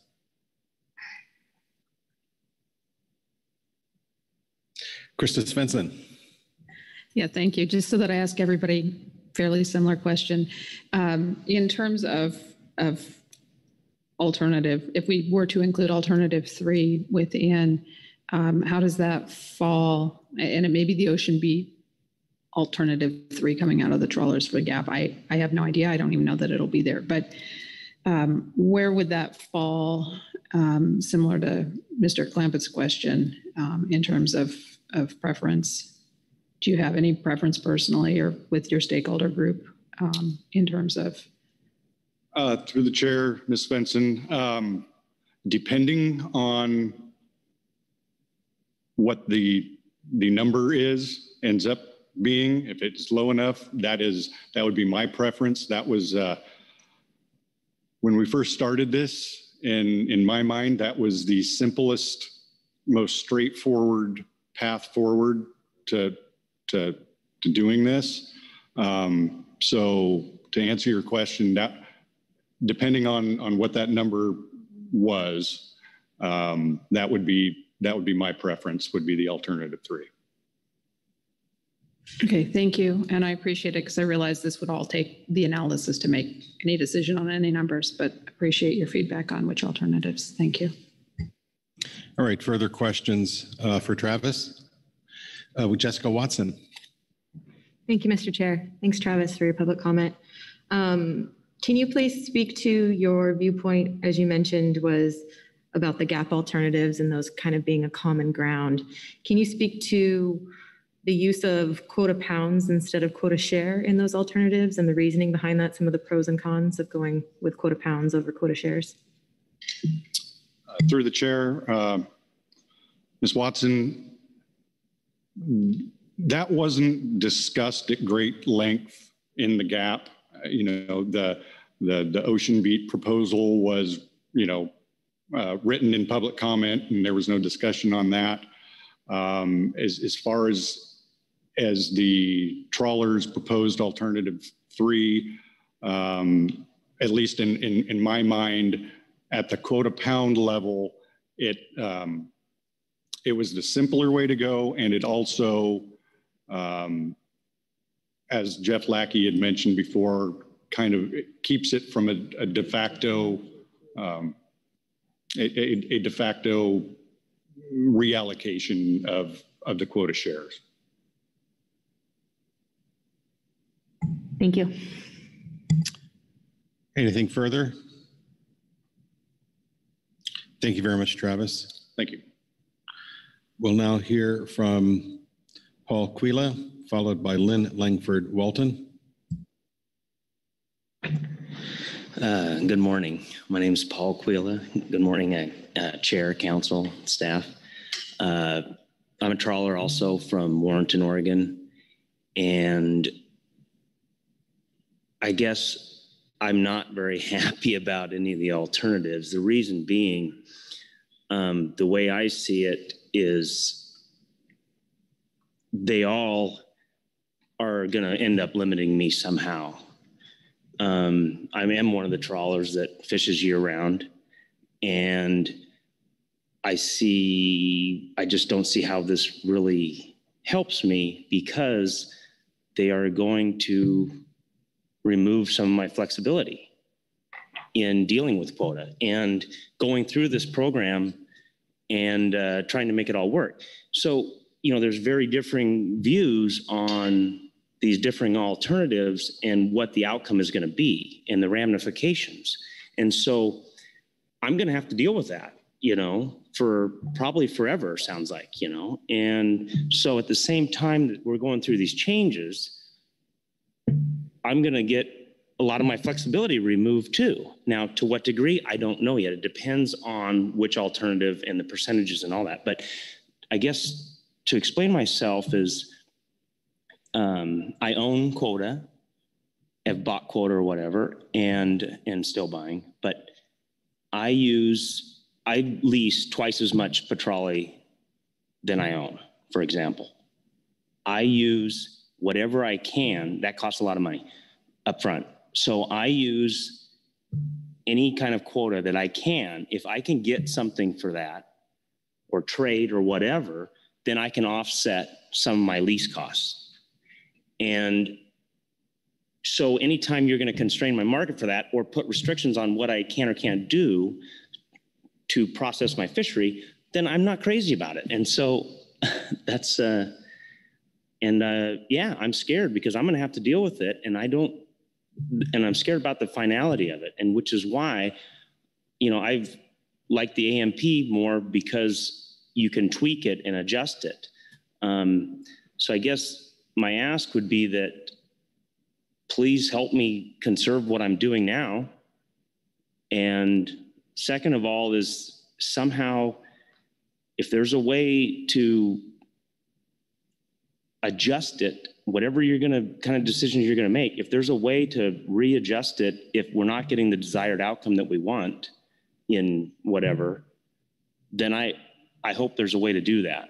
And uh, well, I'll leave it at that. Thank you. Thank you, Paul. Questions for Paul? Phil Anderson. Thanks, Mr. Chair. Thanks, Paul, for being here and your um, testimony. Um, I just wanted to explore with you a little bit, so make sure I understand. Um, is it, can I, should I, can I assume that um, some of the sablefish quota share that you own, that you utilize a portion of that in your fishing strategy, and you also, at least at, in some years, use a portion of it uh, to lease to derive economic value from it, to then apply the revenue from there to buy things like um, petrale. Is that, am I following that correctly? Um, Chair, uh, yes, yeah. So your point is if we, if, if the action were to reduce your ability to gain revenue from quota share from sablefish that you have, um, and utilize that revenue to buy species such as petrale that better meet the, what the processor demands and, and your markets are, that that's going to cause, could potentially cause you harm. Chair, yes, so I, you know, we always catch some. I could catch it all if I want. I don't want to because that's something I can use to get something that's more profitable for me to fish.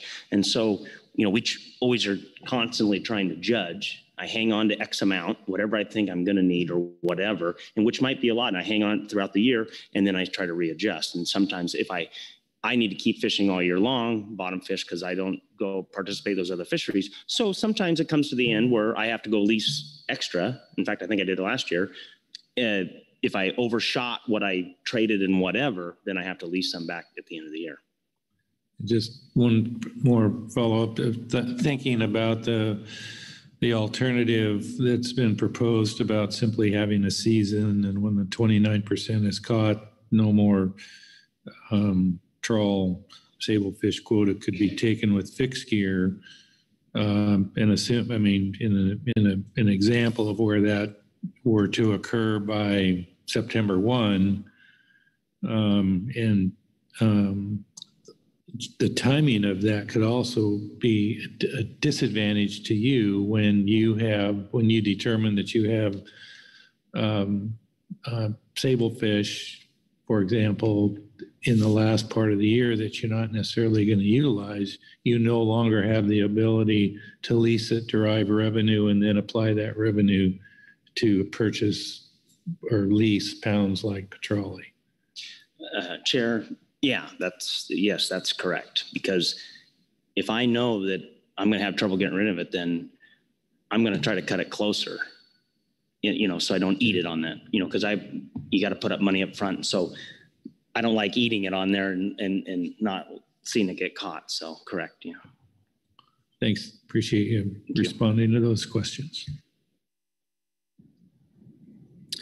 Further questions of Paul? Keeley?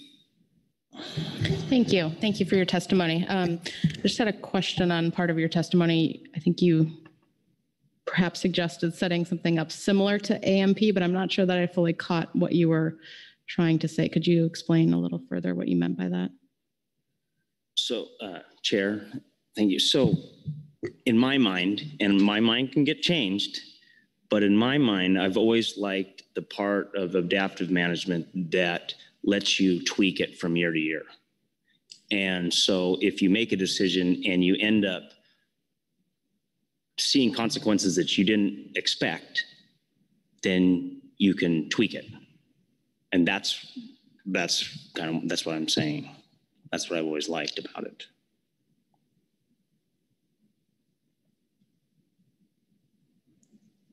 Bob Dooley? Thank you, Mr. Chairman. Thanks, Paul, for coming forward today. It's always good to see you.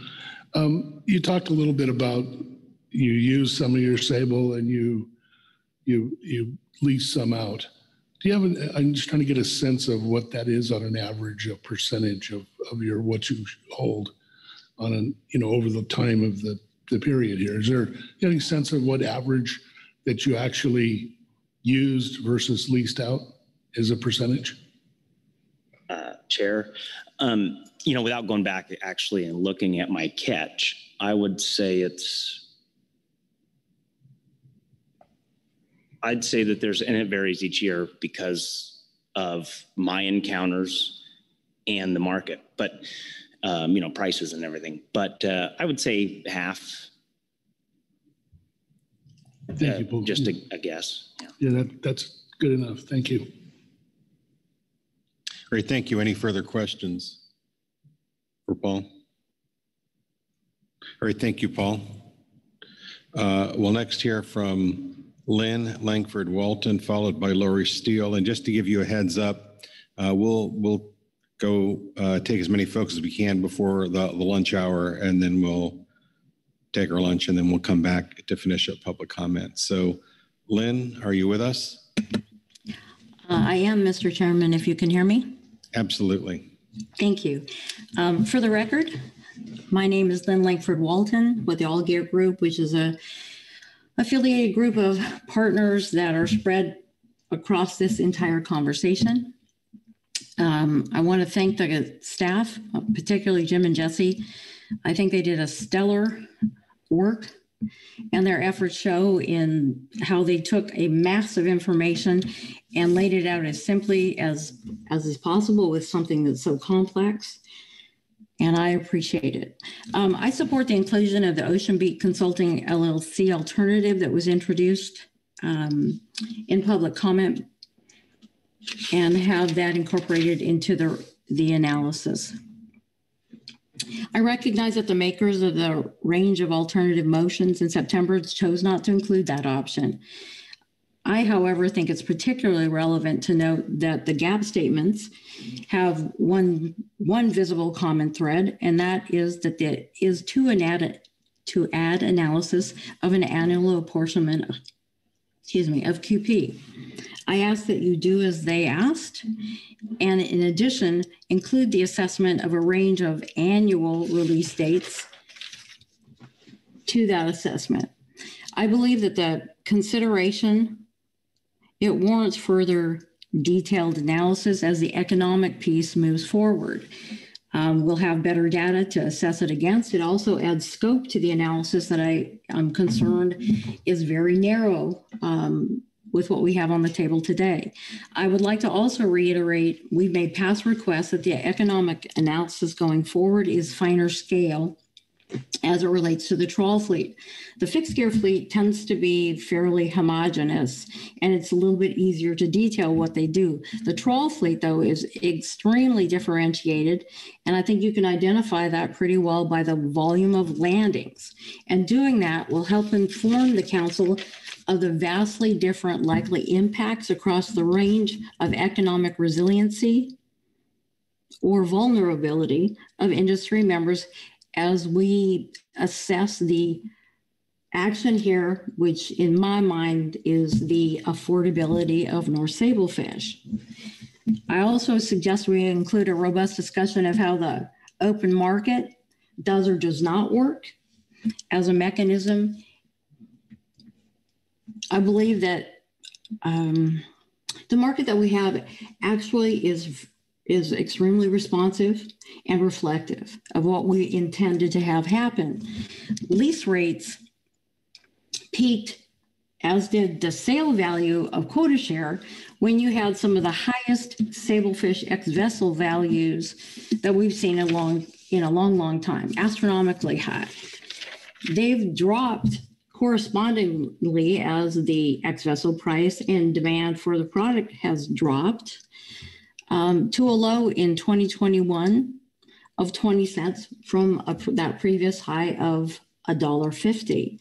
The quota share pound was a high of between 18 and 20 dollars and you've had sales recently in the 12 dollar range and you have offerings today at 850 i think that that reflects a market that does indeed understand the circumstances and responds very well to that I'd also like to take a just a brief moment to to comment relative to the investment and the certainty of investment and return on investment.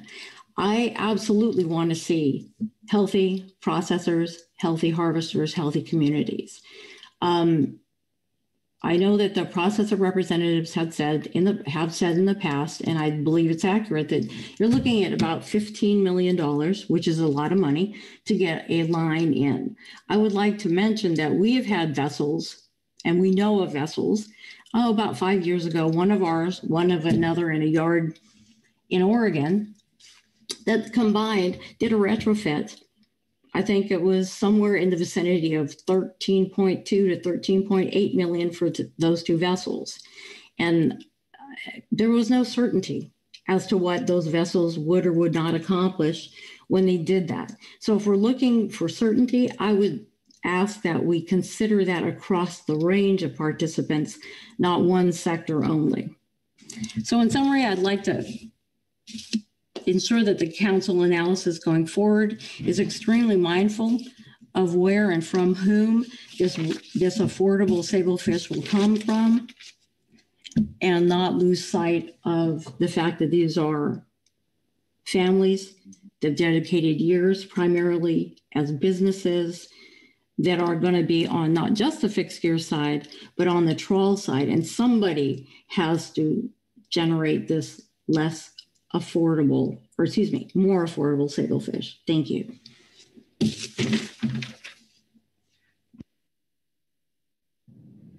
Thank you, Lynn. Are there questions for Lynn? Christa Svensson? Yeah, thank you, Mr. Chair. I uh, appreciate the testimony. Thank you. And um, I know you mentioned the Ocean Beat proposal in there. Has your group, because they are a variety, uh, fixed gear and, and trawl, do they have thoughts or do you have thoughts on that um, versus or in addition to the alternative that came up in the gap? Through the chair, Ms. Svensson, um, I can say that, just to be very clear, um, our perspective for my group is still very similar to what it's been, is that we're still struggling to see something that justifies the action, the need for the action, um, as opposed to a desire for the action, to be clear. Um, we are supportive of the introduction of Michelle Robinson's Ocean Beat because it was a compromise position internally on if we have to go forward, how do we hit something that is more moderate, more reasonable, something we can understand, something that we might be able to coalesce around. And the difference, I think, was primarily in uh, the interestingly common ground that uh, the trawl and fixed gear representatives in the gap came to it sounds like independently and then worked forward um, with those comments or understood that they had in common ground is the difference between the proposal in the public letter and their comments was the uh, release date and i did specifically want that. My guys would like to see that. We're not suggesting that that's going to be something you choose, but I do think it adds the opportunity to understand what would happen with QP versus some of the other alternatives um, with better clarity. Hopefully that answers the question. I think so, but I think it might lead to one more question. Of course. Uh, thank you, Mr. Chair.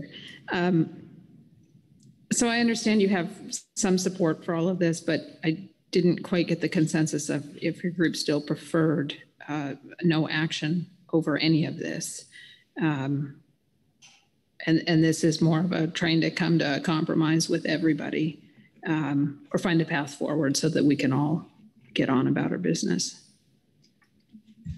To the chair, Ms. Svensson, to be clear, we are still solidly in a no action position.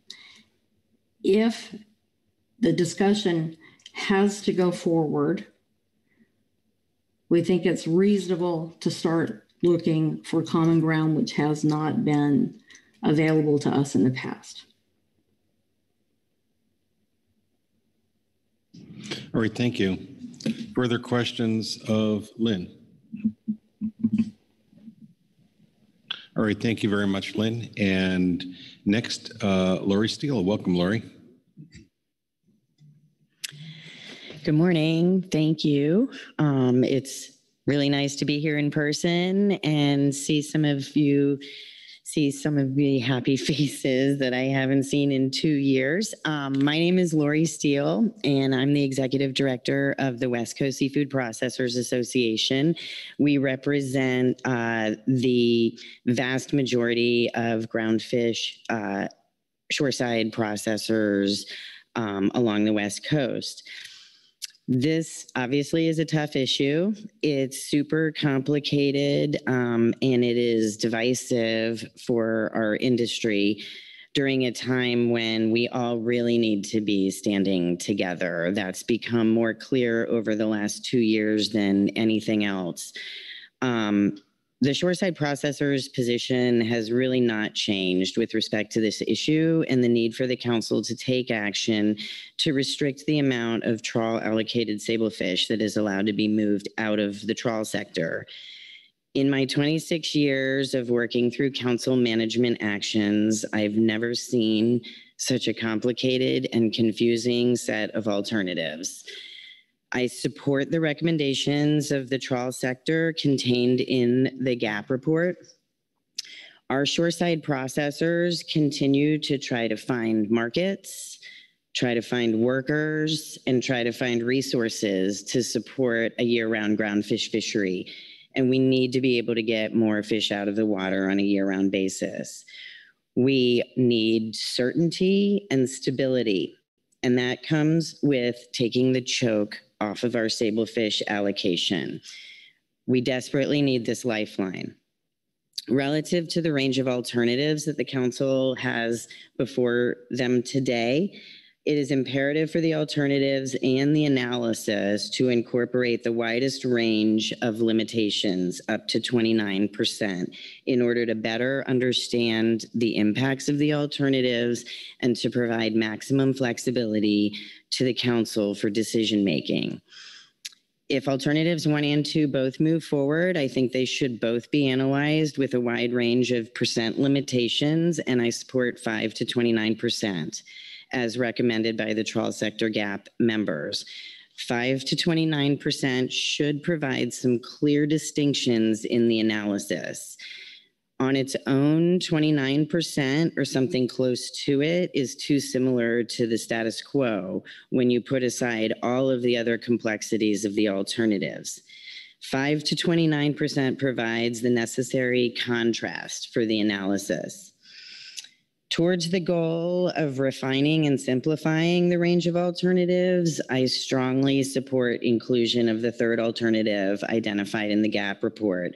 The pro- proposed third alternative on page four is simple and straightforward. All of the nuances and complexities in alternatives one and two are going to dampen the ability to differentiate impacts in the analysis and distinguish between the alternatives. The proposed third alternative cuts to the chase and it does exactly what the trawl sector has been asking the council to do for more than five years. Set a clear, defined limitation on how much gear switching can occur in any given year. That's all we want. It will provide some certainty and some stability and some clarity and some simplicity. I support this alternative and to address Ms. Benson's question, if it came down to it, I would support this alternative over alternatives one and two for the purposes of simplicity. Um, in general, I support the control date and utilizing the control date. At this point, I support simplicity. I think the council should embrace the third alternative, and I think it would be unfortunate if this alternative was not in the mix for the council to consider when decision-making time comes. I also support the comments on future analysis on page four of the GAP report. Those recommendations are intended to facilitate an analytical approach that provides the ability to distinguish between the status quo, the individual alternatives, and the elimination of gear switching altogether. Towards this end, these recommendations are helpful. I want to take a minute to thank the analysts, Jim, Jesse, the GMT. You guys have done an amazing job. Um, it's a lot of it's a lot of work and analysis has gone into this, and I want to also thank the GAP for their hard work on this issue. The amount of analysis and time and effort that has put us in this place today is staggering. We need to make this easier for everyone involved we need to streamline and simplify the alternatives to make the council's job easier. And to and we need alternatives that accommodate our abilities to identify and understand impacts for decision making towards this end i support no matter which alternatives move forward i support analyzing the same range of gear switching limitations across all of the action alternatives 5 to 29 percent And, um, and as I stated before, I support the addition of the trawl sector gap recommended third alternative. The bottom line is that limiting, reducing the amount of trawl sablefish allowed to be caught by fixed gear will increase the ability of the fishery to achieve OY. It will sustain the groundfish fishery on a year-round basis, and it will sustain jobs in our coastal communities. So we need a range of alternatives that will help us do this. Thank you. Thank you very much, Lori. Let's see if there are any questions for Lori. Marci Yaremko? Thank you, Mr. Chair. Thank you, Lori, for your testimony. Um, want to zoom in a little more on uh, your last point about um, reducing gear switching having the effect of increasing the OY and increasing the value of the fishery in total. Um, I guess specifically, um, I'm hoping you might address um, something we heard earlier in testimony uh, that there are 1.8 million pounds of unlanded sablefish in the north. Um, I don't know if that number is correct. I don't, I don't know what the portion of that is uh, trawl uh, allocated, but I'm just hoping you can speak to that, that we're not fully utilizing um, the amount of trawl shares that are allocated. Um, and then I'm, I'm also hoping that you can specifically address or, or explain what you mean by um, it's time to take the choke off and we need this lifeline. So I'm looking for concrete, specific what things that you expect to happen um, were gear switching to um, and or be reduced. Um, and then third, um, I'm curious about the folks that you represent, um, the members of West Coast Seafood Processors Association. How many of them buy pot or line caught sablefish? And what portion of their business portfolio does that represent? Thank you. Thank you for the questions. Um, in general, I guess I would refer back to uh, the testimony that I presented to the council in September of last year. I almost pulled a bunch of that into my testimony today, um, but that really. Um, it really sort of highlights where we are in terms of capacity, shoreside processing capacity, and the ability for us to uh, harvest all of the available yield from the fishery. Uh, it, you know, in terms of getting fish out of the water, that's where sablefish comes in as a choke. And without any certainty about how much sablefish is going to bleed out of the trawl sector in a given year, it's been very difficult for the processors to uh, make the investments and really, really dig into what's necessary to get all of that available Dover sole out of the water and sell it in a profitable manner. Um, so I, I guess I would go back to my presentation that I made in 20 in September 2021, uh, which really highlights what would need to be done on our side in order to um, uh, really be able to pull all the fish that are available out of the water. Um, yes, the processors uh, that I represent, several of them are buying uh, fixed gear sablefish, line caught sablefish, um, and they would probably, they will probably always do that um, as long as it's available. But we want to be able to have the ability to process ground fish on a year-round basis. And we cannot do that without the volume that Dover Sole provides us. Um, sablefish on its own isn't going to sustain a year-round ground fish fishery. Um, Dover sole, some of the higher volume species are. So it's part of almost all groundfish processors portfolio, but moving forward in the future, what we would like to see is a much higher volume of other species that are available uh, be a, a, much higher part of our portfolio. Um, and I'm, I'm sorry not to be more specific, but I would really encourage you to go back and look at the presentation from September 2021. Thanks. Thank you. Did that respond to all your questions? Okay. All right, Corey Niles. Thanks, thanks, Lori. Thanks for the testimony. I guess uh, my, my question, and I, right, the task, I have a lot of questions, but the task here is to refine the alternatives and consider adding new ones as you're proposing. But on this idea of that the alternatives are complex, not meaning to be argumentative here, I'm wanting you to help me see something that I'm not seeing. Uh, thinking of alternative one. So the policy decisions that we're facing if, if as we continue this are one, to limit gear switching or not?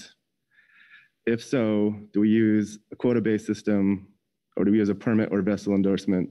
So on the quota-based um, option, as I, I kind of went over in the WFD report, there's there are just two. There's one main question on um, how we recognize gear switching, how much how much landing activity would be needed to demonstrate that. So uh, 30,000 pounds for three years, or just any kind of landing. And then two, with the remainder that's over, should it be given just to active bottom trawlers or, or just to the remaining, all remaining quota share? And then three, like you're getting at, we we also thought um, we should look at the 29% a little bit closer, but around the edges, but you're suggesting a bigger range. So to me, that's those two, those three simple two questions, and then look at the 29%, which you're asking for a bigger look, which I totally understand your argument for, but where is the complexity And that? I guess is what why is that complex is, is a question. And maybe it's not a fair question, but it's it's just two quest two two choices, uh, two sets of choices in, in my mind. And um, yeah, I know you have a lot of experience in, in the New England East Coast area, which I always pre- appreciate hearing from. But yeah, not being not trying to debate, but I'm please help. Yeah. Well, thank you. Um, I mean, when you say it like that, it sounds so much less complex. Um, but I guess in response, you know, we've got 15 questions that, you know, need to be answered relative to alternatives one and two that sort of highlight where you can really get down into the weeds on some of this stuff and it gets very complicated. Um, I guess in you know in response overall, and and somebody addressed this in their earlier remarks, um, or in an in an earlier, I think Travis addressed this in in in a response to the question. I mean, one of the things that's appealing to me about the third alternative is that it's focused on quota pounds instead of quota share, and I think when you start getting into the quota share, no matter what, um, it gets super complicated in terms of reallocations, ownership issues, um, things like that. So that's one of the things that appeals to me about the third alternative is just the the simplicity of of dealing on an annual basis with the distribution of of quota pounds. Um, I mean, if we can approach the other alternatives with as a, sort of a, a sim, more simple overview of just the policy decisions, then I guess I can't really argue with you. Um, but somehow we've gotten astray of that. And when you read the alternatives and you start looking at some of the questions and the minutia of some of the decisions that need to be made, it gets it gets just overwhelming.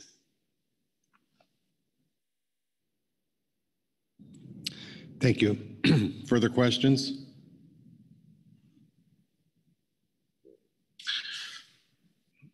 Thank you, Lori.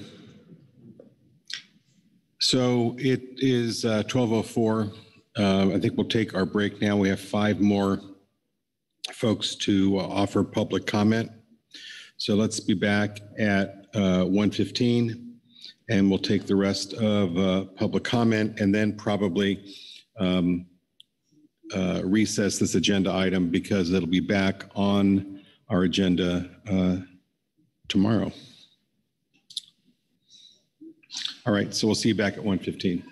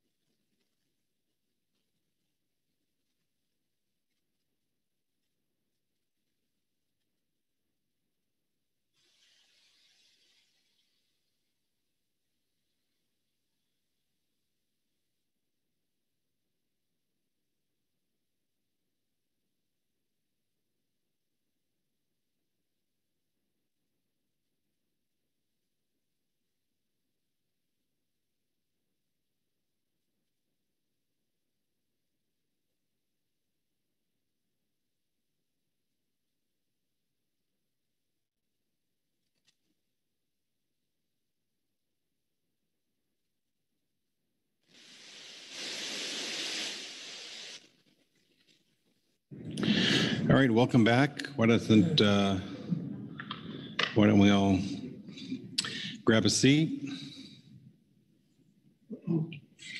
And we'll continue with public comment. As a reminder, if you have submitted a card to speak and you haven't yet spoken, uh, raise your hand uh, using that function in RingCentral so that we can enable your microphone.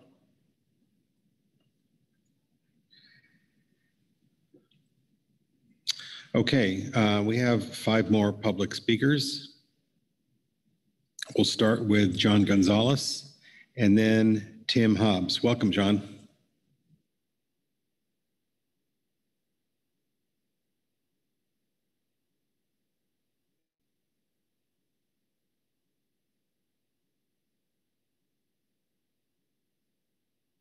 So, John, we're not hearing you.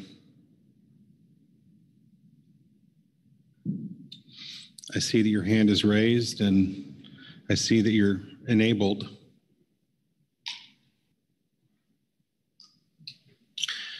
Why don't we um, looking? So why don't we'll, we'll come back to you, um, John. Don't go away. Uh, Tim Hobbs, are you with us?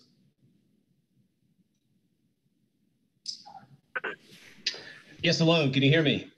Yeah, we can hear you. Welcome. Great. Uh, thank you, Chair and, and members of the council. Uh, my name is Tim Hobbs. I'm an attorney with the law firm of K&L Gates, and I represent Jim Sievers and Jeff Lackey, uh, representatives of the trawl sector. I would like to uh, briefly address two legal issues with respect to gear switching. The first has to do with NEPA and the range of alternatives. An alternative that would accomplish the council's objectives should be included in the range, or the council should provide a rational justification for why it's excluding that alternative from consideration. Our understanding is that the 29% limit is a ceiling, not a floor. And some testimony and analysis suggests that lower levels of gear switching, lower than 29%, could better accomplish the council's objectives. Alternative two would look at limits from uh, roughly 5% to 29%. Um, and we recommend that the council also look at a similar range for alternative one um, so that there are comparable analyses with respect to both alternatives.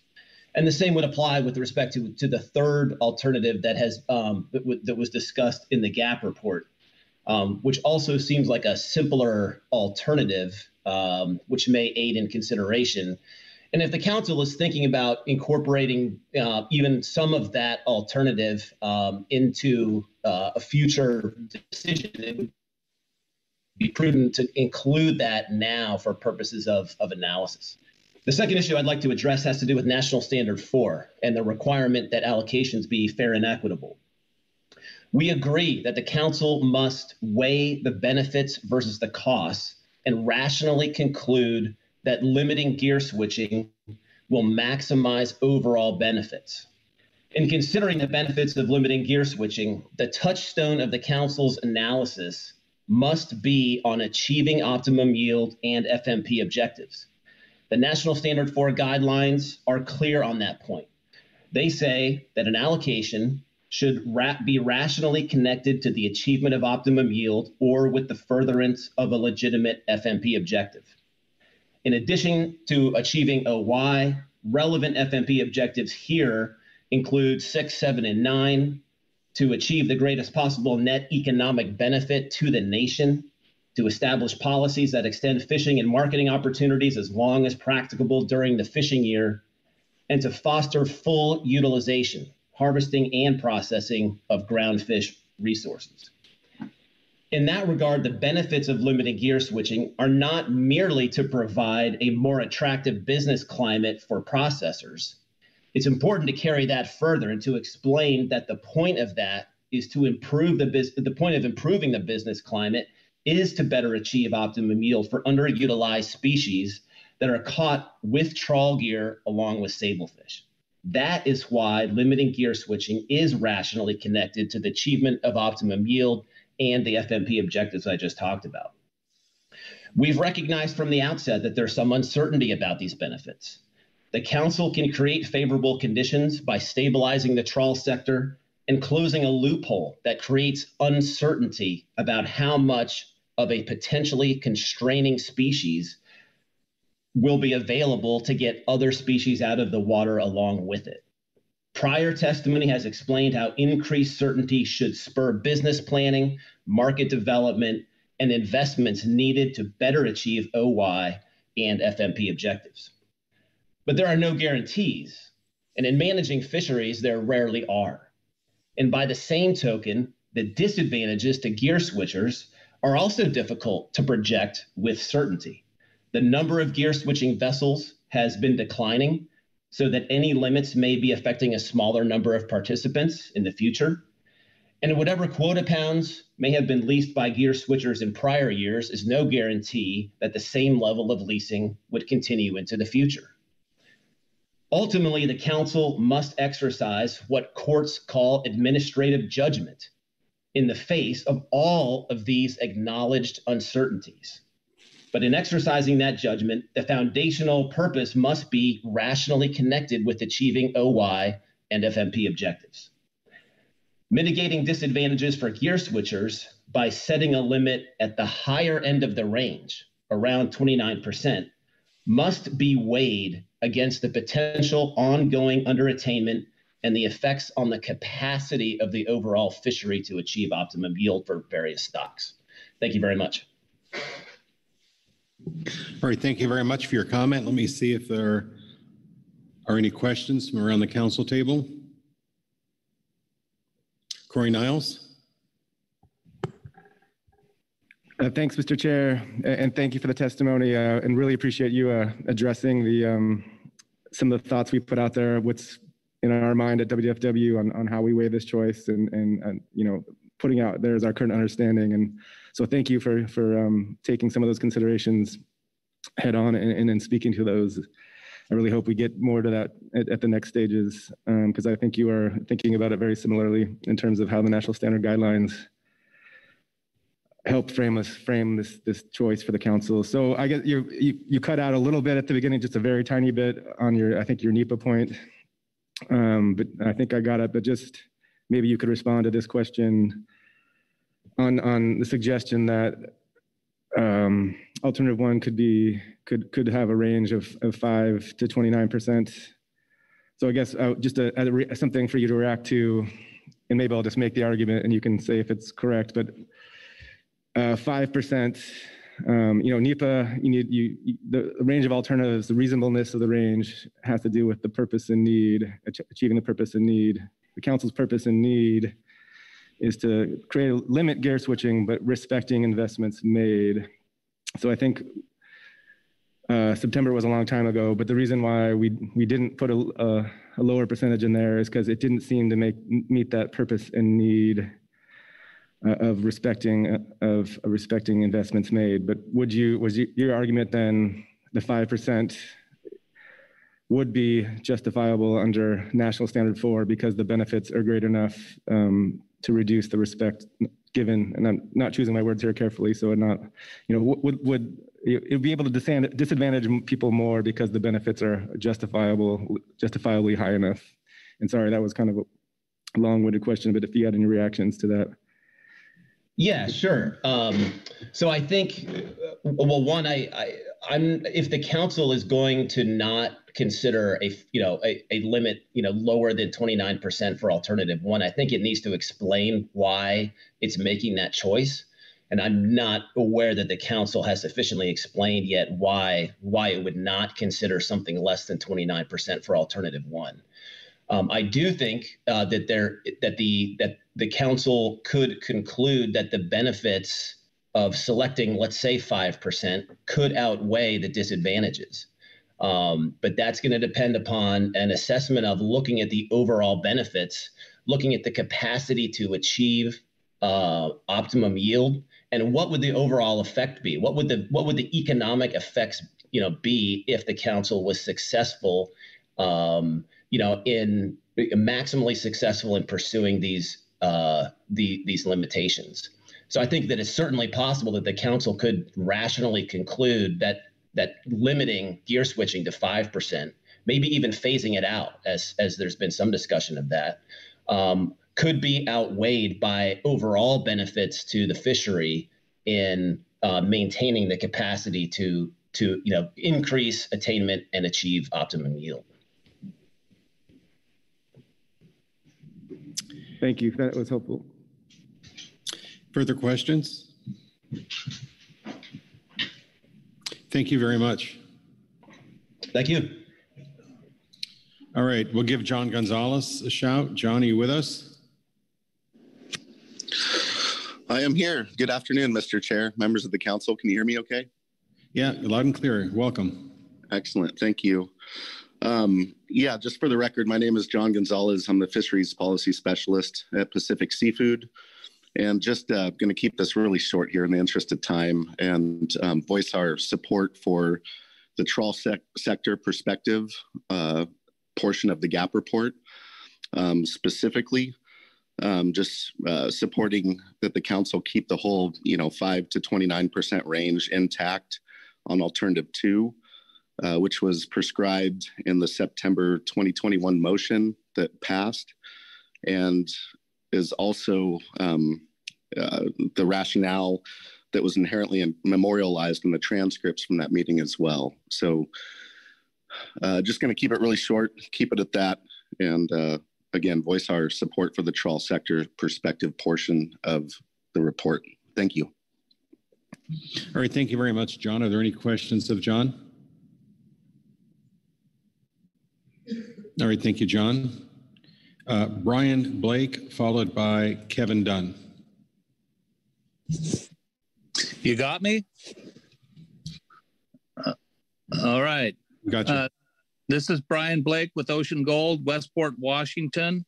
Uh, we've made an investment in uh, in uh, a Dover line, uh, both the fillet machinery and freezer capacity, and we we need access to the black cod quota to continue that investment. This market has great potential, and reports I was getting this morning from the ocean are about a four to one ratio Dover to black cod encountered. And so this is pretty critical. And with that, in the interest of brevity, uh, we support the trawl sector uh, statement in from the GAP statement. And thank you very much. All right, thank you very much, Brian. Are there any questions of Brian? Thank you, Brian. Uh, Kevin uh, Dunn, followed by Jeff Lackey. Welcome, Kevin.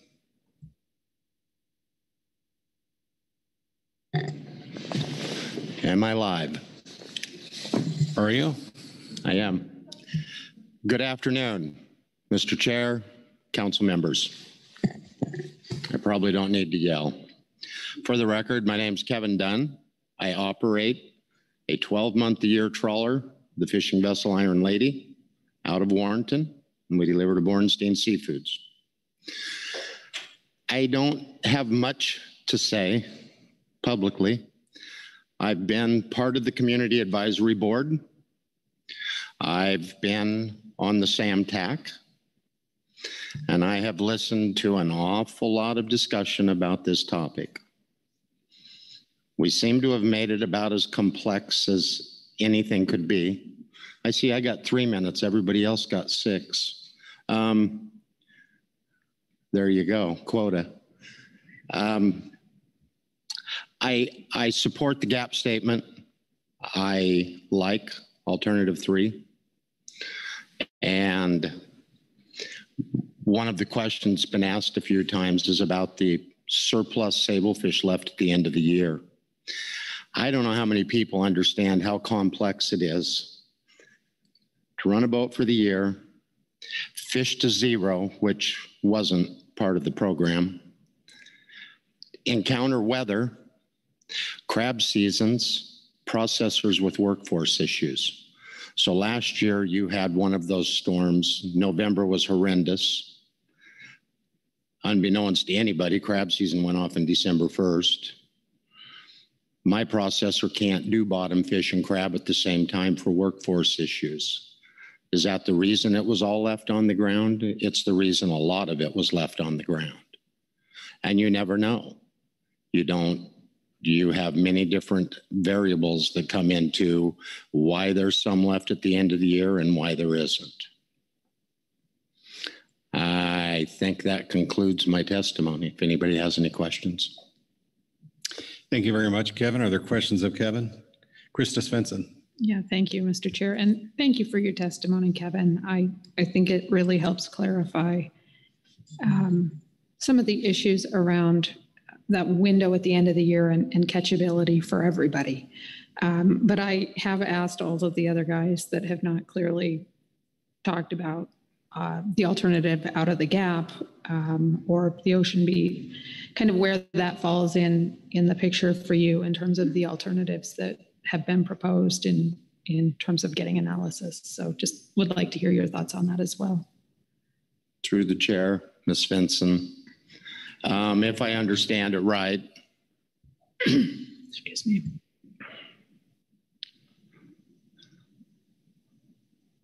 What was the question again? Sorry, I didn't mean to cough and distract you.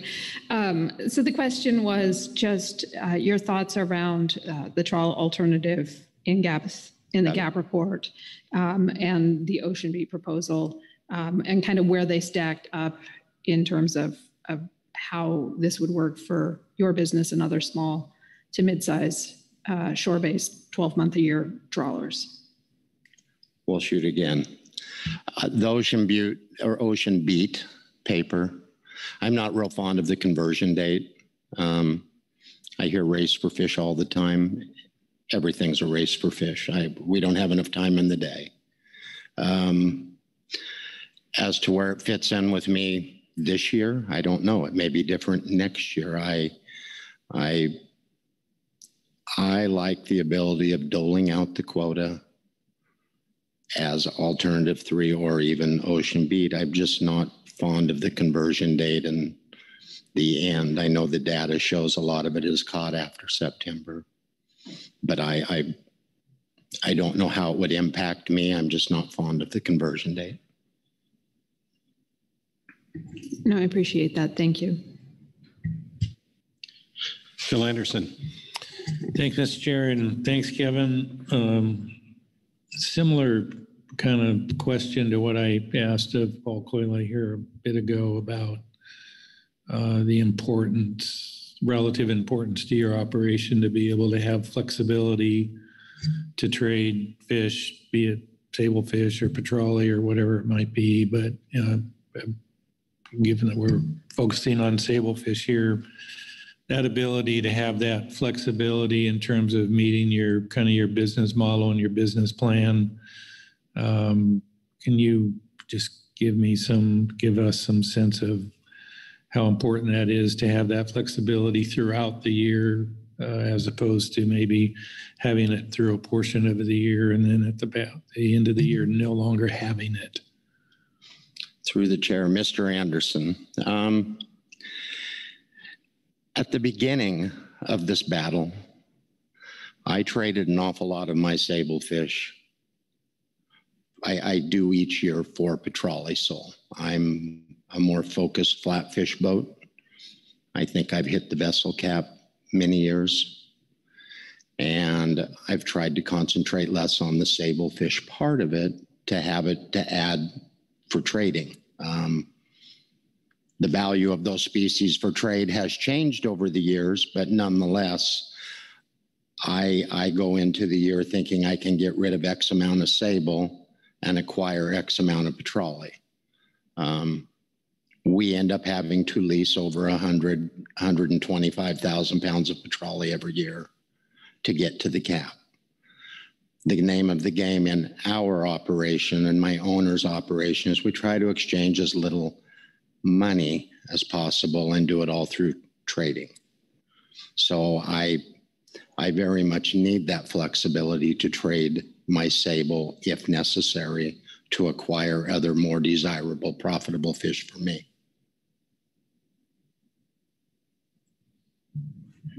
Go ahead. Thanks, uh, Mr. Dunn. Uh, If you're calling me Mr. Anderson, I'm calling you Mr. Dunn. Um, And on the, just to, to put a point of emphasis on your previous point having to do with this idea that there were got the leftover fish, and I, I'm thinking, I can't remember the number, 1.9 or something like that this year. There's a lot that goes into that. Um, I mean, to, to, to, um, to manage it to zero um, and and not run the risk of not having anything available in the last month or two of the year is just about impossible would seem to me. Um, and then when you add in the the unknown variables of weather and crab fishery and your um, processor capacity to do um, um, multiple species at the end of the year that there's going to be some years when you have some left over. And and there's going to be other years where you're close to running out is that a fair assessment of kind of what you were explaining Through the chair, Phil. It, it, it is. I mean, it's just, it's a balancing act. I'm, some people do great at some things and we just try to balance and get to the end of the year. And as a crabber knows, they never know when they're going to start. Um, I'm sure this year they'll plan on December 1st and it'll go to February. I mean, I just, you never know, but you do need to get the fish to the end. And, and that's always the game. You have to have Sable being one of my traders, and you have to try and get your Petrale to the end of the year. So it's, it's just a game. Thanks. Corey Niles? Thanks, Mr. Chair, and um, thanks, Kevin. I guess I just, this may, may not be a fair question, but I hear you all, everyone talking about the complexity of alternative one, which I kind of think is, the aim was to change the IFQ program as little as possible. I was around, I, I was around during development of Amendment 20 and Amendment 21, and I remember how complicated that is. I, I see I don't know that how you all manage 20 different quota types and uh, along these lines of, of what you uh, you were talking about with Mr. Anderson, but it seems that you prefer the flexibility of the of the IFQ program over the trip limit program. And I guess just would it be fair to say the, the complexity of the, of the IFQ program and developing it? Do you do you prefer the IFQ program over the trip limit fishery? Is what is what I'm kind of getting at, and was the complexity of, of developing it worth it? Maybe a weird way of answering the question, but has the IFQ program provided you with uh, more flexibility than, than you used to have before it existed? Mr. Chair, Mr. Niles, if you're asking me if tomorrow I would go back to the two-month limit, the answer is yes.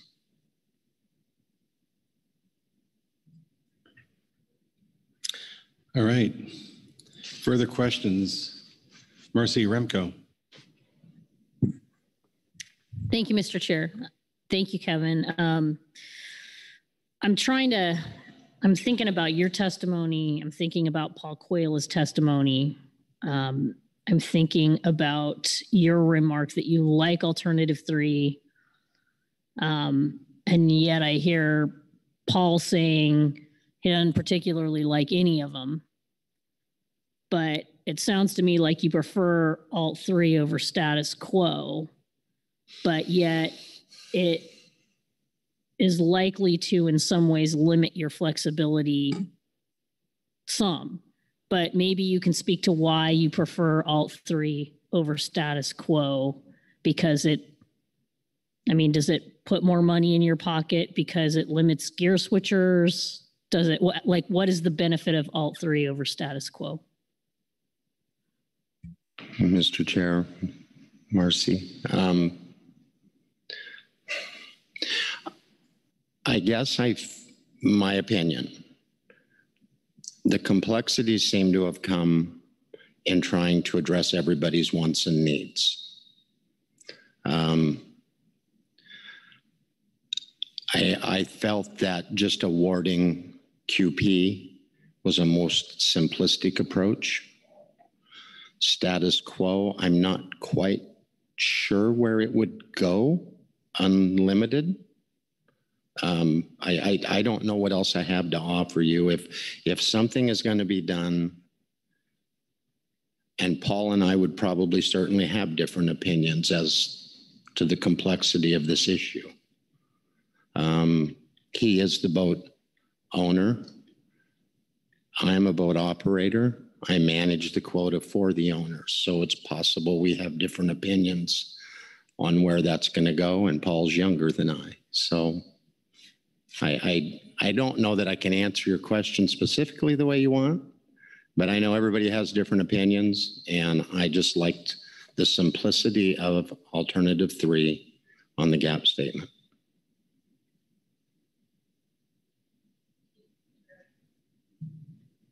Bob Dooley. Thank you, Mr. Chairman. Thanks, Kevin, for your testimony today. Um, I'll just follow up the same question I asked Paul earlier. Um, on an average, throughout this period of time that we've had a catch share program, how much of your, uh, a percentage, have you leased or or traded of your sablefish annually? Mr. Chair, Mr. Dooley. Do you know it's actually, when you ask that of Paul, mine's kind of changed, but probably for different reasons. Um, you may or may not know I've been through three different processors in the last few years, and different processors have different wants and needs, and that changes what I have to do. Um, this year, with the abundance of sable, I am probably going to have to lease it in for the first time. Um, however, you want to gather that. I mean, did it come quicker in the deep? Yes, it did. Did I have some oopses on the beach? Yes, I did. I'm eating it up faster. So I will have to lease, patro- or lease black cod in. Static for the most part, I would say I'm in the 50 50, 60 40 range. This year is a different year for me. Thanks, Kevin. That's great. Appreciate it. Thank you, Mr. Chair. Further questions of Kevin Dunn? Kevin, thank you very much. Thank you. Uh, now, our last uh, public speaker, Jeff Lackey. Welcome, Jeff. Yes, thank you. My name is Jeff Lackey. I manage two trawlers out of Newport. Previous speakers have made a good case for proposed alternative three. The alternative itself and its 5 to 29 range could be important tools for the council to have as, at its disposal in full or in part come PPA and FPA. Previous speakers have made a good case for a wide range in alternatives, 5 to 29%, to provide robust analysis useful to compare and contrast. I advocate for adoption as guidance the GAP report trawl section recommendation for future analysis. These items are necessary to give a fuller context and dynamic real world application of the issues before us. Now to speak on the fishery and its future. I talked to a fisherman recently about this subject who said two things that really struck with me. First thing, with gear switching, the council is deciding what the trawl fishery is going to look like for the next 20, 30, 40 years for future generations. The second thing, we lack fisheries with capacity for expansion, with the exception of groundfish with Dover sole as a major driver. Sablefish is financially and logistically critical for that expansion. These two things cut through this process to get to the long term reality. The bottom line is that the amount of trawl sablefish quota going to fixed gear is indirectly proportional to the long term capacity of the program and fishery to achieve OY maximize employment to communities, and maximize food production for the nation. Ocean Gold isn't the only processor investing in infrastructure and machines and fillet lines, looking at more investments, eyeing potential USDA mass purchases, working on market development, and all but eliminating trip limits for some periods. If they are even partially successful in these endeavors, and in addition, tap more of the whole coast vast resource, all of the trawl sable quota, even with zero gear switching, would ultimately not be sufficient in the long run to facilitate the potential of the fishery. 2022 trawl sable north catch is off the charts compared to previous years. 2.6 million pounds through the end of May, after not going above 2 million pounds in the last several years. There is no sable left on the auction website as of this morning. Sable is the lifeblood of the future fishery, and its impact fluctuates year to year, sometimes in unexpected ways. Finally, zero gear switching has the greatest potential to lift the value of all individual trawlers' assets, even for a petrale-centric boat that occasionally has excess sable quota. Uh, the dynamic that I've heard explained over the years as I've watched particularly the last four or five years unfold and the lease price go down and fixed gear come in and out of the fishery when it is uh, more viable or less viable. And then to contemplate the future capacity of the fishery, I've come to the conclusion that the exact opposite dynamic is true. The greatest value to every trawl fisherman in the value of all of their assets, boat, all species quota, everything, is is a healthy fishery, and that is less and less fixed gear. Thank you, and I'd be happy to answer questions. Thank you very much, Jeff. Are there questions for Jeff on his public testimony?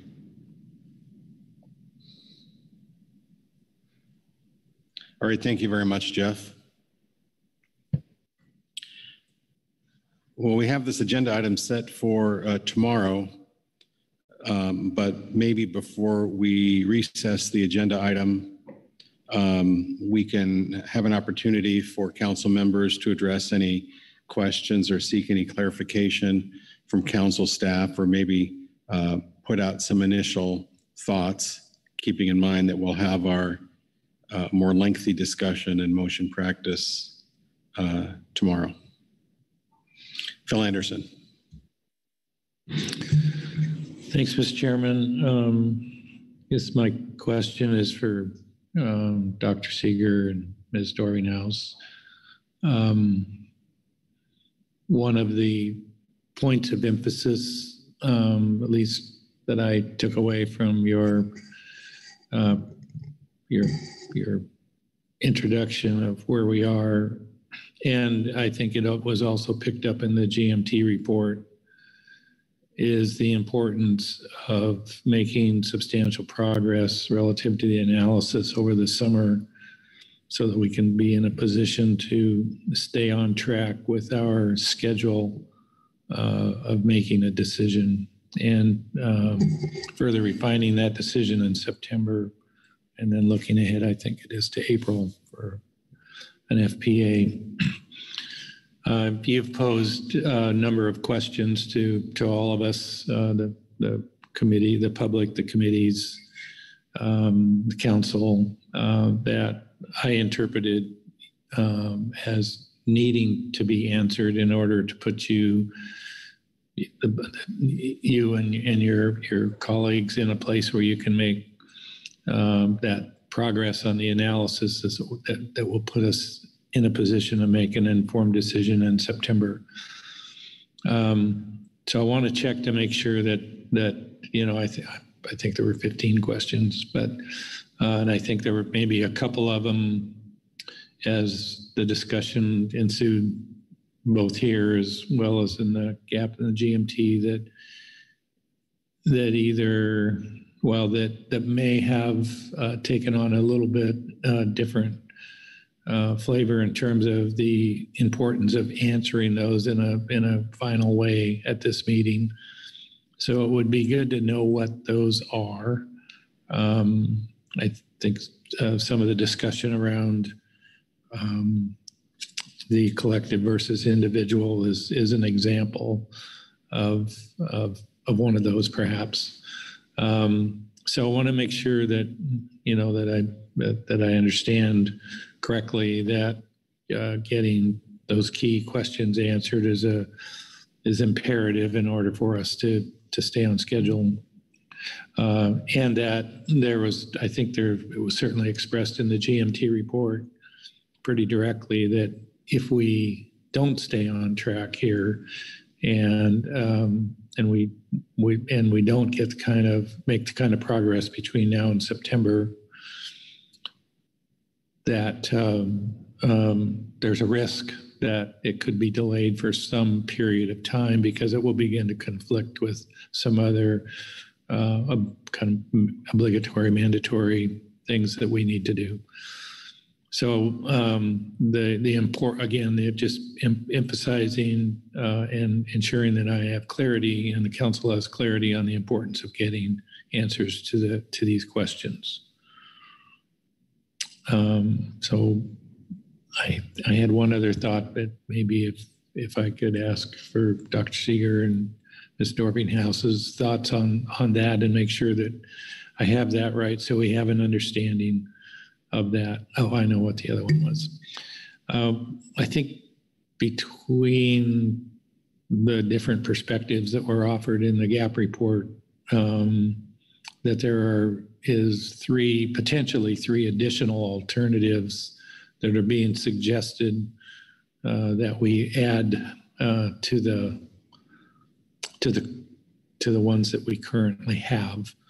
And I uh, I also um, understood from um, your presentation and I think in some of the written material that you provided that adding additional alternatives here uh, uh, it could be problematic. Uh, maybe could is maybe should be would um, in terms of of getting the analysis completed to the point where we can make that informed decision in September. And obviously, you've had an opportunity to hear um, some of the specifics of those three alternatives and any feedback you might be able to give us on your thoughts about the degree to which that would complicate um, your ability to to complete the uh, analytical work uh, over the time frame that we have would also be helpful. So we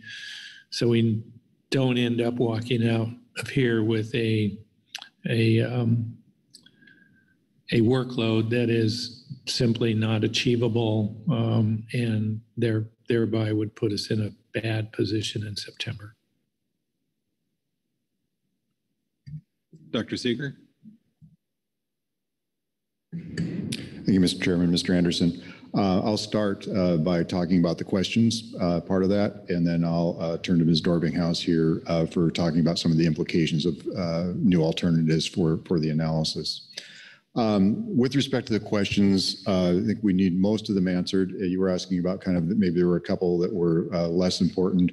You know, the big one is the um, collective versus individual approach, which covers the first six questions. Uh, I think that does need to be resolved. Uh, it, those do need to be resolved in order to move forward. Uh, then we had three other in association with alternative one. We had three other questions that were were pretty minor, and, and one of them was just a calculation. I apologize in some ways for even bringing that to you because it, it's uh, something we probably could have handled. And, and uh, anyway, so the question seven, eight, and nine. Uh, number seven was the trust NGO question, pretty straightforward. Eight was the one about this calculation thing that's also very straightforward. Uh, nine was the modification of the quota share control limit and the annual vessel quota pound limit. That was the one I said that, yeah, we could walk out of here without that and, and still uh, stay on track. However, you do have a consensus recommendation between the GAP and the GMT on that to, uh, to work with. Then with respect to the um, alternative two questions. Uh, let's see, the first one, yeah, we do need to resolve the circumvention issue and, and if and how you want to handle that. That's question 10. Uh, we do need to take care of the one to many, many to many uh, questions. Um, that's questions 11 and 12. Uh, and then the, the three issues that are on slide 50 you're looking at, those other issues to consider. Um, the AMP should be addressed. Uh, the, uh, the, the partial year issue uh, for the uh, allocation uh, needs to be addressed, and then oops, and then the, the the final one there, number 15, on whether you specify for the uh, non-endorsed trawl permits, if that's specified as 10,000 pounds or percentage or the lesser of kind of a thing, that one could could slide. I don't think that would have a major uh, implication on things. Uh, with respect to the need to stay on schedule. So right now the council's expected to pick up with the next trawl sector review. You pick that up in the September for first meeting. Um, we don't necessarily need to pick up the um, trawl alloc, uh, excuse me, we don't necessarily need to pick up the heavy lift on that uh, right away. I mean, we could wait, you know, to uh, pick up the heavy lift on that till sometime in maybe the early part of the next year. And the point I'm making there is that um, uh, so this is scheduled to next come for, for the council in November. We need to get everything together by early October for that November meeting. Um, if for some reason this gets delayed, uh, and because of the workload or other things, um, we aren't able to move on it until next March.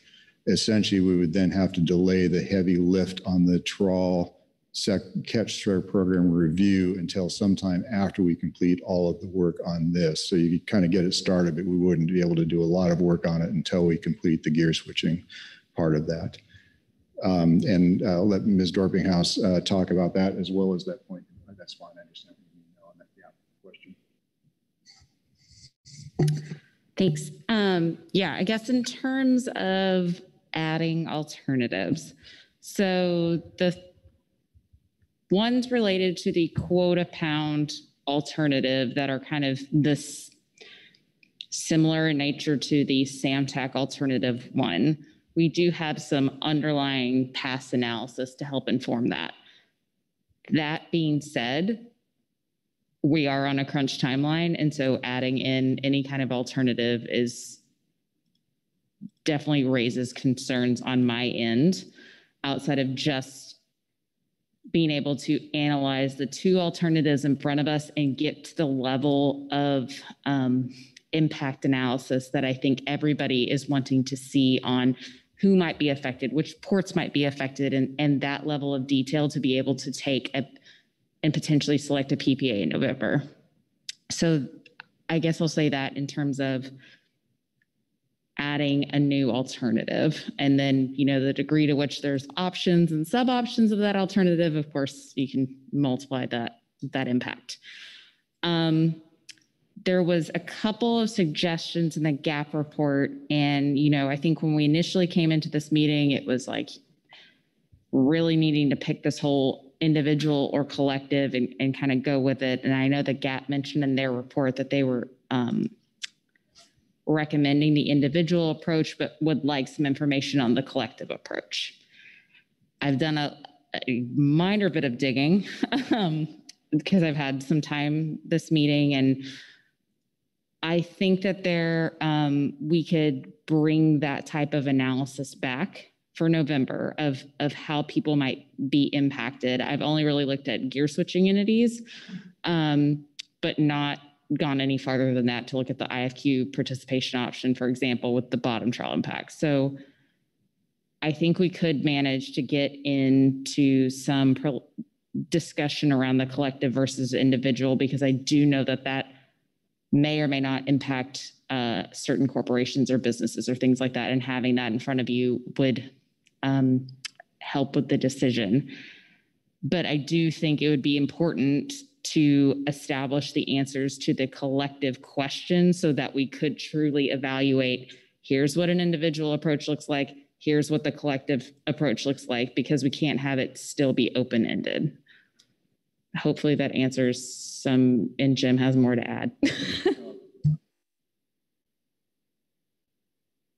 I've got the button pushed. It says green, I think. Yeah, there we go.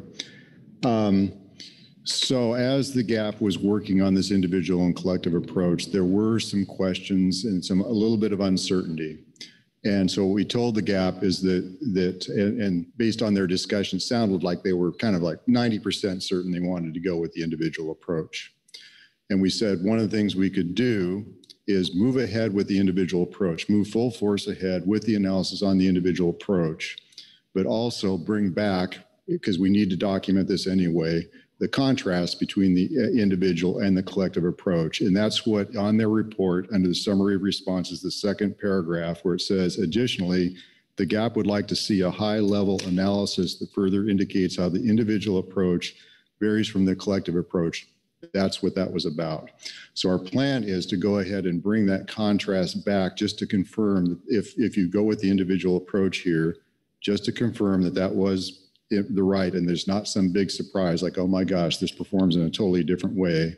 And the understanding was that if we did bring it back and there would be a, and there was a surprise, then we would have to regroup and possibly change direction at that point. But in general, there was comfort with the individual approach, with the understanding they'd have a chance to just check it out and make sure.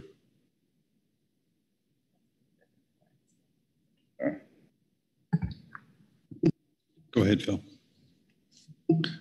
Thanks, uh, thanks very much for those responses. Um, And I, one of the reasons I was probing a bit on this collective versus individual is I saw and read and heard what the GAP was recommending as you reflected on the individual. And then when I was asking how their businesses were put together, I got a different, I got an answer that didn't make sense with that choice.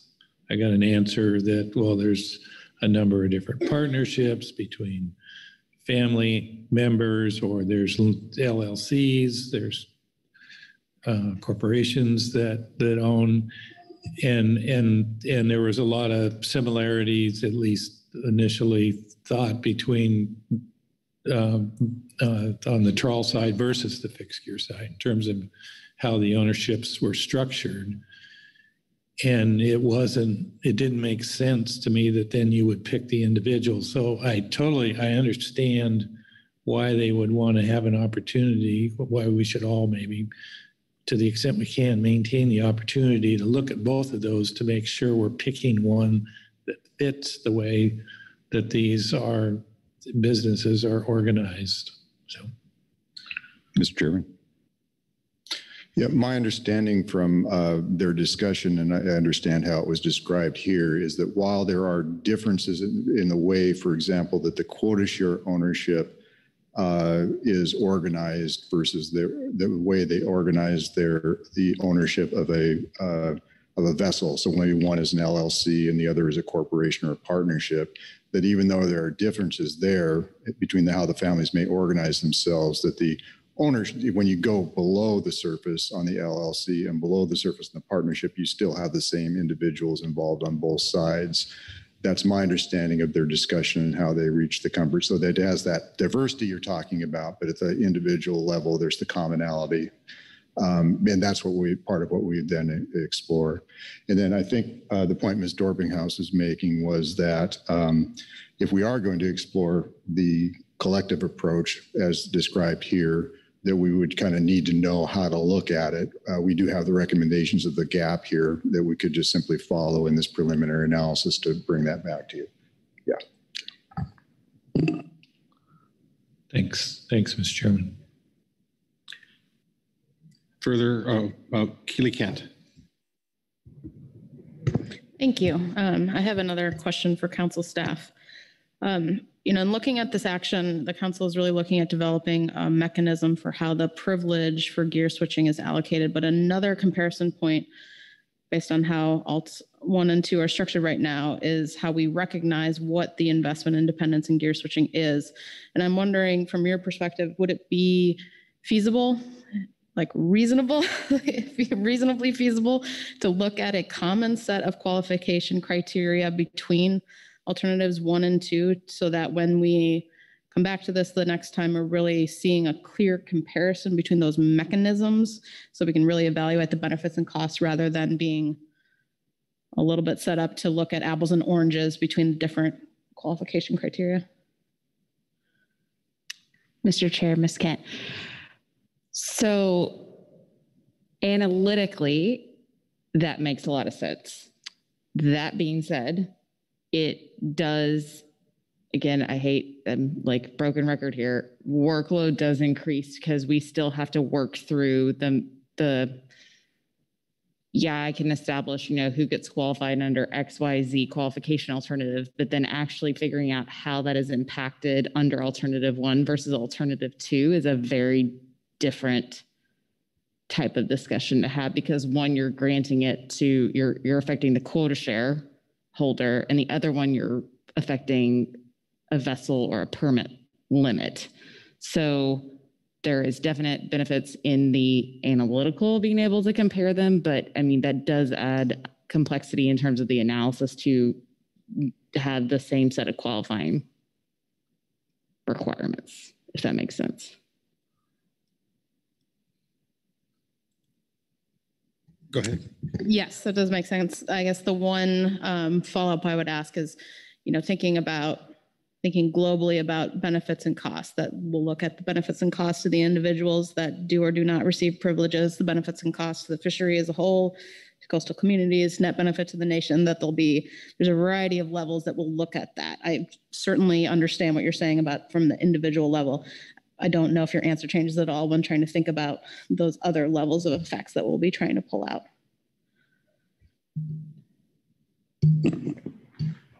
Um, Mr. Chairman, uh, um, Ms. Kent, um, in terms of, you know, the, at the individual level, a lot of the impact comes through the, the first initial allocation, right? Uh, and then as the program runs over time, the impact is really sort of the different ways the program is set up, whether it's a, a, a quota share, gear specific quota share versus a, a permit. And I think, and uh, I'd like to get Ms. Doerpinghaus's opinion on this as well. Um, I think that that um, over the long haul, those the, the way the program actually functions, you would get a good contrast on that without needing to have the um, the qualification alternatives be be compared. But the qualification alternatives, you get that apples and oranges on that that short term initial impacts at the individual level.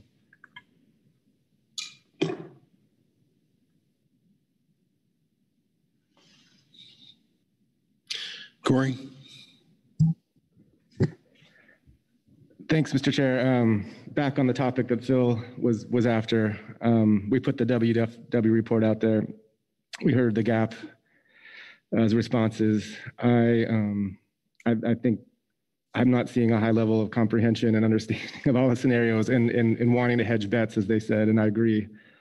But I guess uh, I, I haven't changed my mind too much from what's in that WDFW report. And so I'm not wanting to stay here too much longer, but I'm not totally grasping what the difference between what you're looking for in terms of if we were to say, just kind of flip it around from the gap, start with the entity. Don't look at the individuals underlying it unless you see an unfairness situation. Bring those back.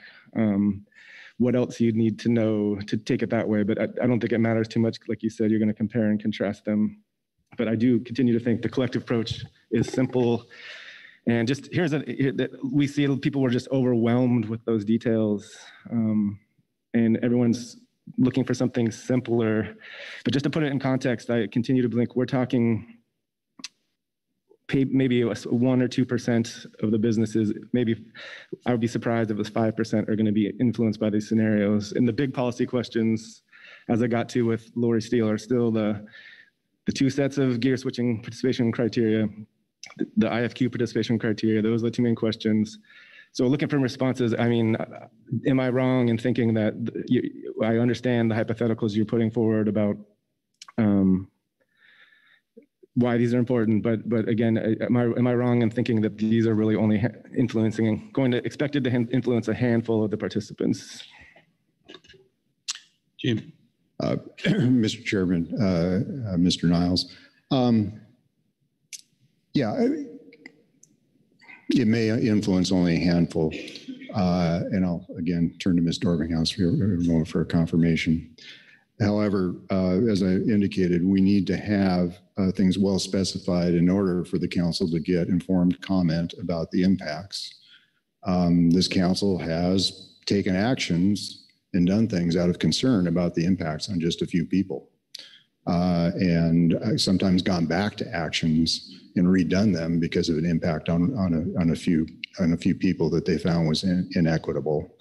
Uh, so, you know, keeping in mind that if we don't take a look at how those folks are impacted, we may end up being back here. And so that's a risk to take there. With respect to, to an entity approach, um, I think we need some more guidance. You and I have had some discussions about this, um, but I think we need some more guidance on how you look at the entity level without considering who the underlying owners are. And, you know, unless you're, unless you're tracking a name or something like that, um, and maybe that's something you and I can talk further about, but that's, that's one of the uh, um, challenges that are, yeah, anyway, thank you.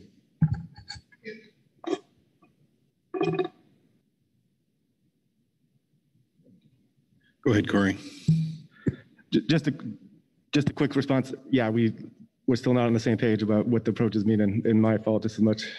So, but yes, I'd love, love to hear more offline how we can tailor the guidance better.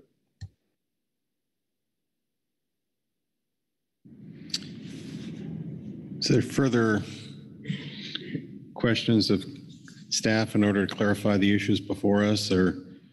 Because I'm sure we'll spend the evening thinking about it and we'll come back tomorrow and complete the agenda item. But is there any initial discussion folks want to have just to sort of put some issues out there that for folks to think about so we can have a more productive discussion tomorrow? Just want to give everyone a chance here before we change agenda items. All right. I think that we'll recess this agenda item until tomorrow. Thanks, everyone. Uh, And with that, I will uh, hand the gavel off to our Vice Chair, Brad Pettinger, uh, for the last agenda item of the day and the second agenda item of the day, F6. Okay, uh, thank you, Chair Gorelnik. Uh, We are behind, and so uh, hopefully we can be efficient here and, as we go through all the reports and try to end as early as possibly can.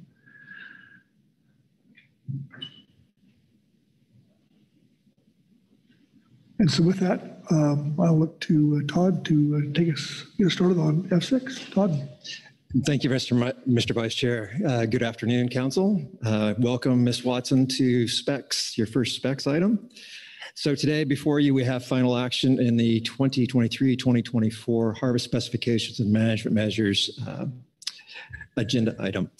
So in terms of this particular agenda item, there are three, uh, I'd like to think of it in three uh, particular pieces. The first piece that the council should consider is the harvest specifications. Uh, So as the council will recall that back in April, they selected three harvest control rules for quillback rockfish. So we will need a decision on that particular item. Um, Additionally, in between meetings, we discovered an apportionment error in the calculations for copper rockfish in California.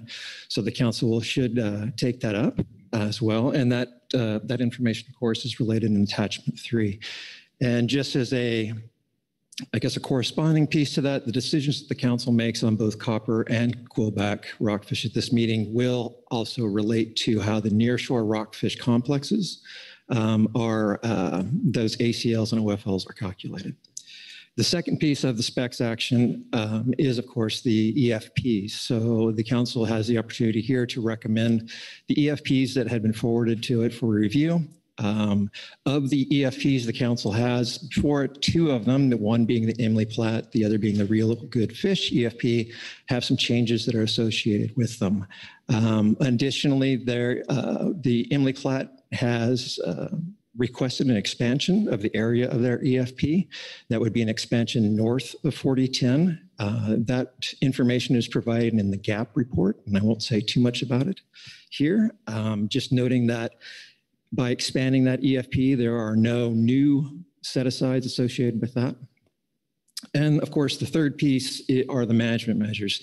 Um, In relation to the management measures, there are obviously um, quite a few decision points that do need to be made, um, including what we consider the new management measures. Um, Those are listed under item 12, which is in your action item checklist. Um, In April, the council forwarded to, or uh, asked the GMT to look at the block area closures for mitigating groundfish bycatch. And they also requested uh, some more information on calculation of ACTs for quillback and copper rockfish off of California. So in terms of looking at this particular agenda item, we have prepared what is known as the action item checklist, which I mentioned here shortly, which is attachment one. That is in general how we've structured these uh, decision points and how both the GAP and the GMT have discussed them in their reports. Looking at the, the multitude of reports that this agenda item has, um, I'll only point out a couple here that are, um, I guess, something that the council might want to just be aware of. Of course, the first one is attachment one, which is the action item checklist. The other item um, would be attachment nine. Um, that one speaks to the potential changes to the EFP, or excuse me, the FMP, that this action could um, require, depending on the decisions that the council makes. Um, in that particular attachment, it is the uh, suggested language of those changes, and we're very interested in hearing um, your opinions and your thoughts on those. Looking additionally down further, um, you see we have SSC report, we have reports from National Marine Fisheries Service, Washington, California. Uh, we also have a tribal report um, with the GMT, you'll notice that there are three reports there. They do not plan to read those reports. However, that information will be provided in their presentation. Um, I'll note that, of course, the GMT members who wrote those reports are in the room today um, and can uh, discuss and or answer your questions. So just looking across that, um, your action today, of course, is uh, four parts. The first one is to adopt final 23-24 harvest specifications and default harvest control rules for all groundfish stocks and stock complexes, to adopt final recommendations for the 23-24 EFPs, to adopt yield set-asides to accommodate those EFPs as necessary or as needed, and then uh, finally, to adopt the 23, 2023, 2024 season structures and management measures to be implemented on January 1, 2023. And um, last but not least, I'll note that I do have a, a support crew here, Mr. John DeVore and Dr. Jim Seger. Uh, John can answer some questions on the harvest specifications piece, and Jim, of course, can uh, answer questions on the EFP should the councils have any of us. So with that, Mr. Vice Chairman, I would conclude my overview. I'm happy to answer any questions you may have, or we could move directly into the reports. Thank you. Thank you, Todd. Questions for Todd on his overview? Okay. Thanks, Todd. Next We'll go to the uh, NMFS report and Keely. Thank you, Mr. Vice Chair. I have uh, Ms. Lynn Massey on the line who's going to present the NMFS report. Thank you. Lynn? Hi, good afternoon, Mr. Chair. Can you hear me? We can. Great, thank you. Uh, for the record, this is Lynn Massey with the National Marine Fisheries Service, and I'll be summarizing the NMFS report under agenda item F6. Uh, this report is specifically for action item 12E under the 2023-24 management me measures, and its purpose is to allow vessels participating in the directed open access sector the ability to fish inside the non-trawl rockfish conservation area with select gear types. Uh, you've prior seen two versions of this report. The first was in March and the second was in April. Uh, NMFS has been evolving the specifics in this report in response to feedback from the GAP, the EC, and the EFP directors for the Emley-Platt and Real Good Fish EFP projects. So what you see here is our third and final version of the gear specifications for fishing within the non-trawl RCA and the definition of directed open access. So the changes we've made since April in this report are as follows. Uh, first, based off of feedback from the EC, we revised the minimum depth re requirement for both gear types to be the distance between the bottom weight and the lowest fishing hook instead of the overall depth off the bottom.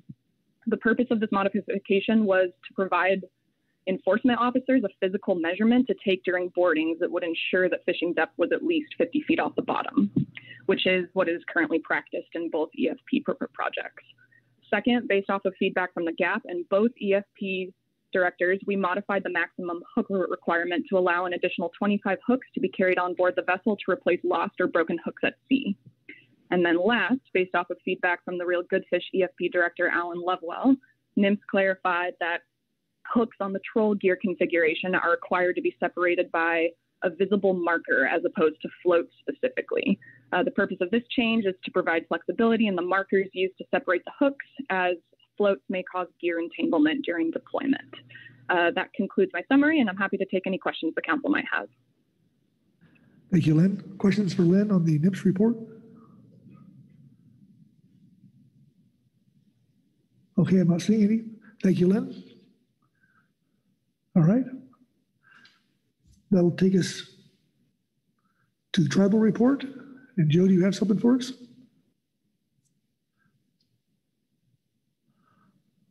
Uh, Thank you, Mr. Vice Chair. Um, I wasn't going to read the travel report into the record, but wanted to uh, refer the council to that. Okay. What is that? I'm sorry, Joe. I'm- having a hard time. Uh, Thank you, Mr. Vice Chair. So there is the uh, Tribal Supplemental Report One under this agenda item. I wasn't going to read it into the record. I just wanted to refer the council to that. Okay, very good. Okay, I'm sorry. Thank you. Perfect. Um, Next up will be the uh, WDFW report. And uh, Heather Hall. Thank you, Vice Chair. Um, I will summarize the WDFW report under this agenda item. Um, It basically um, summarizes our meetings with stakeholders that we've held um, throughout the process um, to consider management measures for 2023 and 2024. Um, Our management measures are really responsive to the stock assessments for um, rockfish, copper rockfish, and vermilion rockfish. The um, FPA that we recommend in our report is to prohibit the retention of copper rockfish, quillback rockfish, and vermilion rockfish in the months of May, June, and July. This recommendation, um, this FPA recommendation is the same as the uh, PPA recommendation that we brought forward in April. Um, There are no other changes to our management measures that we're proposing under this um, report and for the upcoming biennium. Um, And in that report, you can see the projected impacts and mortality that we're looking at for 2020, 2023 and 2024. Um, As always, uh, our management um, process, state management process allows for us to consider in-season catch and make adjustments as needed through our uh, regulatory process uh, with the um, delegated authority to our director. I'd be happy to answer any questions. Thank you, Heather. Questions for Heather on the uh, WDFW report? Marci? Thank you, Mr. Vice Chair. Thank you, Heather, for the report. Um, I just want to um, acknowledge my appreciation for um, the information that you presented to us in Table One. And I'm thinking back to discussions um, primarily in April and concerns about um, the projected mortality in 23 24 uh, for canary rockfish. Um, it's if I'm reading the table correctly, it's looking like you're there. Is is that correct? That's correct. If, if, what we see in 2023 is similar to what we saw in 2021, um, we're looking to see what catches in this current season. That's really how our projections are based. Um, although I would say for this biennium, our projections were a little bit different because we disregarded 2020. We had fishery closures and a lot of disruption to where folks could access um, ports and that kind of thing. So our projections are based on the average of 2019 and 2021. So we're we are up against that um, canary rockfish um, Washington harvest guideline. But and we talked a lot about this in April and are still um, looking at that going back to when um, Canary was rebuilt, how we think about what sectors need. Uh, we know we're just starting to figure that out. We're starting to see our fisheries um, start to target after a very precautionary period uh, where restriction was prohibited and then stepping very carefully out of that. So, um, what we would do if we reach that canary rockfish, I don't expect that we would close our fishery down, but we would consult with um, managers in Oregon and California, the council, if it's, you know, around the June, September council meeting period and talk about what that looks like. But Marci? Thank you, Mr. Vice Chair. Thank you, Heather. Um, that's exactly what I expected to hear. And um, just good work, good planning. And I think um, uh, the states agree that we'll be coordinating quite a bit uh, next year and looking forward to it. Thanks, Marci. Further questions for Heather? Phil Anderson?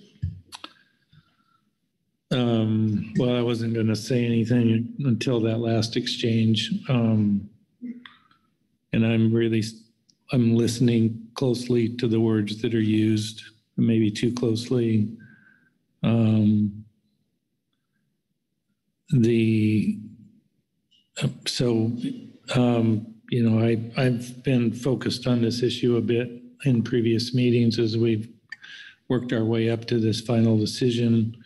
Been concerned about canary rockfish in the Washington recreational fishery.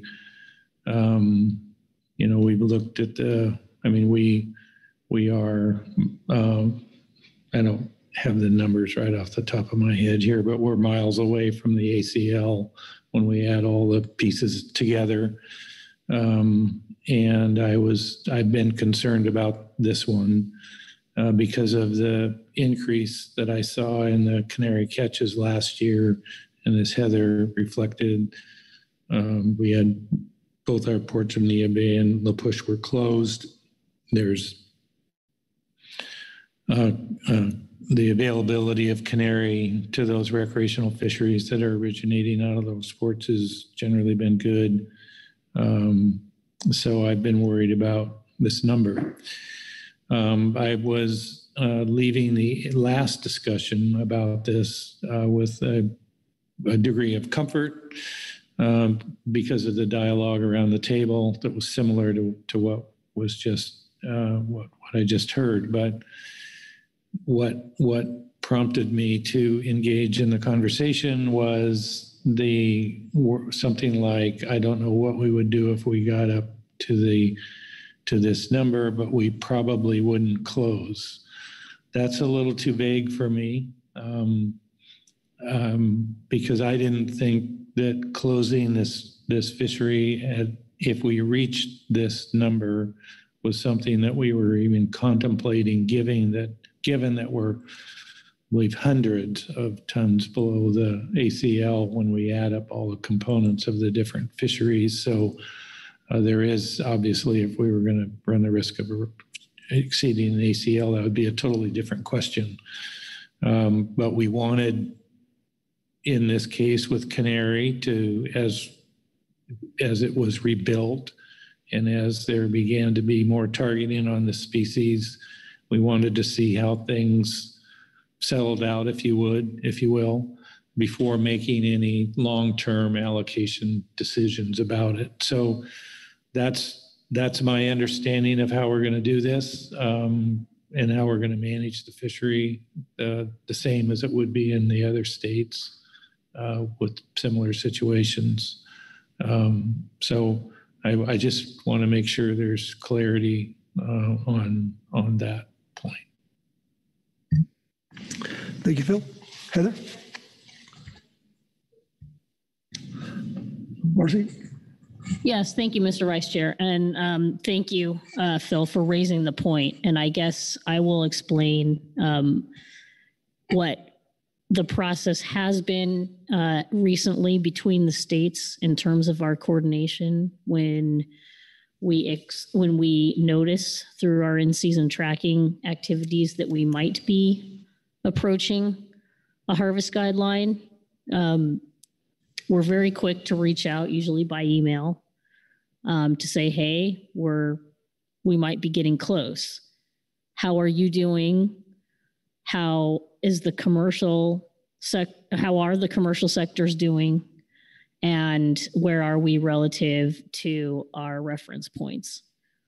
So that communication goes on pretty routinely and um, that's that's my understanding of the arrangement that we will have in this situation. And so um, when Ms. Hall remarked that, you know, I don't think we would close, I think she meant that it would be only in a case that when we tally up all the catches, that we might be at risk of exceeding that ACL, that such action would be considered. Hopefully that helps. Thank you, Marci. Heather? Thanks, Vice Chair. Um, thanks, Marci, and thanks, Bill, for the comments. I we're, we are on the same page, and I probably could have used stronger language about what we would do um, relative to the ACL. I don't think I I referenced that we would look at it relative to the ACL, but uh, and I certainly don't expect that we would be closing the Washington recreational fishery based on catch reaching this harvest guideline. And so I, I do think we're all on the same page with how we're going to approach Canary in the upcoming biennium. Bill? Thanks, Mr. Vice Chair. Appreciate the clarification. That is where I thought we landed in our previous conversations about this and just wanted to make sure we were still clear on that. Thank you. Okay. All right. Next up will be the um, CDFW report. And Marci?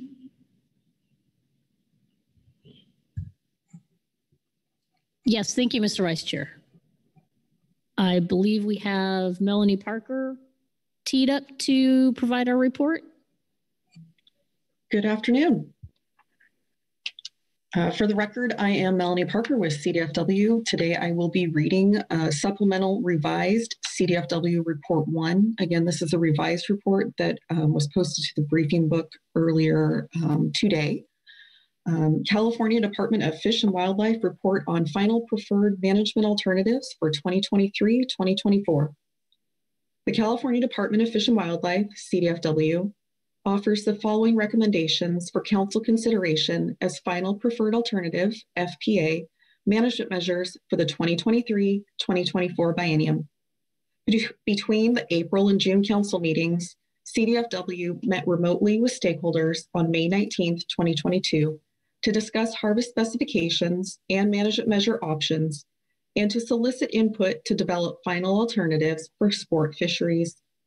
The management measures presented in this report have all been analyzed within the draft Integrated Alternatives Analytical Document, Agenda Item F4, Attachment 2, Pacific Coast Groundfish Fishery 2023-2024 Harvest Specifications and Management Measures from April 2022. As stated in April 2022, CDFW anticipates the need for continued discussions with stakeholders beyond June and that in-season actions during 2023 and 2024 may be appropriate to respond to newly available fishery data in 2022, which reflects substantial regulatory changes and discard mortality rates or unforeseen events as they arise in the new biennium. New management measures. CDFW recommends as FPA inclusion of the new management measures as analyzed in the integrated alternatives analysis for Action item two, adopt proposed rockfish conservation, RCA, updated waypoints and modifications as found in E5A, supplemental CDFW report one, November 2021. Action item 12E, non-bottom contact hook and line gear allowance in the non-trawl RCA. Action item 12H, recreational bag limit changes for quillback rockfish, copper rockfish, and vermilion rockfish. Action Item 12I, novel utilization of existing RCA boundary lines. See the discussion below on rationale for recommendations on new management measures in the commercial and recreational fishery sections. Cowcod annual catch target, ACT, limit south of 4010 north latitude. CDFW recommends as FPA the CDFW preliminary preferred alternative, PPA, that removes the precautionary 50 metric ton ACT, action item 5, as described in agenda item F4A, supplemental CDFW report 1 from April 2022. Commercial fishery. CDFW recommends as FPA the CDFW PPA for copper and quillback rockfish commercial sub-trip limits. Action items 12A, or sorry, 14A, 14B, 15A, and 15B, and non-bottom contact hook and line gear allowance in the non-trawl RCA, action item 12E, as described in agenda item F4A, supplemental CDFW report 1 from April 2022. Regarding maintaining minimal retention of copper rockfish and quillback rockfish in the 2023-24 biennium, i.e. 75 pounds per two months sublimit, sub-trip limit, CDFW notes that for nearly 20 years, a deeper nearshore species fishery permit has been required for the take, possession aboard a boat, or landing of black rockfish, blue rockfish, brown rockfish, calico rockfish, copper rockfish, olive rockfish, quillback rockfish, and treefish for commercial purposes as per California Code of Regulations, Title 14, Section 150.02, Section 2.8.2 of Agenda Item F4, Attachment 2 from April 2022, indicated in 2021 there were 181 deeper nearshore species fishery permits registered, of which 120 were active, i.e., a permit holder made at least one landing of deeper nearshore rockfish. However, these numbers were in error. In 2021, there were actually 176 permits registered, of which 107 were active. Additionally, many of these deeper nearshore species fishery participants do not fish year-round and or solely in the nearshore fishery. A review of landing receipts along with discussions with industry indicate that deeper nearshore fishery permittees also participate in other sectors of the groundfish fishery, such as the LEFG non-nearshore fishery and non-groundfish fisheries, Dungeness crab, salmon, and California lobster, to round out their portfolios. Furthermore, participants in the restricted access deeper nearshore species fishery are also subject to California Code of Regulations, Title 14, Section 150.16, subsection E5, which states cumulative trip limits, trip limit values noticed in the Federal Register by National Marine Fishery Service for the cumulative trip limit periods for shallow nearshore rockfish, deeper nearshore rockfish, and California scorpionfish apply to each individual California commercial licensee in addition to the federally defined vessel-based limits. Landings are summed by an individual's California commercial license number listed on fish receipts submitted to the department pursuant to Section 8043 Fish and Game Code. For these reasons, a well-established restricted access permitted fishery a state regulation that further restricts the landings of copper rockfish and quillback rockfish, along with the list of contributing factors described in Section 2.8.2 of Agenda Item F4, Attachment 2, April 2022, should significantly and effectively limit commercial harvest of copper rockfish and quillback rockfish. CDFW continues to recommend maintaining the 2022 sub-trip limits for 2023 and 2024 noting the ability to adjust these limits in season based on the most recent data and projections.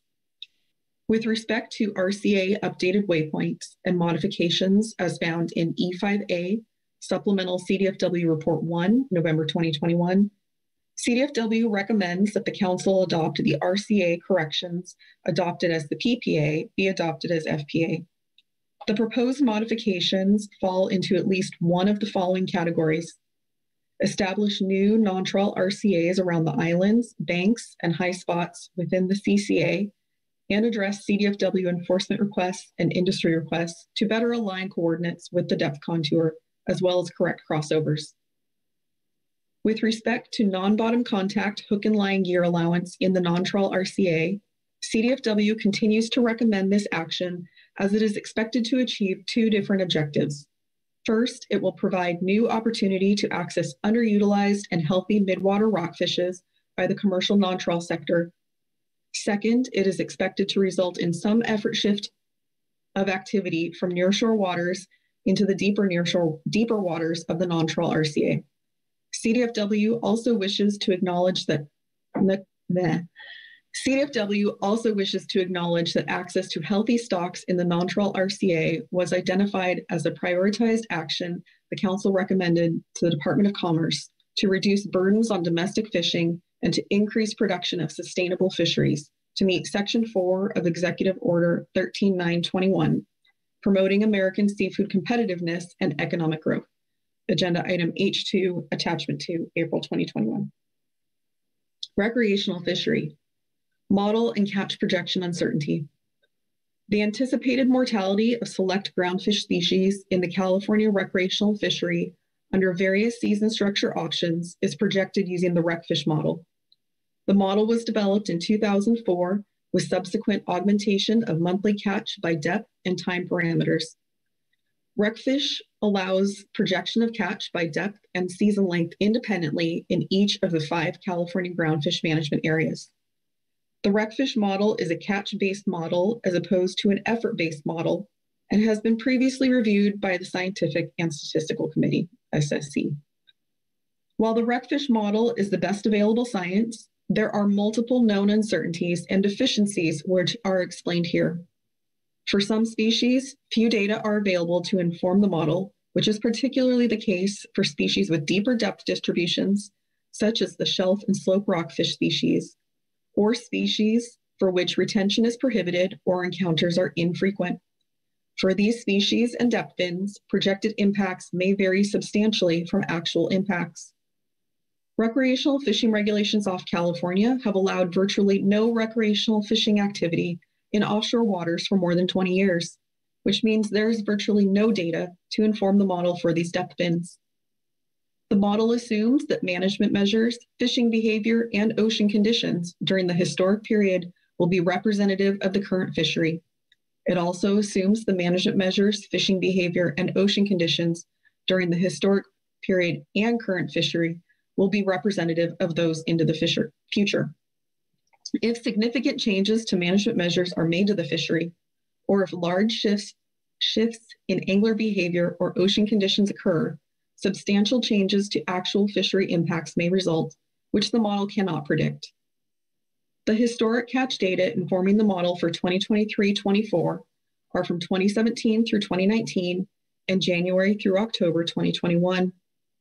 Data from more distant years is not likely to be useful to inform projections, given the number of changes to management over time. In 2020, 2017 and 2019 and 2021, the bag limit for copper and quillback rockfish was 10 fish within the 10 fish rockfish cabezon and greenling RCG daily bag and possession limit. In November 2021, the Council recommended and NMFS approved reductions to bag limits for quillback and copper rockfishes from 10 fish to one fish within the RCG daily bag and possession limit effective January 1, 2022. Additionally, the vermilion rockfish sub bag limit was reduced from five fish to four fish in response to continued high catches. The projections of total mortality produced in November 2021 are likely overestimates of total mortality. However, no new catch information has become available since that time to update projected mortality. As the 2022 fisheries progress, new information will become available. Unfortunately, this information will not be available in time to inform the recommendations that must be made at the June Council meeting on the season structure and management measures for 2023-24. The greatest sources of model projection uncertainty include the reductions in 2022 from a 10 fish to a one fish bag in the RCG complex for quillback and copper rockfish are not something the model predicts well.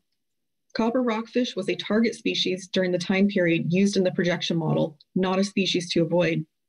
This change will impact angler behavior in ways the model cannot predict. Anecdotal information from 2022 also indicates commercial passenger fishing vessels, CPFVs, in many areas are actively avoiding areas with high copper rockfish encounter rates, which could further reduce total mortality and could result in preseason catch projections that are too high. The model is inherently uncertain whenever significant changes to regulations are made. The management measures proposed by CDFW in this report are a radical departure from past and current management measures and introduce the greatest source of uncertainty to projecting impacts as fishing would occur in completely new areas that haven't been accessed by the recreational fishery in two decades. New descending device depth dependent mortality release rates are in development by the GMT and are expected to be available for use in management later in 2022. It is expected application of these new rates will change the discard mortality in CDFW's monthly California Recreational Fishery Survey, CRFS, estimates, and subsequently in the RecFish model catch projections. In-season tracking and monitoring. For the reasons discussed above, CDFW believes the catch projections provided are highly uncertain, and for quillback and copper rockfish are expected to be over projections. CDFW tracks groundfish mortality in season on a weekly and or monthly basis to ensure that mortality remains within allowable limits. Several rockfish species of concern, yellow eye rockfish, black rockfish, and previously cowcod and canary rockfish, are tracked on a weekly basis using CRFS field reports. Beginning in 2022, the list of species was expanded to include quillback and copper rockfish as a result of new stock status information. Data on observed and released fish from the weekly CRFS reports are converted into an, an anticipated catch value, ACV, in metric tons using catch and effort data from previous years.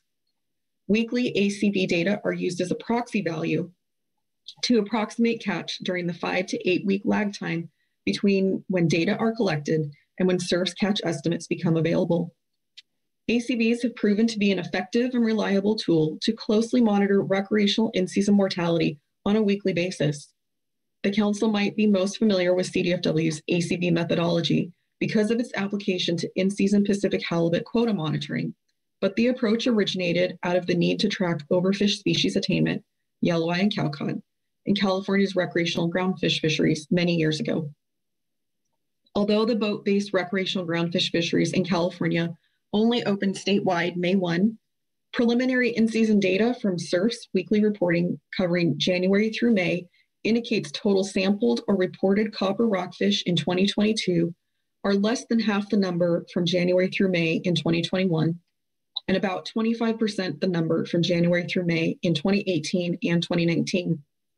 This information suggests the new one fish subbag limit for copper rockfish is resulting in significant reductions to encountered fish, and it is expected that reductions to CRFS monthly catch estimates will be realized once they become available. Since it is still early in the fishing season, limited data are currently available on quillback rockfish sampled in 2022, but the data that are available indicate a reduction in sampled or reported fish compared to prior years.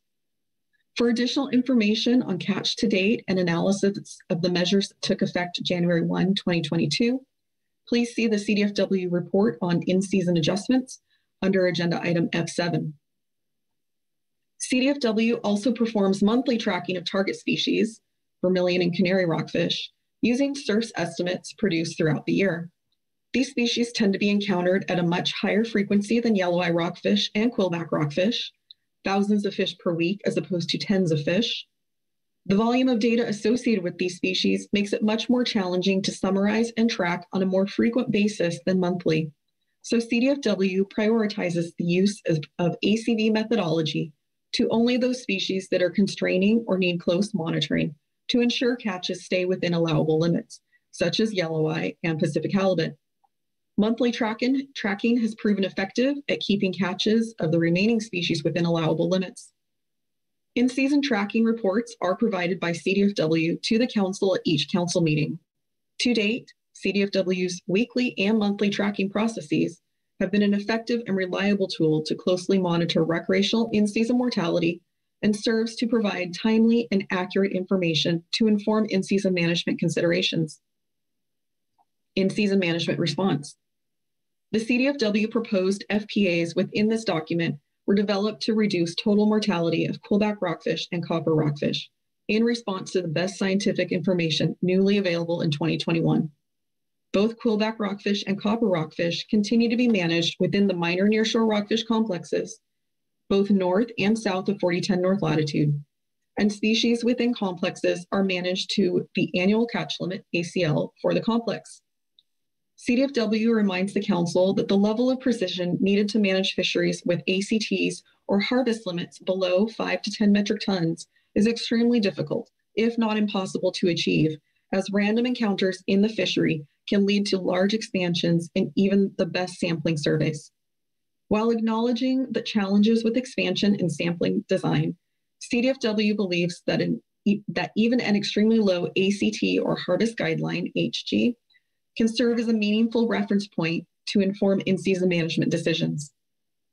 If mortality of these species in season reaches or is projected to exceed ACTs or other harvest limits, CDFW will notify NMFS, the council, and agency fishery managers who may confer to consider the risk to the resource and the socioeconomics of the fishery to determine if in-season management action is warranted to slow or stop further mortality from occurring. If warranted, CDFW anticipates stepwise adjustments to measures to try to curb impacts accordingly, changes to depth limits, season length, or bag limits. The scope and duration of in-season management changes will be dependent upon which species triggered the action or actions, the time of year, and the scale of projected harvest limit exceedance. The range of management alternatives analyzed in the draft integrated alternatives analytical document covered a larger than normal range and will allow for a greater range of options available for use in in-season management responses. Sub-bag limits of zero fish were analyzed for both quillback and copper rockfishes, and this option will be available for use in in-season management should it be necessary. The new management measure allowing for fishing seaward of a specified RCA boundary line and prohibiting fishing shoreward of that line will also be available for in-season management if necessary. Additionally, CDFW appreciates and recognizes the voluntary steps that recreational fishery anglers, organizations, and CPFVs are currently taking to avoid areas of high copper rockfish and quillback rockfish encounters, and the utilization of descending devices with released fish to reduce mortality on these species. CDFW has broadened its angler outreach on descending devices and is committed to educating the public on their use along with distributing free descending devices to anglers provided to CDFW by the Pacific States Marine Fisheries Commission. CDFW also reaffirms its commitment to keeping mortality of yellow eye rockfish, the only remaining rebuilding stock in the FMP, within the California recreational HG by using the in-season monitoring and reporting methods described above. Additionally, per 50 CFR 660.60 C4, in-season action can be taken by NMFS outside of a council meeting should the yellow eye harvest limit be attained or projected to be attained prior to the first day of the next council meeting. Recreational Fishery Season Structure FPA. All of the season structures depicted below are a substantial departure from the status quo and that each management area will incur a significant reduction in fishing time in nearshore waters of 30% or more. The severe reductions are necessary to incorporate the best scientific information available from the 2021 stock assessments for quillback and copper rockfishes off California and the rebuilding analysis for quillback rockfish off California. The proposed reductions are intended to keep harvest levels proportional to the biomass off California consistent with the SSC recommendations of combining assessment areas for copper rockfish status determination. In lieu of multiple regional ACTs for each management area south of 4010, CDFW recommends using a single ACT in this area combined with traditional management measures, season structures, depths, bag limits, etc., that equitably distribute the limited fishing opportunity between subregions.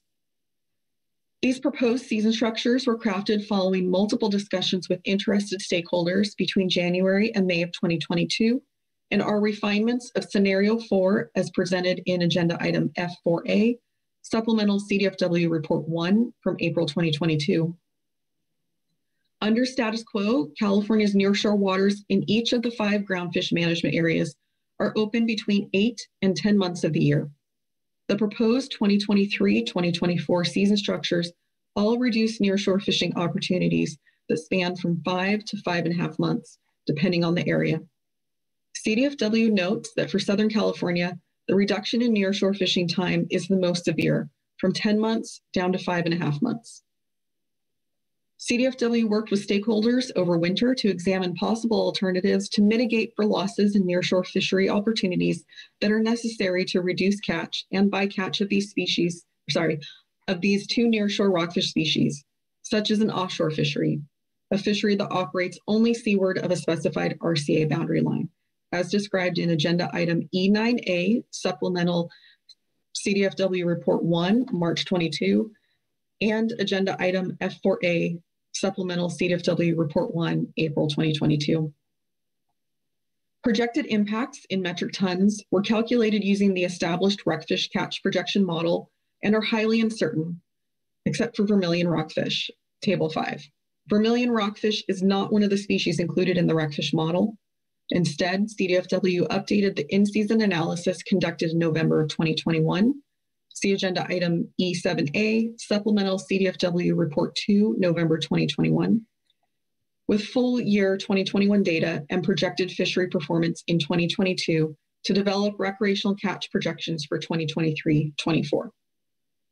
Projections include impacts for quillback and copper rockfish under the status quo one fish sub bag limits for and for vermilion rockfish status quo four fish sub bag limit as described in the bag limits section of this document. See model and catch projection uncertainty section of this document and an agenda item F4A supplemental CDFW report one from April 2022 for additional information. CDFW proposes the following recreational groundfish fishery season structures by management area for the 2023-24 biennium as an FPA. In the northern management area, between 42 north latitude and 4010 north latitude, the fishery for rockfish, cabezon, and greenling, RCG complex, and lingcod is closed January 1 through May 14th and October 16th through December 31, and is open in all depths from May 15th to October 15th. And see Table 1 for a graphic description. In the Mendocino Management Area between 4010 North Latitude and 3857.5 North Latitude, and the San Francisco Management Area between 3857.5 north latitude and 3711 north latitude. The fishery is closed January 1 through May 14th, open May 15th through July 15th seaward of the 50 fathom RCA line, and open in all depths from July 16th through December 31. And see table two for the graphic description of this season structure. In the central management area, between 3711 north latitude to 3427 north latitude. The fishery is closed January 1 through April 30th, open May 1 through September 30 in all depths, and open October 1 through December 31 seaward of the 50 fathom RCA line. And this season structure is described in Table 3. In the southern management area, which is between 3427 north latitude and the US Mexico border, the fishery is closed January 1 through March 31, open April 1 through September 15 in all depths, and open September 16 through December 31 seaward of the 50 fathom RCA line. And the season structure is shown in Table 4. In all management areas, California scorpion fish, sand dabs, other flatfish, petrale sole, starry flounder, leopard shark, and other groundfish, which is defined in California Code of Regulations, Title 14, Section 28.49, as including soupfin shark, Dover sole, English sole, arrowtooth flounder, spiny dogfish, skates, ratfish, grenadiers, fine scale codling, Pacific cod, Pacific whiting, sablefish, and thorny heads are open year round at all depths.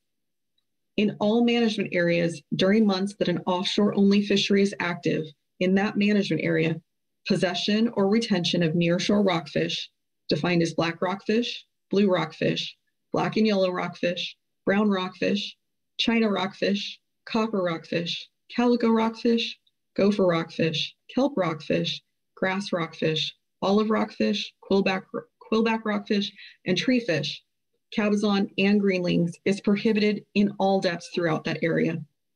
During an offshore only fishery, Fishing for, take, and possession of shelf and slope rockfish and lingcod is only authorized in waters seaward of an RCA boundary line as defined by connecting the series of waypoints. During times that an offshore fishery, offshore only fishery operates, vessels may transit through waters shoreward of the RCA line with no fishing gear in the water with the aforementioned species aboard. This means anglers who are targeting species such as bass, barracuda, California halibut, yellowtail, California scorpionfish, and California sheephead in the area shoreward of the RCA cannot have aboard any rockfish, cabezon, greenlings, or lingcod during the times when an offshore fishery operates. Anglers are advised to plan their trips accordingly, especially when fishing for multiple target species during an offshore only fishery. Compliance with these retention requirements necessitates advanced planning when fishing for groundfish and transiting through closed areas back to port. Ocean whitefish and California sheephead are two state managed species for which regulations, especially in the recreational fishery, have been coupled to those of federal groundfish to help minimize encounters with overfished shelf rockfish species. Currently, yellow eye rockfish is the only rebuilding groundfish species off California, and there is no longer a need to couple the recreational regulations for ocean whitefish and California sheephead to those for federal groundfish. Proposed modifications to state regulations, California Code of Regulations Title 14, would allow recreational take of ocean whitefish year round in all depths. No changes to the current 10 fish daily bag limit are proposed. As proposed, the recreational California sheephead fishery would be closed January 1 through the last day of February and open March 1 through December 31 at all depths. And the daily bag limit would be reduced from five fish to two fish to keep catches within a state defined total allowable catch limit and sector allocation. Next, we have tables that show graphically the season structures that I have just described um, in words. You can see in the northern management area for table one, um, the RCG Rockfish cabezon and Greenling Complex and Lingcod would be open in all depths between mid-May through mid-October. Um, the other groundfish species would be open in all depths year round. And then we have the seasons for the state managed California sheephead and ocean whitefish. Table two shows the proposed season structures in the Mendocino and San Francisco management areas. Um, you can see here the nearshore rockfish cabezon and greenlings would be closed from January through mid-July. There would be that offshore only fishery for the shelf and slope rockfishes in lingcod that operates seaward of the 50 fathom RCA between uh, May and mid July.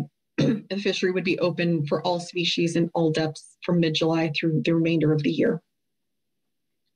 Table three shows the um, season structure for the central management area.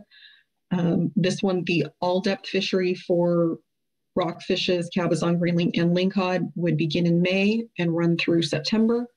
The nearshore rockfish, cabezon, and greenlings would then be closed for the remainder of the year, and the offshore fishery would operate seaward of 50 fathoms for the shelf and slope rockfish and lingcod.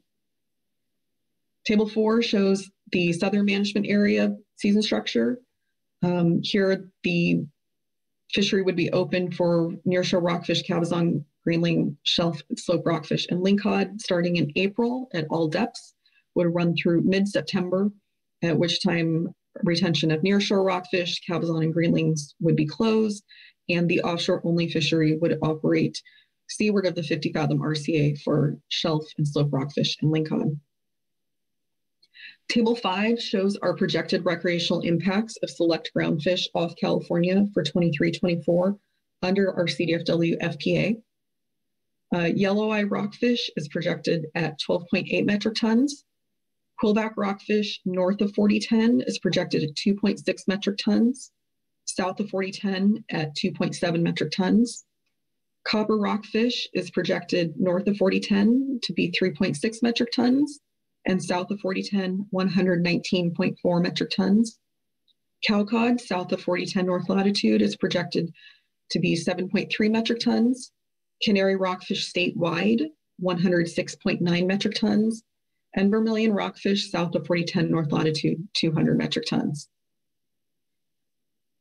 Sub-bag limits. Quillback rockfish. CDFW recommends a sub-bag limit of one fish, status quo, for quillback rockfish within the 10 fish RCG daily bag and possession limit as the FPA. Copper rockfish. CDFW recommends a sub-bag limit of one fish, status quo, for copper rockfish within the 10 fish RCG daily bag and possession limit as the FPA. Vermilion rockfish. CDFW supports an FPA that is the status quo vermilion rockfish sub-bag limit of four fish within the 10 fish RCG daily bag and possession limit. As described earlier in this document, there is a high degree of uncertainty in the projected impacts as the modeling likely overprojected the estimated discard mortality as described in the model and catch projection uncertainty section earlier in this document. CDFW sees merit in the continuation of the one fish sub bag limits for quillback and copper rockfish to allow for fishery dependent data collection, specifically biological data. It is extremely important for future stock assessments to maintain the flow of data as data gaps would add to greater uncertainty in the results of future assessments. Therefore, maintaining status quo sub-bag limits is advisable until data become available to better inform managers of the effects of the changes that became effective January 2022. See the in-season management response section. CDFW expects the Vermilion Rockfish status quo bag limit, changes to season structure as described above, and in-season catch tracking and monitoring will provide the necessary management tools to keep vermilion rockfish mortality from exceeding the species-specific ACL or overfishing limit contributions to the minor shelf rockfish complex. With that, I will take any questions. Okay. Thank you, Melanie. Questions for Melanie on the CDFW report? Okay, very good. Thanks, Melanie. Um, we've been at it for over two hours, so we're going to take um, a 10 minute break and um, get right back at it here. So um, we'll see everybody at uh, 316.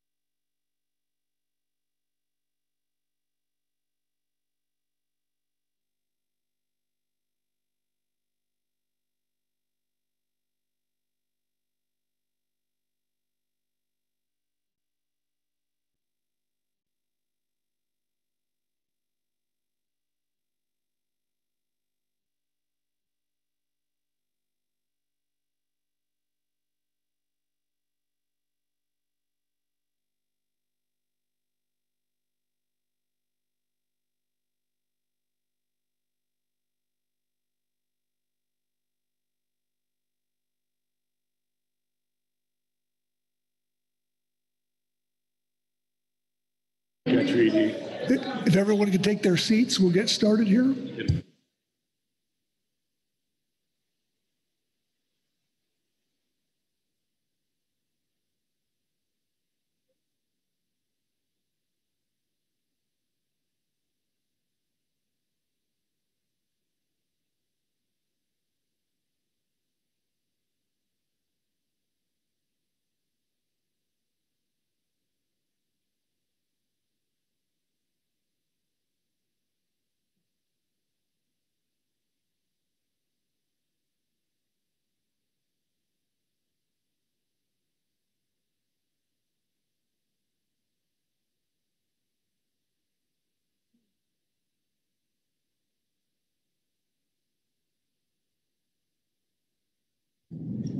Okay, we're, uh, we're back in session here. And with that, I'll turn to um, Jessica um, Watson uh, from the ODFW, see what she has any updates for us. Thank you, Mr. Vice Chair. Uh, I would just direct the council to the ODFW report um, from the April meeting, uh, agenda item F4A, ODFW Report 1 for our 2023-24 biennial management measures for our Oregon recreational fishery. Thank you. Thank you, Jessica. All right. Um, With that, we'll do the um, GMT report or GMT presentation with Mel Mandrup. Mel?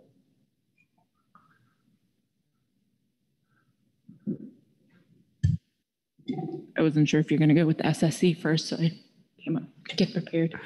Yeah, one one moment while I work this out.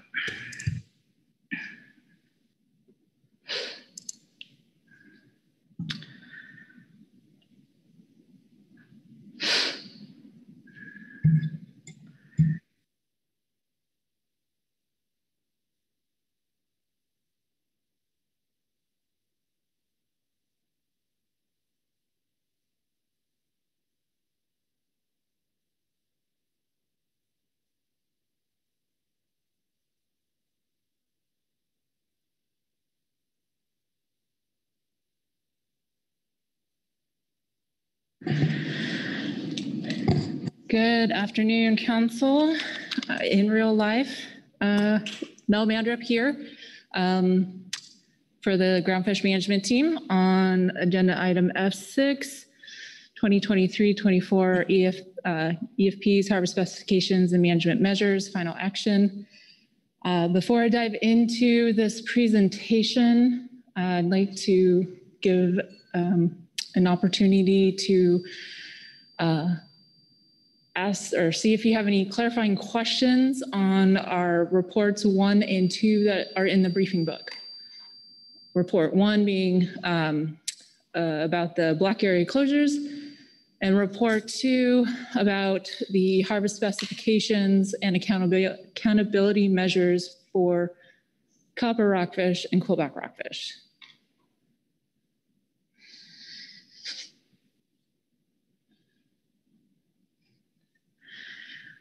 Okay.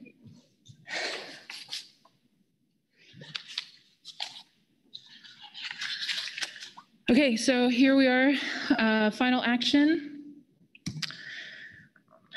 Uh, we'll cover the EFPs and EFP set-asides first, and then we'll go into the remaining harvest specifications.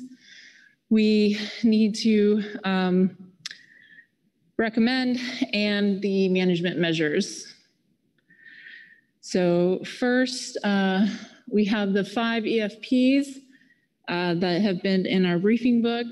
Um, that would be the uh, year-round mid-water rockfish um, trawl EFP, the EFP from CDFW uh, for cowcod, the Platt Emley EFP, um, which uh, there's an amendment to, and then WDFW, their EFP uh, for yellow eye rockfish, and the Real Good Fish uh, EFP, which is also um, also has an amendment uh, to that for the uh, set asides to cover the the use of natural bait um, when testing the gear in the natural in the non-trawl RCA. Uh, the GMT rec- recommends um, to move forward and adopt all five of these EFPs and the amended set asides um, for the two Emley, the Emley Platt and the Real Good Fish EFP with regard to their um, additional set asides needed to cover uh, for using testing natural bait. And then also have the 100 Chinook salmon threshold um, or 100 Chinook salmon to help cover the what may be taken under the EFPs. Um, so uh, I'll stop there. Um, I, I figured I'd stop periodically and make and see if there's any clarifying questions for folks before I um, continue on, just to make sure everyone's good. Um, okay, any clarification, any good on EFPs? So uh, remaining harvest specifications and management measures. So uh, in, in April, um, the council adopted FPAs on pretty much every, uh, all the harvest specifications for everything we manage under the EFP or the F, FMP. Thanks, Todd, for that. uh, except for quillback rockfish. Um, and then uh, I'll just note through the exercise the GMT did between the, the April meeting and the June meeting, um, we thought it would be prudent to come back with uh, additional um, ACL alternative for copper rockfish, and that is spelled out in the GMT num uh, report number two. And so um, the GMT here is recommending uh, to con continue with the FPA on everything else except um, to adopt, uh, we recommend adopting alternative one for quillback rockfish, and that would set the ACL lower than the ABC. And that value would be um, the ACL from the SPR value of a 0.55 uh, with P-star 0.45. And that would give you a statewide ACL 2023 of 1.76 metric tons and in 24, it would give you a statewide ACL of 1.93.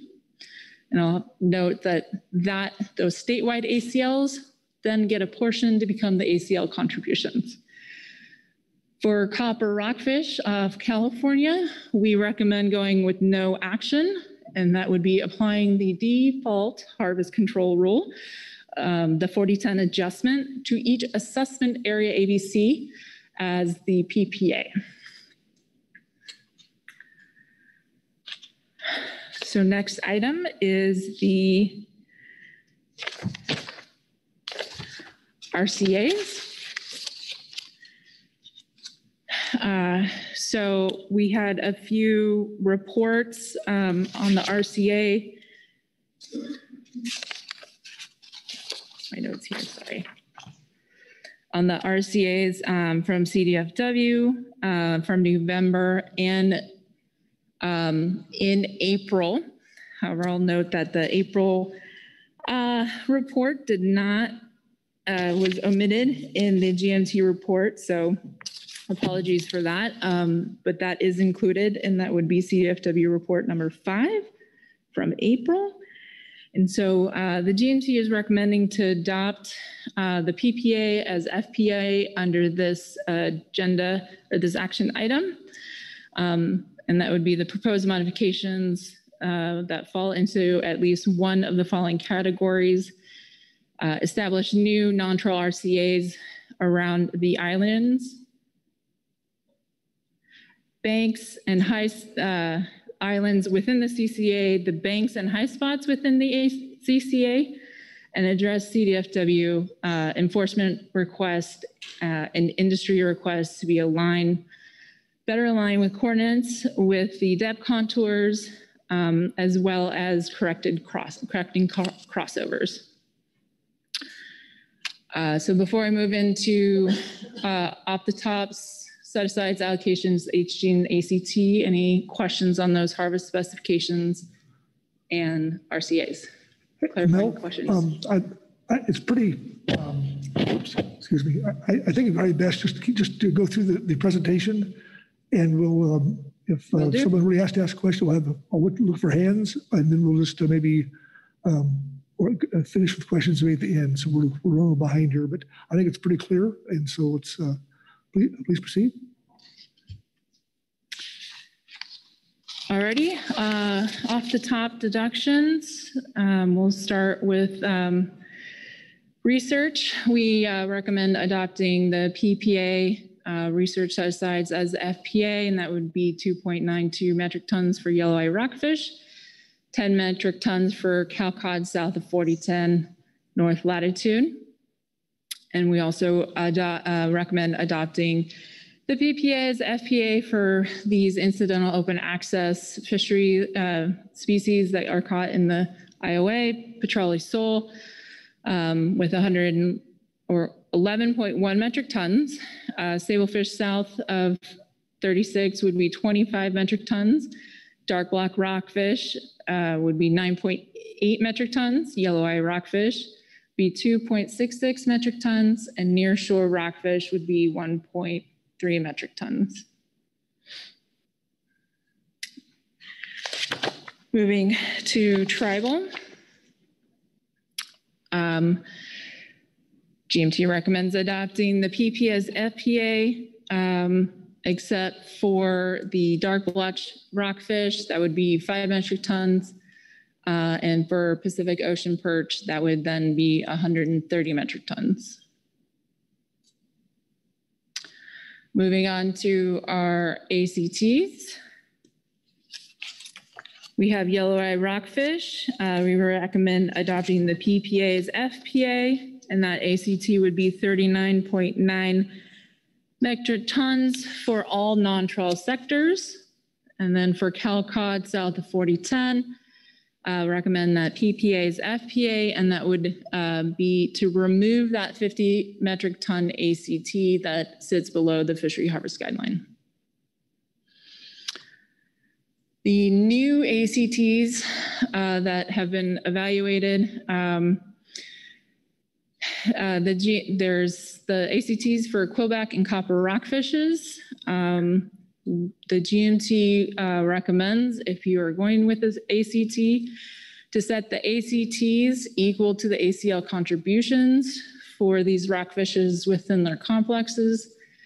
Um, the rationale being that it would um, create a benefit of a buffer below the ACL um, and is not likely give is not likely given such uh, low values. The ACT equals the ACL contribution would formalize the ACL contribution and allow for in-season management measures in response to exceeding the ACL contribution. Moving on to the two-year non-trawl, trawl, non-trawl allocations, uh, we recommend going, um, adopting the PPA as FPA. For the Amendment 21, not trawl, non-trawl allocations, we recommend going, um, the F, the PPA be the FPA. for the harvest guidelines or state shares for complex, for stocks in a complex. Uh, GMT recommends uh, adopting the PPA as an FPA, so that would be for blackgill rockfish in the Southern Slope Complex, where the HGs uh, equal the component ACLs, um, and that's part of a broader custom sharing approach.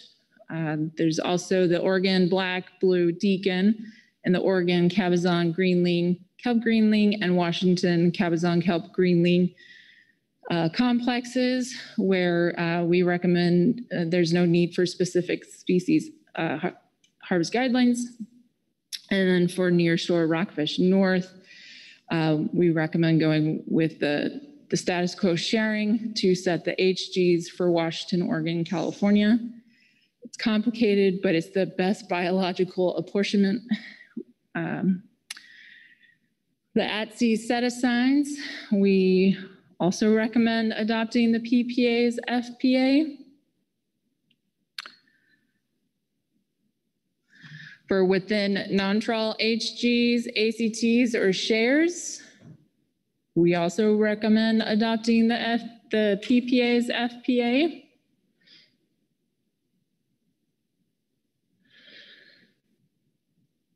So moving on to new management measures.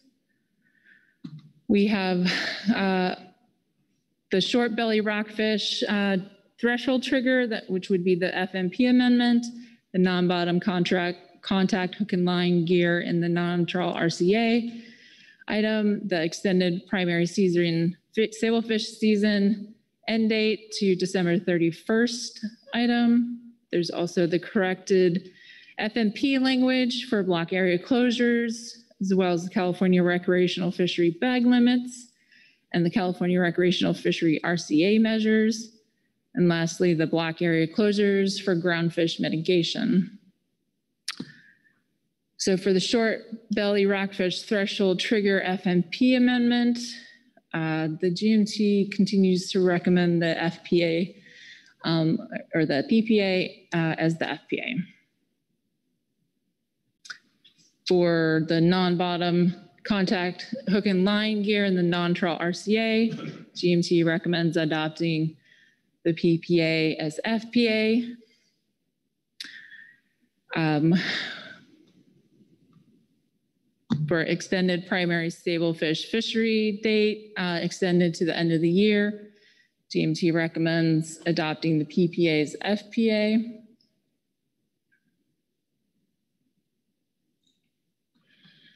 To correct the FPM, FMP language for block area closures, GMT recommends adopting the PPA's FPA as well. For California recreational fishery bag limits, GMT recommends adopting the PPA's FPA. For California recreational fishery RCA measures, GMT recommendations to adopt the PPA's FPA. For block area closures for groundfish mitigation, this one, we uh, recommend to adopt option one as the FPA for both gear types. So here, the GMT recommends adopting option one to develop trawl block area closures for groundfish mitigation purposes by bottom trawl and midwater trawl gear as outlined in agenda item F6 GMT report one under this uh, for this year or this month. And the rationale being is that this action would provide the council with appropriate spatial tools to mitigate trawl-based catches of species such as Pacific spiny dogfish, which exhibit spatial and seasonal aggregations, while also minimizing economic impacts to the industry. Moving on to our commercial accountability measures and trip limits. For shore-based IFQ trip limits, the GMT recommends to adopt the PPA's FPA. For the open access north of 4010 trip limits, um, the, G the GMT recommends the PPA's FPA, um, and as well as adopting all other uh, trip limits uh, as status quo. Um, except for noting that the there's the sablefish north of 36 trip limit. Trip limit. Uh, so we're going with option one, where that removes the 600 pound daily limit. And then for quillback rockfish, going with that status quo, uh, 75 pounds per two months within the 2,000 pound per two month minor nearshore rock limit for the area between 42 and 4010 north latitude. And similar with copper rockfish, going with the status quo 75 pounds per two months within the 2,000 pounds per month per two months uh, minor nearshore rockfish for the area between 42 and 4010 north latitude. For the trip, open access trip limits south of 4010, similar to the north of 4010 open access trip limits, the GMT is recommending to go, to adopt the PPA as FPA. Um, With those, uh, except for the quill, there's the quillback rockfish south of 4010. Um, We're recommending going with the status quo, 75 pounds per two months within 2,000 pounds per two month uh, deeper nearshore trip limit. And for copper rockfish, um, staying status quo with the 75 pounds per two months within the 2,000 pounds per two month deeper nearshore limit.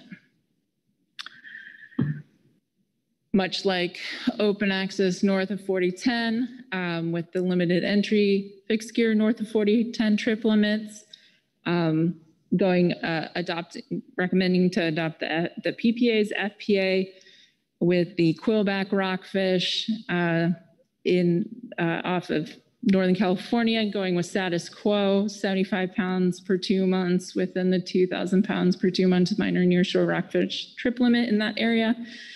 Same with copper rockfish, going with the 75 pounds per two months within the 2,000 pounds per two months minor nearshore limit for the area between 42 and 4010.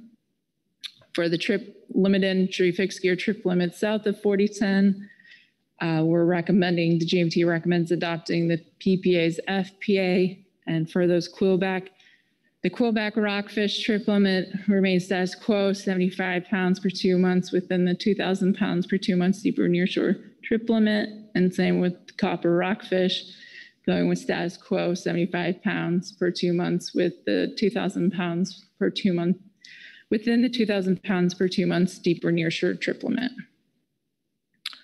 Moving on to the recreational trip limit, trip and bag limits in season structures. Washington spoke to what they're um, proposing and uh, the GMT's recommending to adopt what WDFW recommendations are in that report. Um, This is to maintain current season and bag limits in place, except for prohibiting retention of copper rockfish, quillback rockfish, and vermilion rockfish in the months of May, June, and July. Oregon recreational, um, recommend, the GMT recommends adopting the ODFW recommendations that are in their report. Uh, Number one, from, is that, I believe that's from this, it's supposed to be April or June? April. Uh, So that would be the PPA, uh, same as 2021 and 22, except for uh, allowing long leader gear fishing in the all depths halibut on the same trip, along with otherwise legal groundfish allowed on all depth halibut um, and Pacific cod, sablefish, and other flatfish species. Moving on to California, um, the GMT recommends adopting the CDFW recommendations in the CDFW report um, given a moment ago. Uh, the GMT re- reviewed that report, which includes the season structure and bag limits proposed by CDFW for the California recreational fishery. With that, um, I will take any questions. Thank you, Mel. Um, With the presentation, uh, questions for Mel on the GMT report?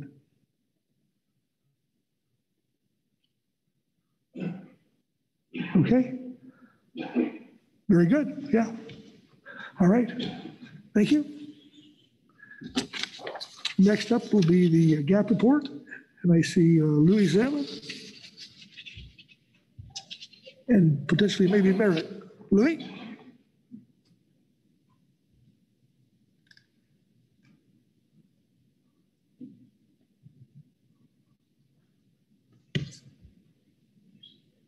Or Merit? Okay. I'm just going by what they tell me.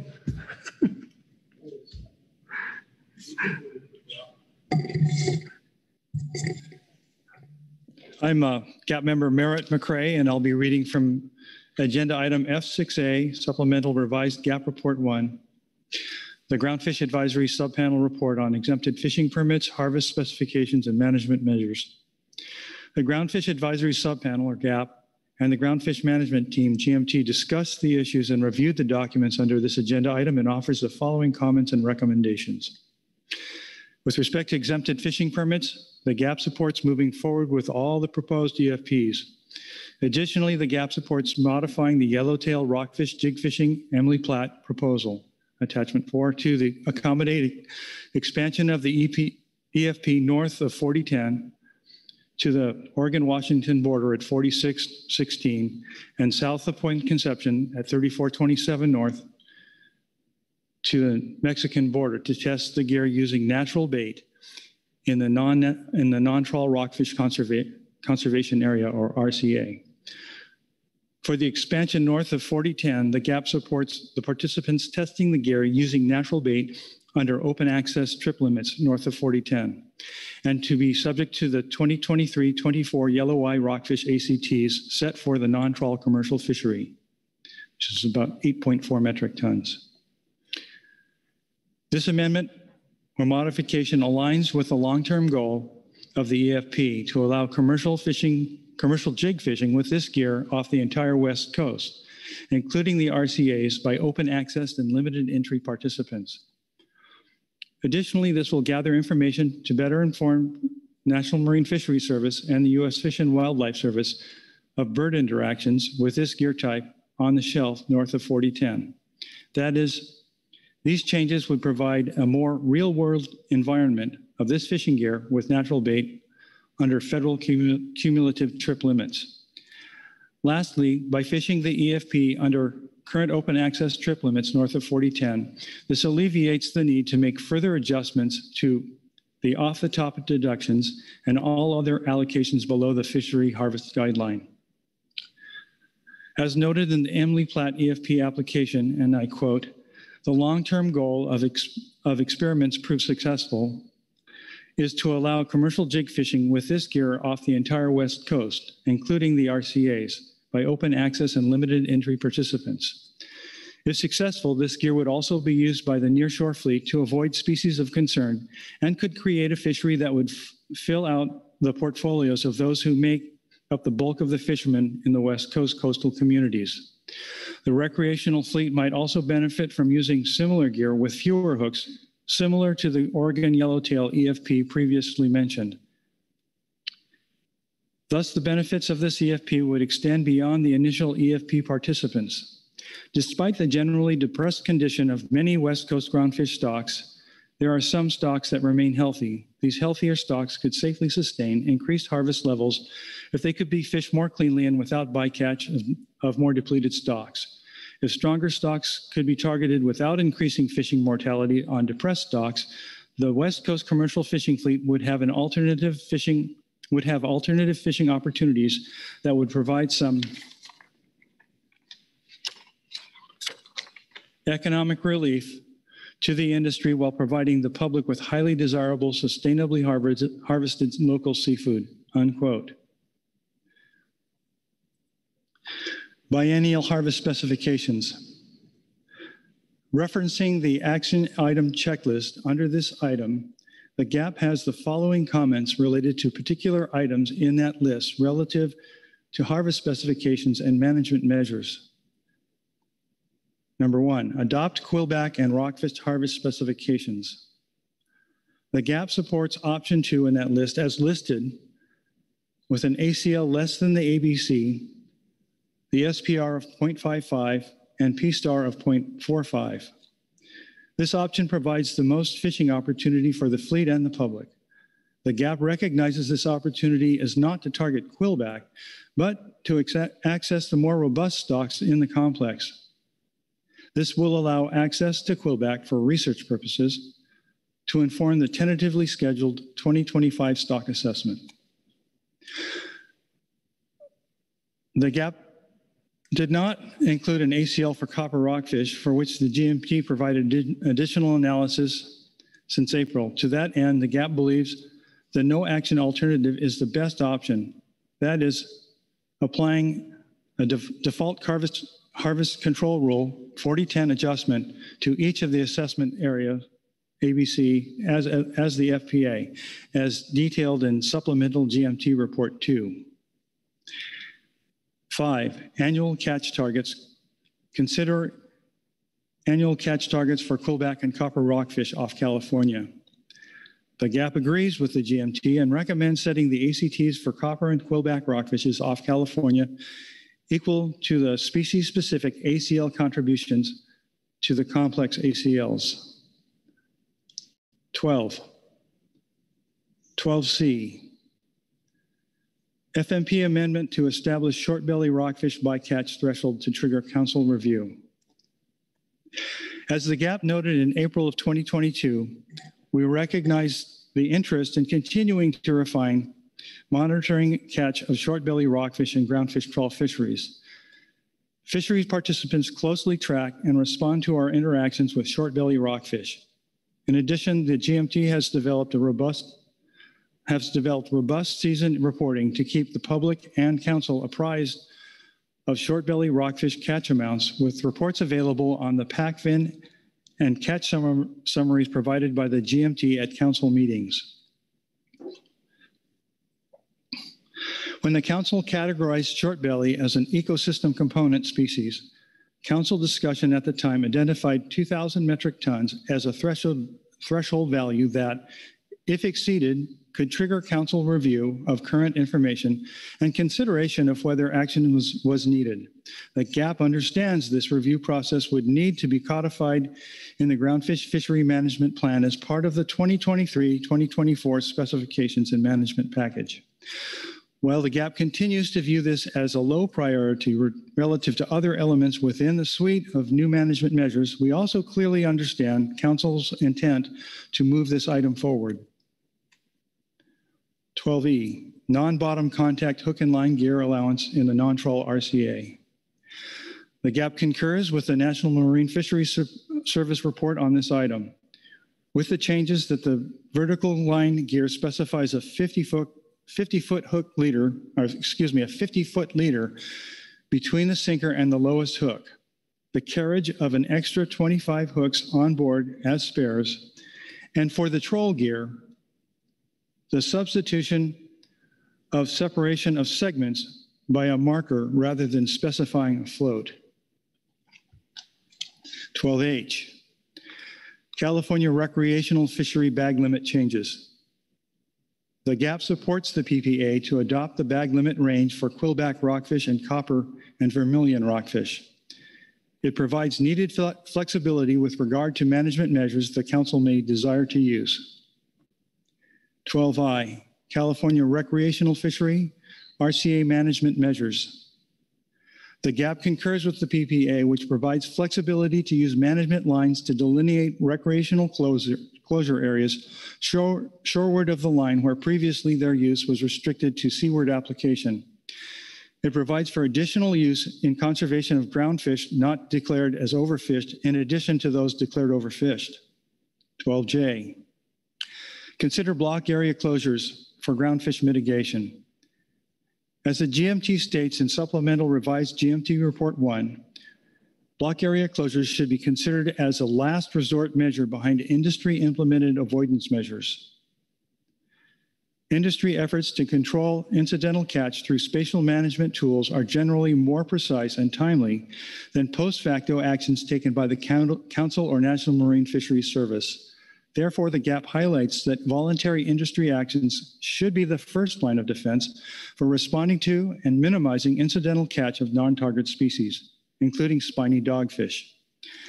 However, the GAP understands that the Council wants to ensure it has all the tools necessary if Council action is needed and recognizes that block area closures are a more precise tool than currently available fathom line-based bycatch reduction areas.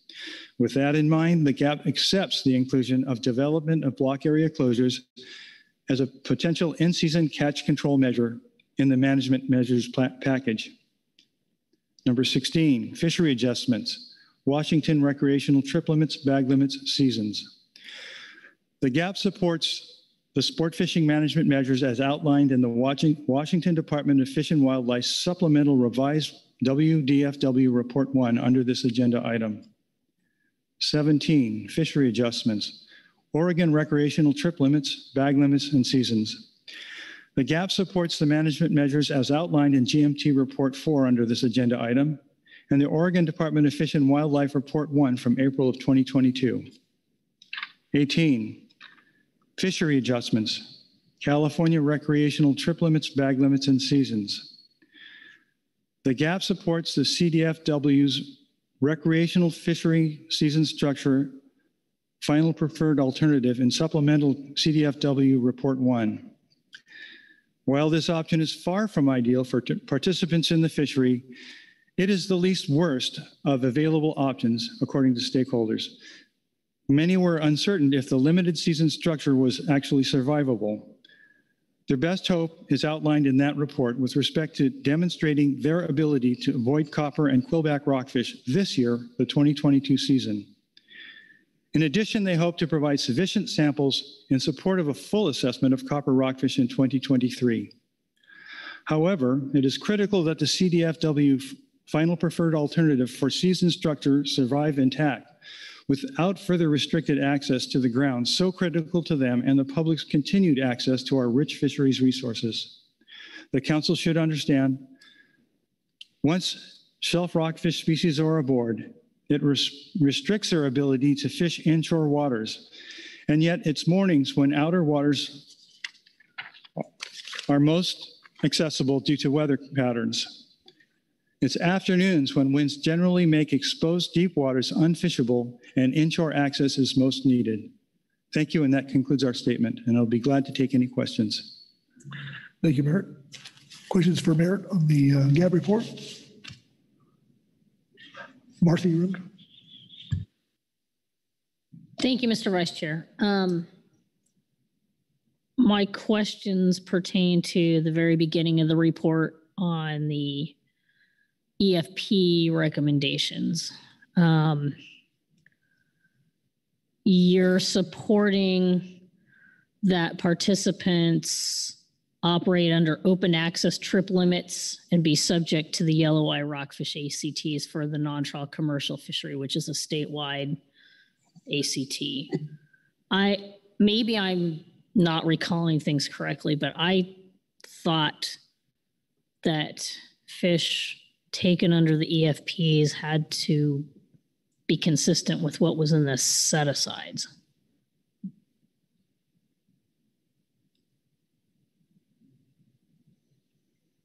Apparently, that's a good question. So we are going to phone a friend here. Do you know?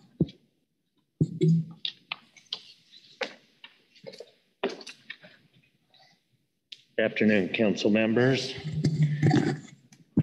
Uh, I'm Dan Platt, and I'm one of the administrators of the Platt Emley EFP. And uh, I signed up for uh, public comment, was actually going to come up then, I can still do that.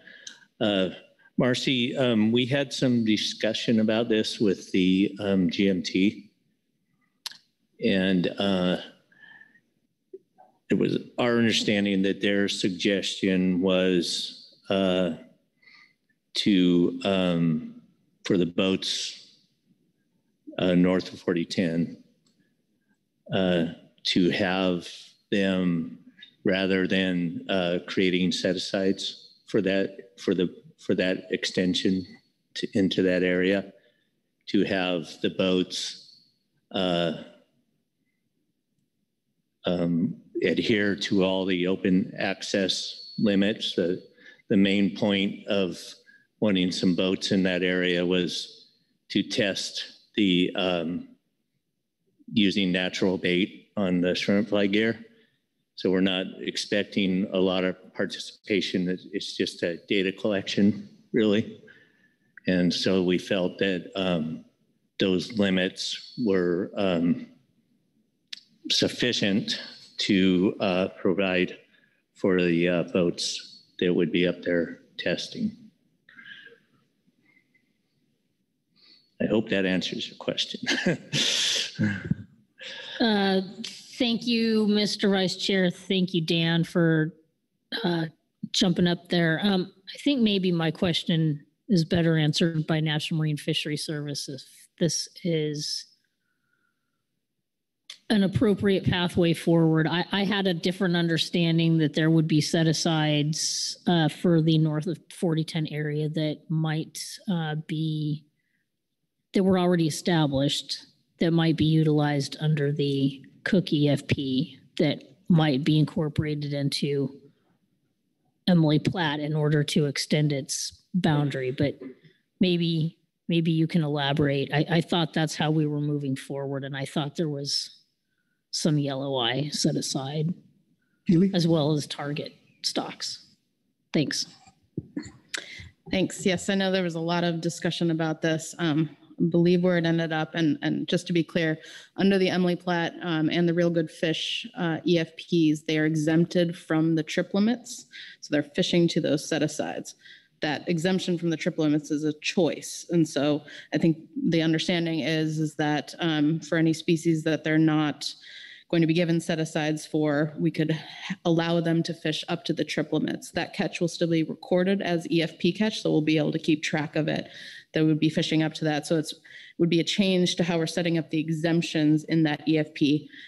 I, I know the GMT talked a bit about the um, potentially different species mix, and I can't speak to that because I didn't catch that whole conversation. So if that is more of your question, that might be a question for the GMT about what they discussed. But in general, um, we didn't see necessarily an issue with allowing um, fishing up to the trip limits in that expanded area if that was, you know, the will of the council and the recommendation.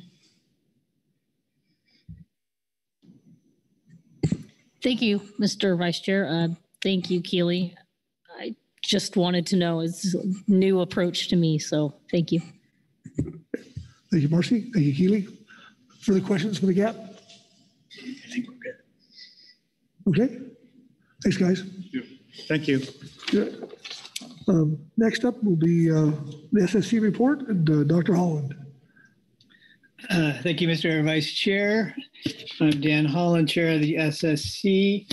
uh, And I'd like to read into the record Agenda Item F6A Supplemental SSC Report 1, Scientific and Statistical Committee Report on Exempted Fishing Permits, Harvest Specifications, and Management Measures for the 2023-24 Fisheries Final Action.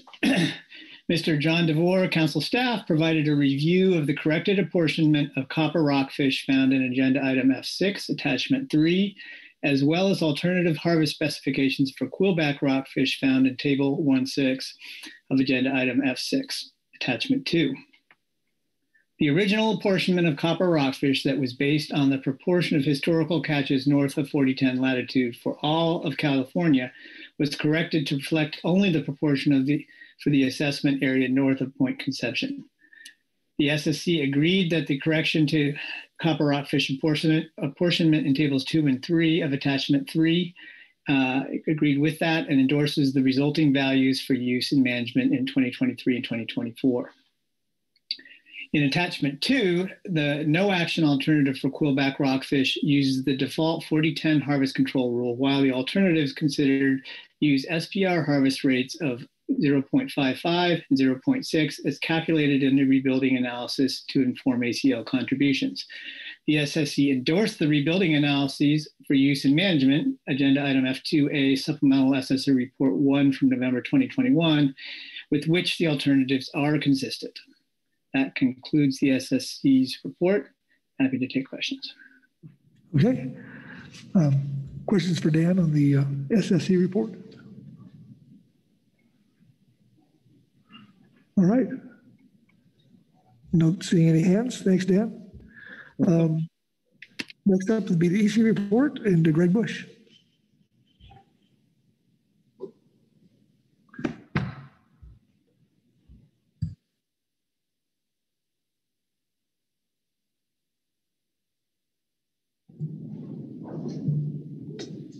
Thank you, Mr. Vice Chair.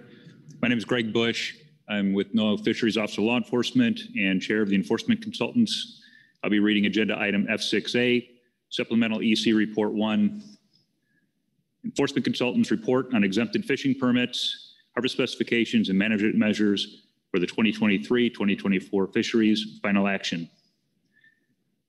The enforcement consultants have reviewed the documents pertaining to agenda item F6, exempted fishing permits, harvest specifications, and management measures for the 2023-2024 fisheries, and provide the following comments.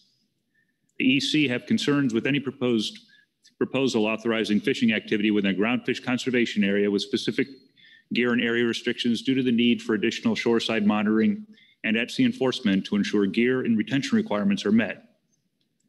As previously stated in supplemental EC reports to the Pacific Fishery Management Council, the EC recommend making changes to the boundaries of the non-trawl RCA over a partial reopening to provide additional groundfish fishing activities. The EC are also concerned with allowing fishing to occur both inside and outside the non-trawl RCA in the same trip. This adds additional enforcement challenges due to the expanding monitoring and gear verification requirements. That said, the EC recognizes the Council's desire to provide additional fishing opportunities within the non-trawl RCA, while additional analysis and a final recommendation on modifying the boundaries of or eliminating the non-trawl RCA is contemplated. Regarding proposed RCA updated waypoints and modifications as specified in F4A, Supplemental CDFW Report 5 from April 2022, and E5A Supplemental CDFW Report 1, November 2021, EC have no concerns with the proposed changes. Regarding F6A Supplemental NMFS Report 1, the EC have no additional concerns with the gear and declaration definitions and appreciates the changes supported by the Council. Regarding F6 Attachment 2, Section 212, California Rec Recreational Fishery, and F6A Supplemental CDFW Report 1, the EC have reviewed the material associated with the novel utilization of existing RCA boundary lines with respect to the California recreational fishery and met with California Department of Fish and Wildlife staff member James Phillips to discuss CDFW's recreational fishery season structure, final preferred alternative recommendation. The EC have concerns with any proposal, proposed season structure scenario where a vessel would be permitted to fish with bottom contact gear shoreward of the 50 fathom RCA boundary line during the greater than 50 fathom shelf and slope rockfish and lingcod offshore fishery time periods. Permitting fishing activity for other species shoreward of the boundary line while only allowing the retention of shelf rockfish, slope rockfish, and lingcod seaward of the boundary line is problematic for enforcement. For example, existing CDFW provisions allow the recreational retention of petrale sole, starry flounder, and other flatfish, including Pacific sand dab, while using bottom contact gear in the RCA and Cowcod Conservation Area.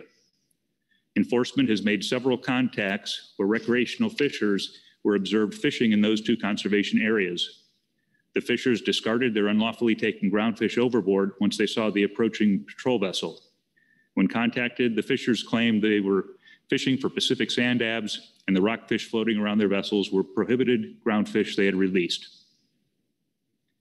Enforcement prefers the proposed scenario A season structure where the take of shelf rockfish, slope rockfish, and lingcod are only permitted during the open in all waters time periods. That is scenario 1A over 1, scenario 2A over 2, etc. The position of these species on board the vessel would be prohibited regardless of where taken during the closed time periods, making it much easier to enforce regardless if the vessel was contacted at sea or at the dock and would eliminate the sand dab scenario described above. This concludes the EC statement. Thank you, Ray. Uh, questions on the EC report? Marc Gorelnik, or Chair Grolick? Uh, thanks very much, and thanks for the report. Um, I just want to uh, just get some clarity on the recommendations regarding the California recreational uh, season structure. I'm looking um, not at attachment two now, but I'm looking at the CDFW preferred alternative here. And um, it looks like this period where we're only fishing deep is only two to three months of the year. And so I guess I'm trying to understand, we're not, the concern isn't an, a year-round enforcement issue. It's, it's an enforcement issue for those two or three months where we have just the greater than 50 fathoms fishery. Through the vice chair, um, Mr. Gorelnik, um, that is uh, correct. Our, our concern is during that time period, that two-month period or, or three-month period where the greater than 50 fathom fishery is opened. That, that's where we have the enforcement concern. Those periods of time within the CDFW proposal where it's open to all depths, those, those time periods are not a concern because um, you don't have a fishery where they're open, they're allowed to catch fish outside, but not inside the rest of the um, management area. Okay, thanks for that. I appreciate that. And, and I guess the illustration that was in the EC report, I guess relates to current fishing practices, current enforcement challenges that exist today, even without the greater than 50 fathom fishery. So it seems like this is an enforcement problem whenever the fishery is open and not really restricted to this greater than 50 fathom issue. Through the vice chair, um, yes, Mr. Gorelnik, that we are highlighting the challenges that enforcement faces anytime you have closed fishing areas alongside open fishing areas, or you have the potential that vessels are allowed to fish and retain a species using a gear type in one area, but it's closed in another. And, and in the potential scenario, we, we can't distinguish gear type. It has to be an on-site, on-board enforcement um, action uh, with so we're, we're trying to highlight the, the challenges that we face now. And if we can close off these loopholes or these, these areas to where we can help improve our ability to enforce on the water and at, at sea, we're providing those recommendations to you. All right, thank you very much. Okay. Thanks, Marc. Um, Further questions for the EC? Marci Yaremko? Thank you, Mr. Vice Chair. Uh, Thank you, Greg. Um, First, I just want to acknowledge um, the intent of the message to us. And I know um, the offshore fishery proposal does create new complexities uh, and new challenges for enforcement. And uh, just to um, let you know that, you know, it, it will require significant outreach on CDFW's part to uh, retrain our anglers on what's permissible with regard to RCA management, and uh, we're committed to doing that. And again, I, I just want to acknowledge we we haven't made your job easier with this suite of FPA recommendations. Um, but with that, I do want to ask you a question about a particular term that you used in this report um, toward the bottom of page one. Uh, you say that the EC has concerns with any proposed season structure scenario where a vessel would be permitted to fish with bottom contact gear shoreward of the 50 fathom RCA boundary line during the greater than 50 fathom offshore fishery. Um, why did you elect to use the term bottom contact gear? And are, are you talking about fishing for ground fish with bottom contact gear. And the reason I ask is we have a multitude of state managed fisheries going on in these same waters concurrently in the nearshore areas, um, a number of target species um, that utilize what I would characterize as non as a as bottom contact gear. So maybe you can clarify what's meant by this statement and um, if you intend that, um, if you intend the statement to apply just to groundfish. Thank you. Through the Vice Chair, Mr. Yaremko, thank you for the, the statement and your question. Um, with regard to the term bottom contact, we're looking at common hook and line gear configuration consisting of, of a weight and a hook that you would use to catch any of a number of bottom species to where the weight would, would hit the bottom. Um, and that same gear would be a similar configuration that would be used to catch rockfish if they were fishing further offshore. So, so we're looking at the same gear or methods would be used in one area. Um, so they'd have the, the potential to catch the species that would be prohibited for retention in that same area. but allowed further offshore. So, so we don't have any, the use, I, I recognize that in the commercial fishery, there's more context when we're looking at the commercial gear defined as bottom contact, non-bottom contact. Here we're looking at more commonly used recreational fishing gear that would be hook and line, which also includes bottom and non-bottom contact. Thank you, Mr. Vice Chair. Um, maybe I have another question, or maybe I'll say it a slightly different way. Um, I know it would be the EC's preference if we had no offshore fisheries and only all depth fisheries.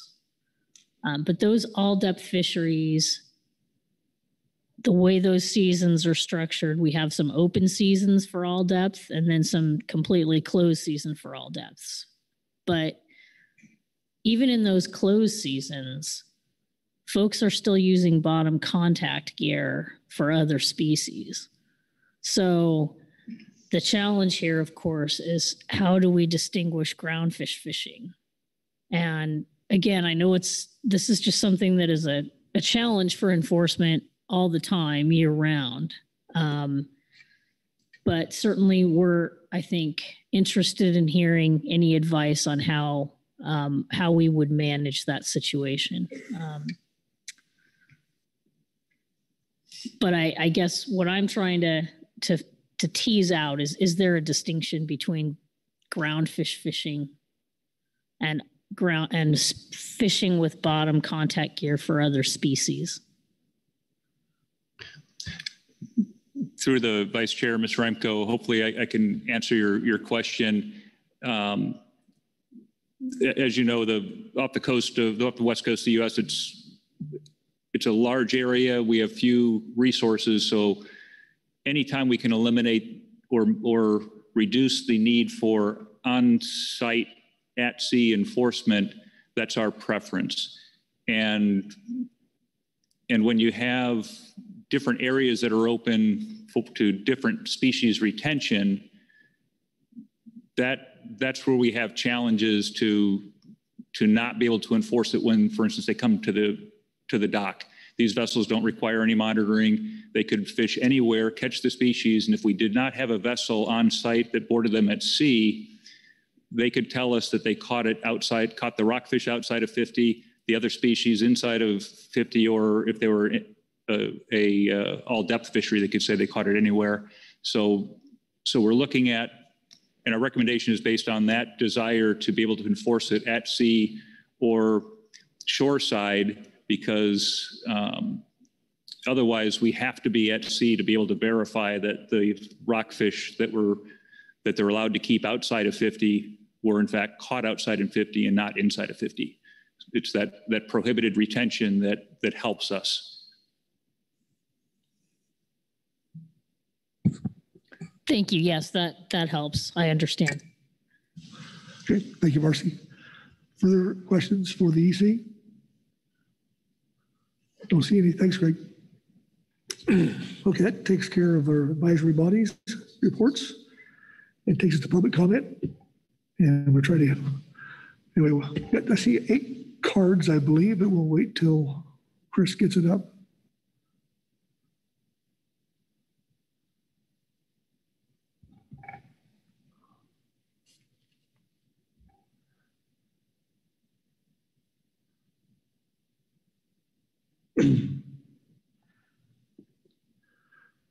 Okay. Okay, first up is uh, Donna Kalez and um, followed by Dan Platt. Donna? Yes, good afternoon. Hello, Vice Chair and Council members. My name is Donna Kalez. I'm a landing owner, CPFV owner, and I'm also on the board of the Sport Fishing Association of California, as well as CCA Cal. My family and I own Dana Wharf Sport Fishing and Whale Watching in Dana Point, California. Our fleet carries over 25,000 fishing passengers per year. We currently employ 45 full and part time workers. My father and founder of our business, Don Hansen, was a far- former PFMC chairman. Sadly, he passed away earlier this year. As some of you may know, my father loved the council. He loved all of you, and it was part of his life for over 40 years. He firmly believed in the sound management of fisheries through this council process. And although I manage the day to day operations of our business he created, a passion does exist inside of me to learn all that I can about the process that manages our fish. It is with his spirit that I write this letter to you. The perceived low estimate of the population status of copper rockfish is threatening the existence of our livelihoods. We have always been a year round fishery from Dana Point since 1971. We try to fish every single day, weather permitting. We do not ever close, nor do we take the winter off. Even with the current rockfish closures in January and February, we have over the past few years, with the exception of times under COVID, seen a decline in January and February fishing effort. We believe that this is because catches are reduced through management measures and restrictions, and access to many of our species are restricted. Our customers have figured this out over time and now believe they should just wait and fish in March. The March Rockfish Opener is a huge part of our business. The month for us has been marketed as the Rockfish Opener for years. In my letter that I sent earlier, you can see my fleet's efforts in both March and April. The fishermen are motivated for the real beginning of the season, and consequently, the trips are sold out. However, in September of 2021, it became clear that several concerns were raised regarding the stock assessment techniques applied to copper rockfish, also quillback rockfish, but we don't catch any of those, so I cannot speak to that stock. These copper rockfish have been a target species. I'm sorry, these copper rockfish have never been a targeted species for us, nor have they ever been a frequently caught species for us. They're, in fact, a very minor part of our very diverse catch. For years, they were reported as a miscellaneous rockfish by our captains and were not a species of concern. Since I believe around 2012, that's all I could find, a bag limit was imposed on copper rockfish of 10 per fish within the 10 fish bag limit. However, it was not until 2022 when the bag limit was reduced to one copper rockfish per person for fear of overfishing. It is currently best practice in our fishery to just not retain any of them if we do perhaps come upon them. We quickly were told this March, when the season began, that those efforts may not even be enough our season in 2023 and 2024 is in jeopardy. So we have asked the public and all of our customers to release any copper rockfish that they may catch to help save our fishery. We have done this through social media posts and telling all of our people that come in to buy licenses. We are doing our part. Our fishery is under constant attack. We are still waiting for the MLPA areas that have been closed for over 10 years to our near shore fisheries to our north to open. Then we had COVID hit us. And then, of course, the California Air Resource Board restrictions on our engines. Then, to top it all off, we had an oil spill off our coast that closed my nearshore fishery from October 4th to November 30th in 2021 causing financial hardship to us and our other vessels. And now further copper rockfish restrictions that threaten our landing.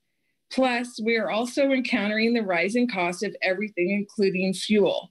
It is increasingly harder every day to run a business, and we are now running the risk of denied access forced on an entire fishing community because of a cute little copper rockfish stock assessment that is questionable at best. As the report from CDFW states, the assessment is highly, highly uncertain. We need to keep affordable, easy access opportunities for the public to the fishery year round. We need to recognize the effects that this has on low income communities, seniors, military, veterans, children, and those that with special needs. We as an industry are committed to justice, equity, diversity, and inclusion in the recreational fishing community, but we cannot achieve this if we don't have access. We have a healthy working waterfront in Dana Point. We bring in our passengers each day and they eat and they shop and they explore our community. This groundfish management decision will have an effect on the culture and economy here. According to RecFin data in March of 2017, there were 34,000 bottom fishing trips in Southern California, and they produced over $38 million in sales and over 5,000 jobs. And we're just talking March alone. Please consider Standard 8 in Magnuson. Here is some of what it says.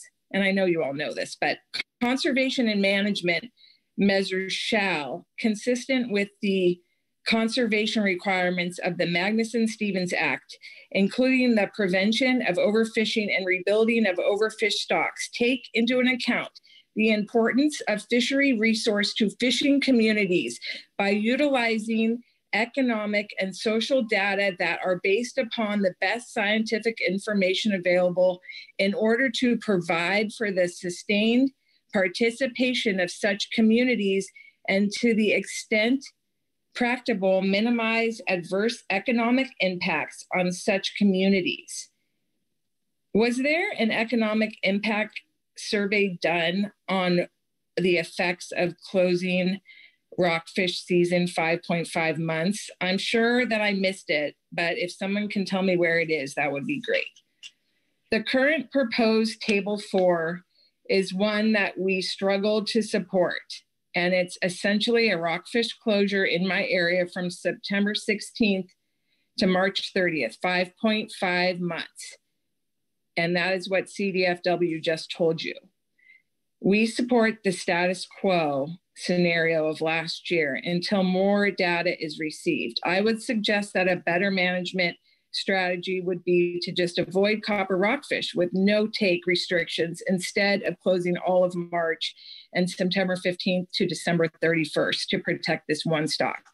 Currently, the fleet as a whole is in avoidance and release mode of copper rockfish unless there's a sampler on board.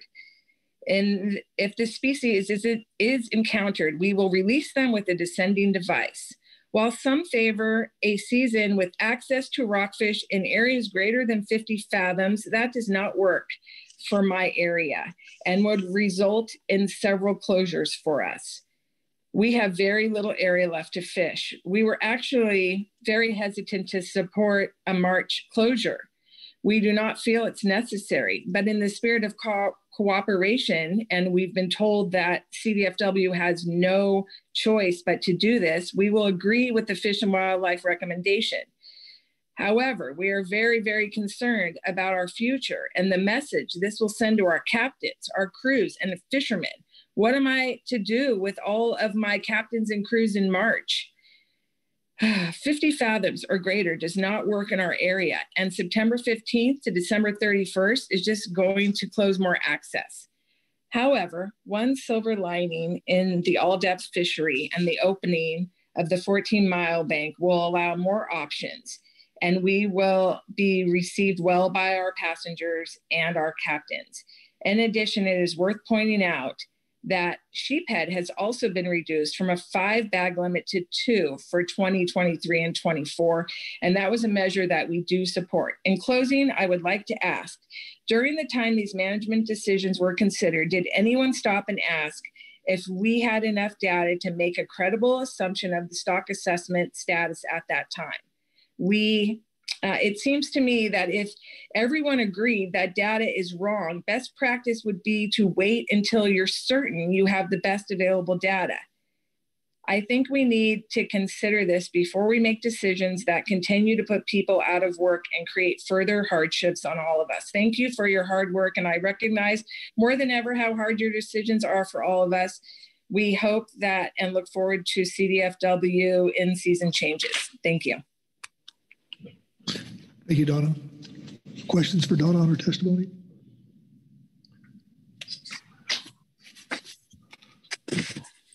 Okay. okay. Thank you, Donna. Next up is Dan Platt, followed by Tim Clausen.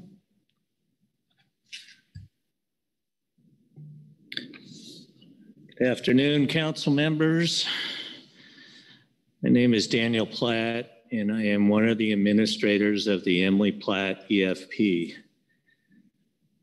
When we recently submitted our application for the 23-24 biennium, we did so for the specific reason to test the use of natural bait on the shrimp fly gear. After it was submitted, we had requests from fishermen both north and south of our current EFP area who were interested in joining the EFP to test the use of natural bait in their areas. I am therefore asking to extend our EFP area in the north to 4616, the Oregon Washington border, and in the south to the Mexican border to gather some data from both areas. We are not asking for any additional set asides for these areas. North of 4010s, the boats will be adhering to the current open access limits. South of 3427, we have not come close to any of our EFP set asides in the last few years. Um, I want to add that I recently um, talked to Barbara Emley, and uh, as I suspected, um, we're we're not asking for additional vessels because uh, in the last few years, um, only two at a time at the most of our uh, current seven allowed vessels have been fishing, and uh, we, we should be able to uh, transfer um, some of those permits to the boats to the north and south of us so that they can uh, test uh, the use of natural bait in their areas. With that, I'll take any questions. Thank you, Dan. Questions for Dan on his testimony?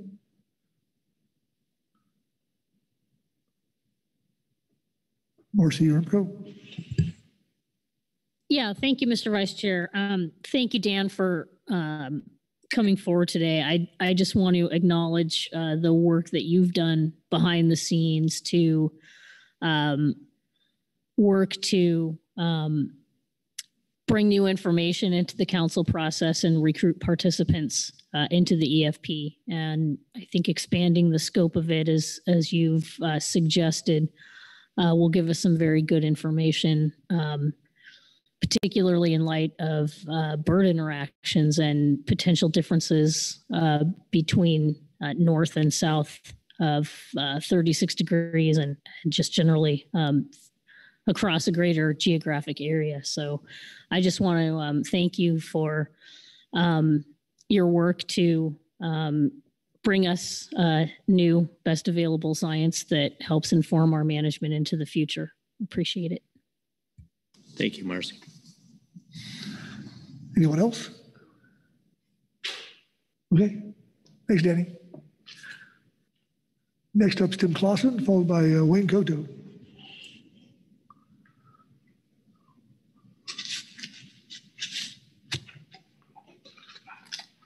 Thank you, Mr. Vice Chair. Uh, Council, my name is Tim Clausen. I own a charter fishing business in Eureka, California, and I'm here today to represent the Golden Gate Fishermen's Association. It's an association of charter boats from uh, Monterey to the Oregon border. Our Northern California ports are very diverse. Some ports have fishing options like halibut or salmon in addition to rockfish. Where I'm from in Eureka, we also have salmon and halibut, but both are highly restricted with a quota on halibut and frequent restrictions on Klamath Management Zone salmon. The one consistent target for us has always been rockfish. Rockfish are the backbone supporting many boats on the California coast. So far, this has been a difficult year for most boats due to high fuel costs and below average bookings. California charter boats need the opportunity that consistent access to rockfish provides. Fortunately, our partners at the California Department of Fish and Wildlife recognize this. They've done a great job of listening to fishermen this year and putting together season structures that will help provide access for our boats while protecting vulnerable species. Are these season structures perfect? Far from it. Everyone's season is significantly shorter. We're still facing some difficult times. I'll ask that the council approve California's final preferred alternative for agenda item F6A supplemental CDFW report one. The boat operators know what it is what is at stake, and I'm confident that we can work together to protect copper and quillback rockfish and preserve sport fishing businesses well. Thank you. Thank you, Tim. Questions for Tim on his testimony? Marci? Thank you, Mr. Vice Chair. Um, thank you, Tim. I appreciate you uh, being here today. Um, just want to acknowledge um, that you are one of our new GAP members and you're um, filling some big shoes behind uh, Bob Ingles uh, in representing GGFA here today. Um, many folks may not know you around the council table, um, but Tim has been um, a very uh, hardworking representative on behalf of the charter fleet and has uh, provided us uh, lots of advice, both on uh, recreational groundfish issues as well as uh, Pacific halibut. So um, we're just very glad to have him be a part of the GAP and the council process on groundfish. Thanks, Tim. Thank you, Marci. Thank you, Marci. Further, or anyone else for Tim? Okay, thanks, Tim. Next up, next up is uh, Wayne Kotow and followed by uh, Jamie Diamond. Wayne? Good afternoon, Vice Chairman Pettinger and the council members. I'm Wayne Kotow with CCA California, representing the recreational anglers of California. I would first like to thank everyone who put so much time and effort to try to find a solution to our groundfish management issues. All of us agree that we want healthy stocks and sustainable fishing. We all understand the complexity of collecting all the diverse data needed to make sound decisions. I think we all also understand when best available science is not optimal, robust, or complete enough to accurately reflect what we see on the water. We all want to help and support better sampling efforts going forward so that the models will have complete information and accurately reflect current stock status. Given the major economic and social value of the rockfish fishery and the seriousness of these closures on our fishing communities, it is critical that we ensure managers have the highest quality data possible upon which to base these decisions there needs to be a pause option available to the council when they know that they do not have the full picture or the models are contrary to what we're seeing on the water. We understand the need for a conservative approach as we navigate through this delicate matter and have partnered with SAC and the fleet to ask our anglers to take precautionary actions to avoid landing and retention of coppers and quillback rockfish. We have also re-emphasized to our angling community the importance of utilizing descending devices when releasing fish and have distributed many uh, to the anglers for free. We have also asked our anglers to please submit catches to the California CRFS Samplers to aid in the data collection and are hoping CDFW will be able to increase their coverage. We hope that our efforts, along with others, will not be taken for granted and understood that we are all trying to work towards the same goal and need to find better solutions and changes to gain the missing data. Sometime in the future, this issue could be used as an excellent case to explain why we have manus- uh, MSA provisions and how the national standards are followed. In regard to which preferred alternative we support, we support the CDFW recreational uh, fishery season structure FPA and supplemental CDFW report number one. While we have much reservation and know the harm this will cause to our fleet and anglers, we understand that this is the least harmful alternative at this time. We need the council to recognize how unreasonable it is still for part of the fleet that once they have a rockfish aboard, they cannot fish inshore, which is the standard option for them as they go deep in the morning and inshore on the way back as in the afternoon, uh, mostly due to the windy conditions. Our hope is that NOAA will invest in survey methodologies that will better inform us regarding the stock status of species associated with nearshore rocky habitats. The current efforts have limited utility to inform management. Finally, Finally, we hope that our current efforts and additional sampling will, will have positive outcomes for possible in-season management actions in the near future. Thank you. Thank you, Wayne. Questions for Wayne? Okay, not seeing any hands. Thanks, Wayne. Next up is Jamie Diamond, followed by uh, Kim Franke. Jamie? Good afternoon, Vice Chair, council members, and staff. I am Jamie Diamond. I, along with my husband Jason and our three kids, own Stardust Sport Fishing in Santa Barbara, California. We have two commercially uh, commercial passenger fishing vessels and 13 crew. We fish the Santa Barbara coast and northern Channel Islands primarily for groundfish. I'm here to speak with the proposed copper rockfish management measures and the CDFW final preferred alternative. We, the passenger fishing vessels, ask for status quo, coupled with our voluntary active avoidance and release of copper rockfish. We initiated avoidance and release efforts several months ago in an effort to demonstrate we are capable of avoiding and releasing species of concern under status quo situation. As we collect more data on the water to better inform decisions on man management measures and season structure. As written in the CDFW Supplemental Report 1, CRFS weekly reports covering January through May indicates the total sampled or reported copper rockfish this year are less than half of the numbers from the same time last year, and about 25% of that same time period in 2018 and 19. We just began the voluntary avoidance and release in April and we expect to see an even larger reduction by September and again in November at the following council meetings. Although the GMT and GAP suggest setting the ACT equal to the ACL and copper rockfish, I want to underscore our efforts reflected in the year to date reductions. We intend to come in far below that copper ACT. Sport Fishing Association of California has initiated a data sampling collection project partnered with NMFS and supported by the California Department of Fish and Wildlife to fill the gaps in copper data. It is important to know we will retain copper rockfish when CRFS samplers are aboard and when we're conducting our data collection in partnership with NMFS. This project was created out of necessity in the wake of a fatally flawed data moderate assessment, potentially putting us out of business. Our fleet has been successful with our strategy, again, of avoidance and release of sheephead, cowcod, and now copper rockfish using descending devices as necessary.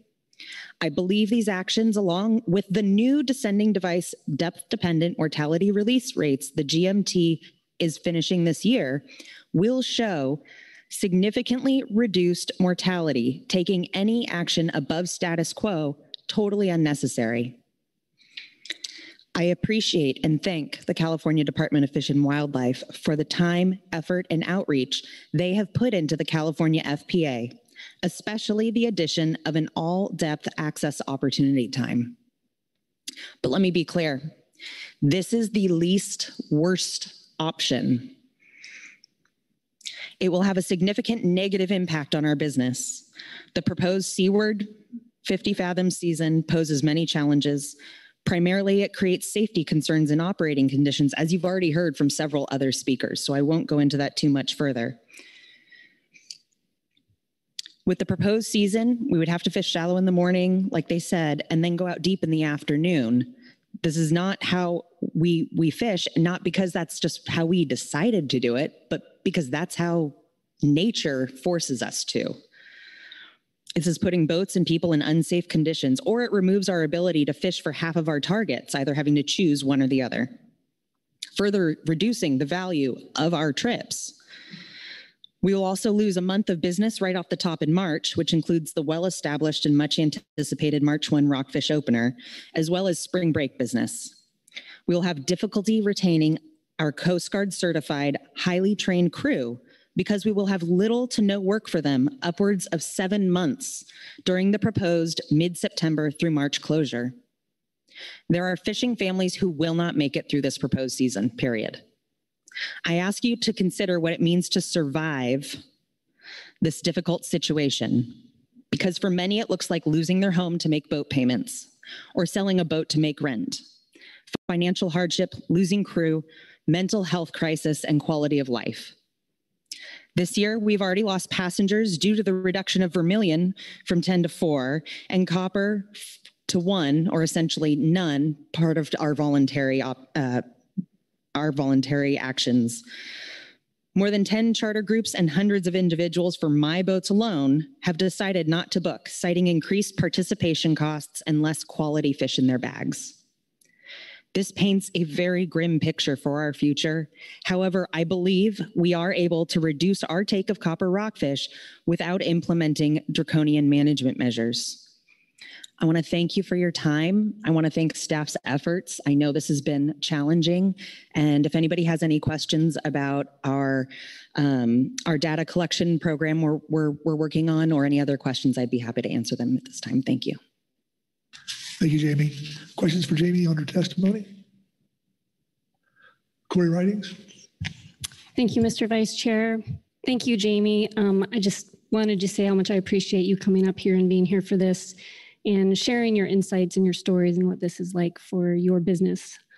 Um, also, the um, just appreciate the research that you've started in conjunction with CDF and W and NMFS. That's critically important. I think that's widely recognized and really appreciate the avoidance measures that you're already doing. So um, it's really more of a comment, but just thanks for being here and we hope to keep hearing back from you. Thank you. Thank you, Corey. Anyone else? Okay. Thank you, Jamie. Thank you so much. Yep. Okay, next up is Ken Franke, followed by David Kashida. Welcome, Ken. Mr. Vice Chair, council members. I'm Ken Franke, President of the Sport Fishing Association of California. Our membership includes the majority of the commercial passenger sport fishing vessels from Santa Barbara to San Diego. I preface my comments with our sincere appreciation of Marci Yaremko and her CDFW team for the extraordinary outreach effort they made as we conducted preparation for a preferred alternative for the 2023-24 groundfish seasons. It was truly a team effort with everyone participating, and I really mean that. They they really went out uh, out of their way to try and connect with us. We recognize there's many factors to consider as you work through the topic of copper and quillback rockfish and the season structure. Let there be no question, we're all concerned about every stock in the ocean. We want them all healthy and robust. Tremendous effort has been made to collect better data to help make good decisions. ROV surveys, acoustic studies, tagging projects, descending device testing are all examples of the serious collaboration between our fleet and the science community. The goal is to help the process of data collection and resource protection.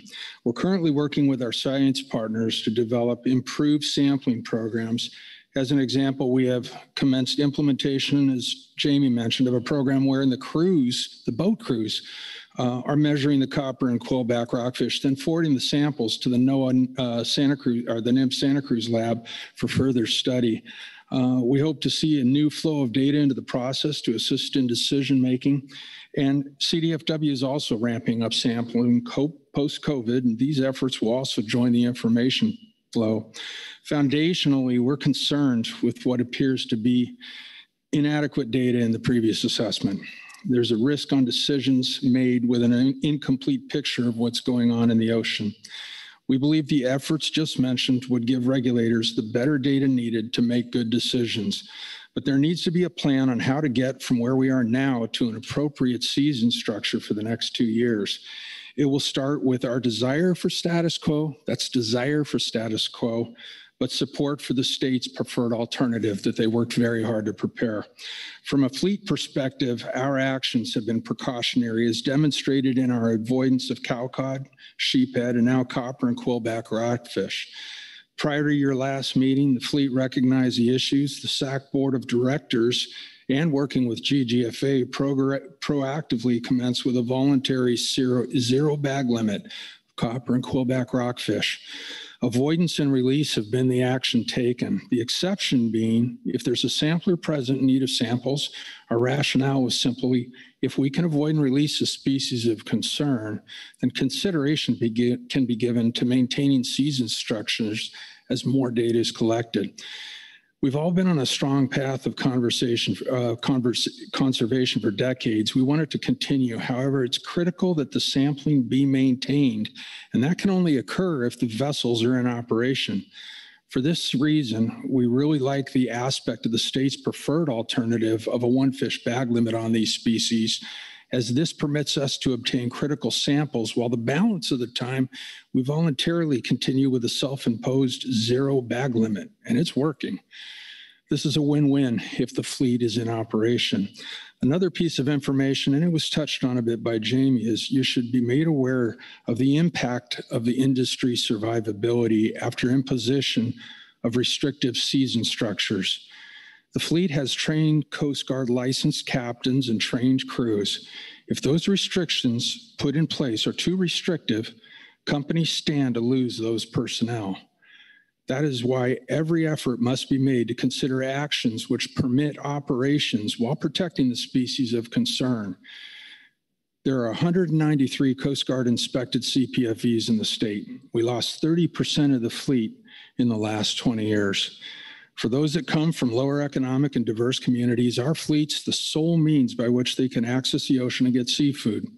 We want to see that access continue. The sustainability of what remains of the fleet should be an important factor in the decision processes. Several have mentioned, you lose five or six months. What if you owned that boat? What are you going to do with those employees?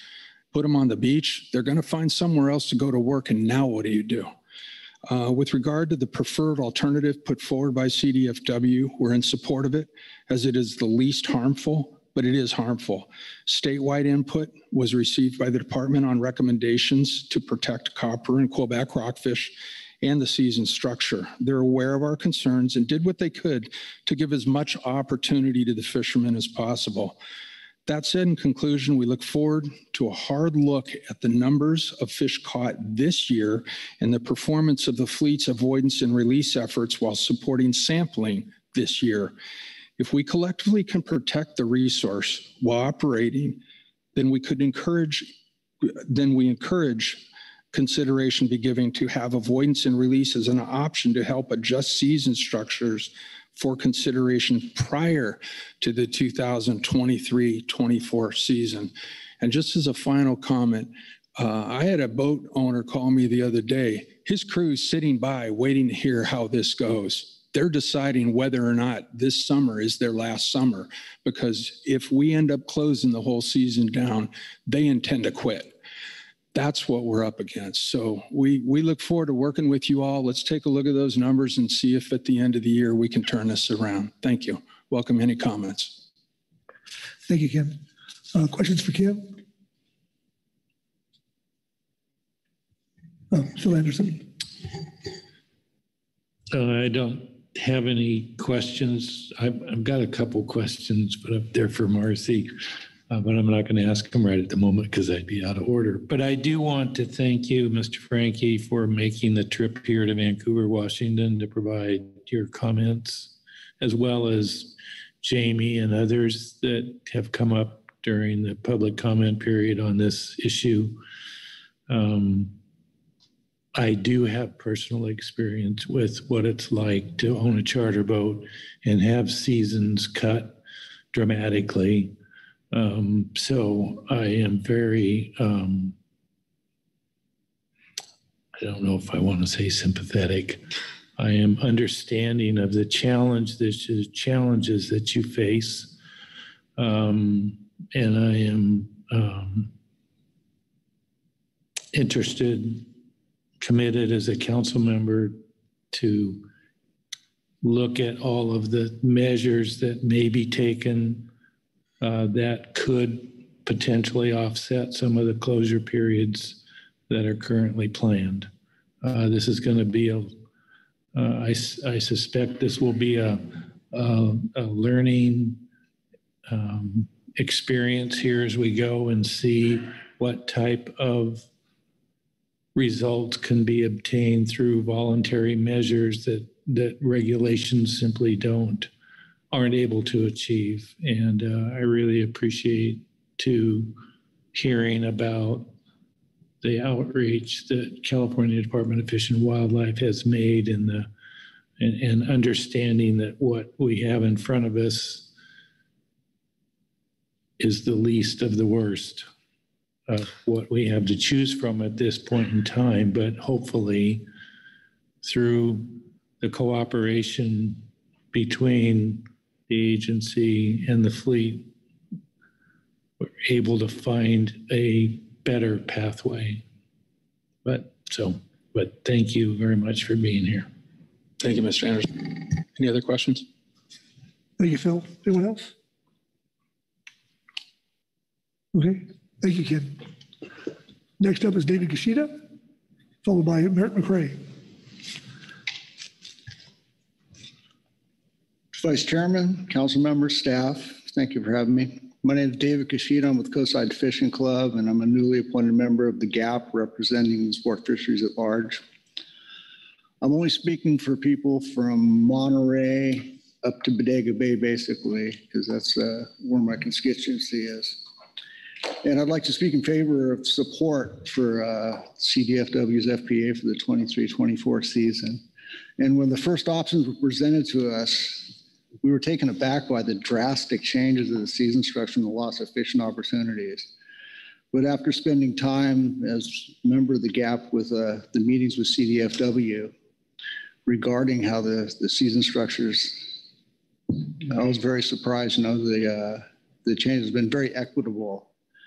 We achieved goals of protecting the fish stocks and also giving us time to fish on, you know, be on the water. And uh, the members of the sport fishing community that I was able to get input from asked for specific times and options, and I presented those to CDFW.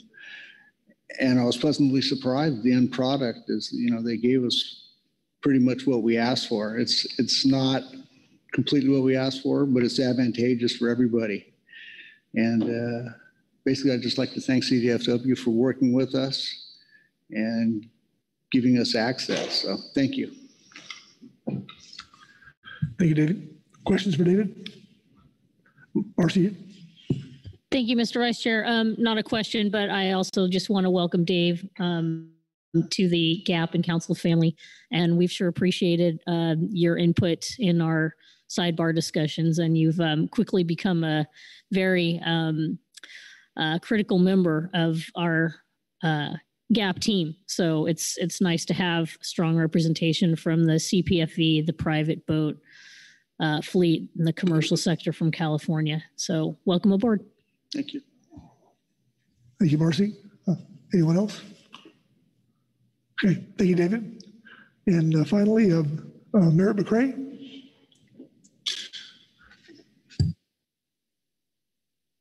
Good afternoon, Vice Chair Pettinger, council members. I'm Merit McCrea.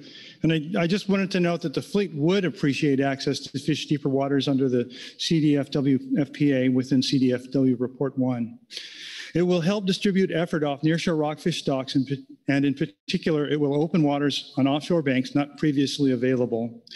In Southern California, near port areas, this includes the fingertip in the Santa Barbara Channel, the 14 mile bank off Orange County, and most importantly, the nine mile bank off San Diego County. This area is one which has remained outside the current 100 fathom line, which is the current demarcation for access, and yet offers much opportunity in depths of 50 to 70 fathoms. For more remote offshore areas, deepwater access is significant, including the west bank of Santa Rosa Flats and Captain Louis Zimm's 60 mile bank. However, these are among the more rough water areas of the Bight, but when seas are calm, offshore reefs are the most productive in the region. In addition, deep water access will distribute overall effort much more broadly across both area and rockfish complexes during the all-depth season, thus reducing our dependence on places where copper and quillback rockfish are likely to be caught. I thank CDFW staff and the GMT for their tremendous efforts in exploring options that might provide charter operators the best chances of surviving this challenge and thereby the public's undiminished access to our fisheries resources in the future. Thank you very much. Thank you, Merit. Questions for Merit? Okay. Thank you, Merit. Hmm. Okay, that concludes public comment. Um, We're going to finish this up um, on Monday. Uh, But as we did the earlier today with gear switching, uh, get some time to have some council discussion. Oh, Marci? Yeah, thank you, uh, Mr. Vice Chair. Um, Just, if I may, I just offer a few remarks um, before we leave here today uh, in response. Okay. I thought, um, I thought we might, I'd ask the council if they'd like to have a break um, before we get a discussion, or you just want to just finish it up right now. I don't know how long it's going to take. I thought I'd just ask. So I'm not seeing, okay. So we're to council discussion, please. Okay, thank you, Mr. Vice Chair. Um, I, I just want to um, not only acknowledge um, the remarks from the speakers here today under this agenda item um, that have brought us so much uh, input um, on the development of the FPA alternatives for recreational fisheries off California. Um, but I want to follow up for a second uh, on some of the remarks made by uh, Phil Anderson and our commitment uh, moving forward uh, after we leave actions here uh, this week. Um, as as we know, we have to make FPA recommendations here in June for measures that take effect in January. Um, however, we've made so many uh, dramatic changes uh, beginning in January of 2022. And as many of you have noted in your testimony, we are just beginning to see uh, the results of the bag limit reductions, as well as the results of your voluntary efforts to uh, avoid uh, these species of concern. Um, so, what we can commit to today, and, and Donna brought this up, and I'm really glad she did in her testimony. Um, in season is um, a wonderful tool that the council has to uh, react and respond to the best and newest information that we have in hand on catches uh, and how those catches um, uh, match up with the projections that we made. And as you've heard in the CDFW report here today, um, we have pretty substantial uncertainty in our projections because we are making so many big changes. So, um, as you will hear in our in season report later uh, this week uh, on the progress that we've made and the changes that we've instituted in our in season tracking, um, what we can uh, certainly do is, you know, we will be consulting um, with agencies as we proceed through the season on the progress of our fisheries. Um, I know many of you are looking for um, relief, and I can I can just um, promise you that the council does respond in as timely a manner as it can to new information, and um, you know we will be doing that uh, at least five meetings a year. So, um, in any case, uh, June is just you know one step down the road but we will have other um, you know this this is not the end of the discussion so um, again i just want to thank you uh, for working with us and we will continue to to do that uh, on the sidelines so thank you again Thank you, Marci. Anyone else? Bob Dooley. Thank you, Mr. Vice Chair. Um, I just had a observation comment that this week in general, but particularly this agenda item, we've seen uh, a collaborative spirit come through and industry working hand in hand with the states and the agency and everyone involved to, to get a better result. Um, you guys all know I'm neck deep in MREP, and many of the people you saw today has gone through that program. And we're seeing more and more people hit, uh, hit the road running here and being very contributory to the to the process. Um, I really burst with pride because of that. It's uh, it's a good thing, and the the biggest thing I think that we're getting out of it is trust. We're learning to understand each other. We're learning to to work together. That we're partners in in in getting good results.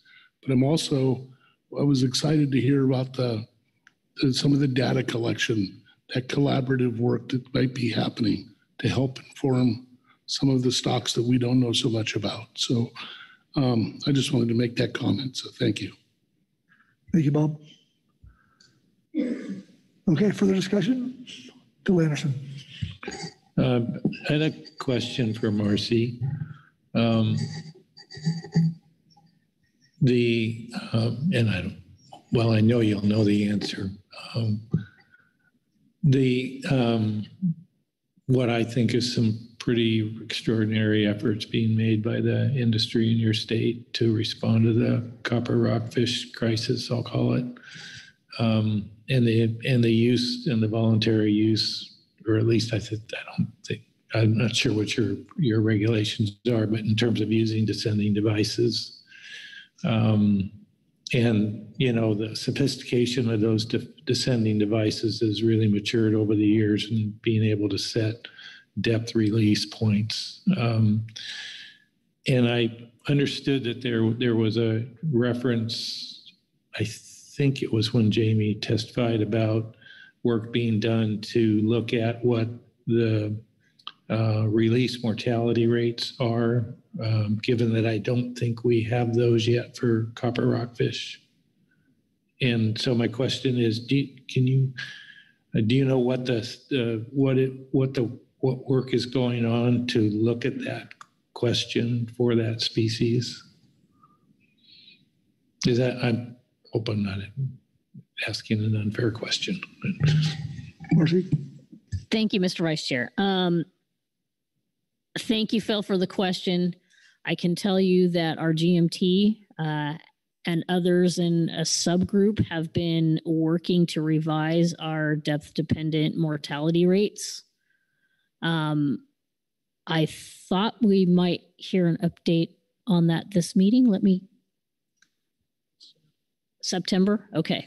Um, with the idea being that that is a that calculation that work that's being done is something that's kind of baked into the catch estimation process done by each of the states. But what the plan is is once those rates are brought back i think do they go through ssc review? So it is it is work that's ongoing. Um, we had hoped to have it done by june. Um, I'm hearing September, but I will tell you that the plan is to apply the new rates that are in progress to all monthly estimates for 2022. So um, I think we recognize that the state of the science is much better than when uh, the GMT and I guess it was probably RecTech that had a look at this. Um, it's been some time that's passed and there is new science. I can't tell you exactly what the science is on copper rockfish, but that is certainly a commitment that our staff have made in collaboration also with um, our state partners from other agencies and National Marine Fisheries Service to bring all that new work together. So it's a critical part of the plan. Great. Thank, thanks very much for that response. Thank you, Good to Marci. hear. Yep, Thank you, Phil. Further discussion? Okay. Well, with that, I'll look to uh, Todd to uh, see how we're doing here. Okay.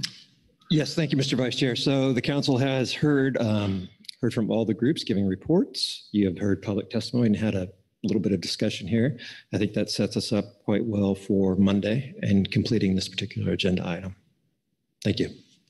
Thank you, Todd. And with that, I'm going to pass the gavel to uh, Chair Gorelnik and begin to finish the day out.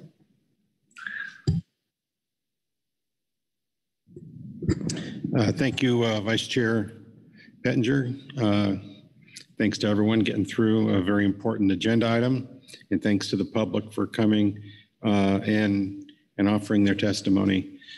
That completes uh, our agenda for today. I will turn to our Executive Director, Merrick Burden, to see if he has any comments or pearls of wisdom for us. Uh, Thank you, Mr. Chairman. Um, Yes, nice work today, working through some uh, very large agenda items. Um, I don't have any other uh, comments for you. All right. Well, unless Anyone has anything they want to say at this point? Uh, We will uh, break for the day and we'll come back tomorrow at 8 o'clock and we're going to, we will shift gears to highly migratory species. So thanks, everyone, and have a good evening.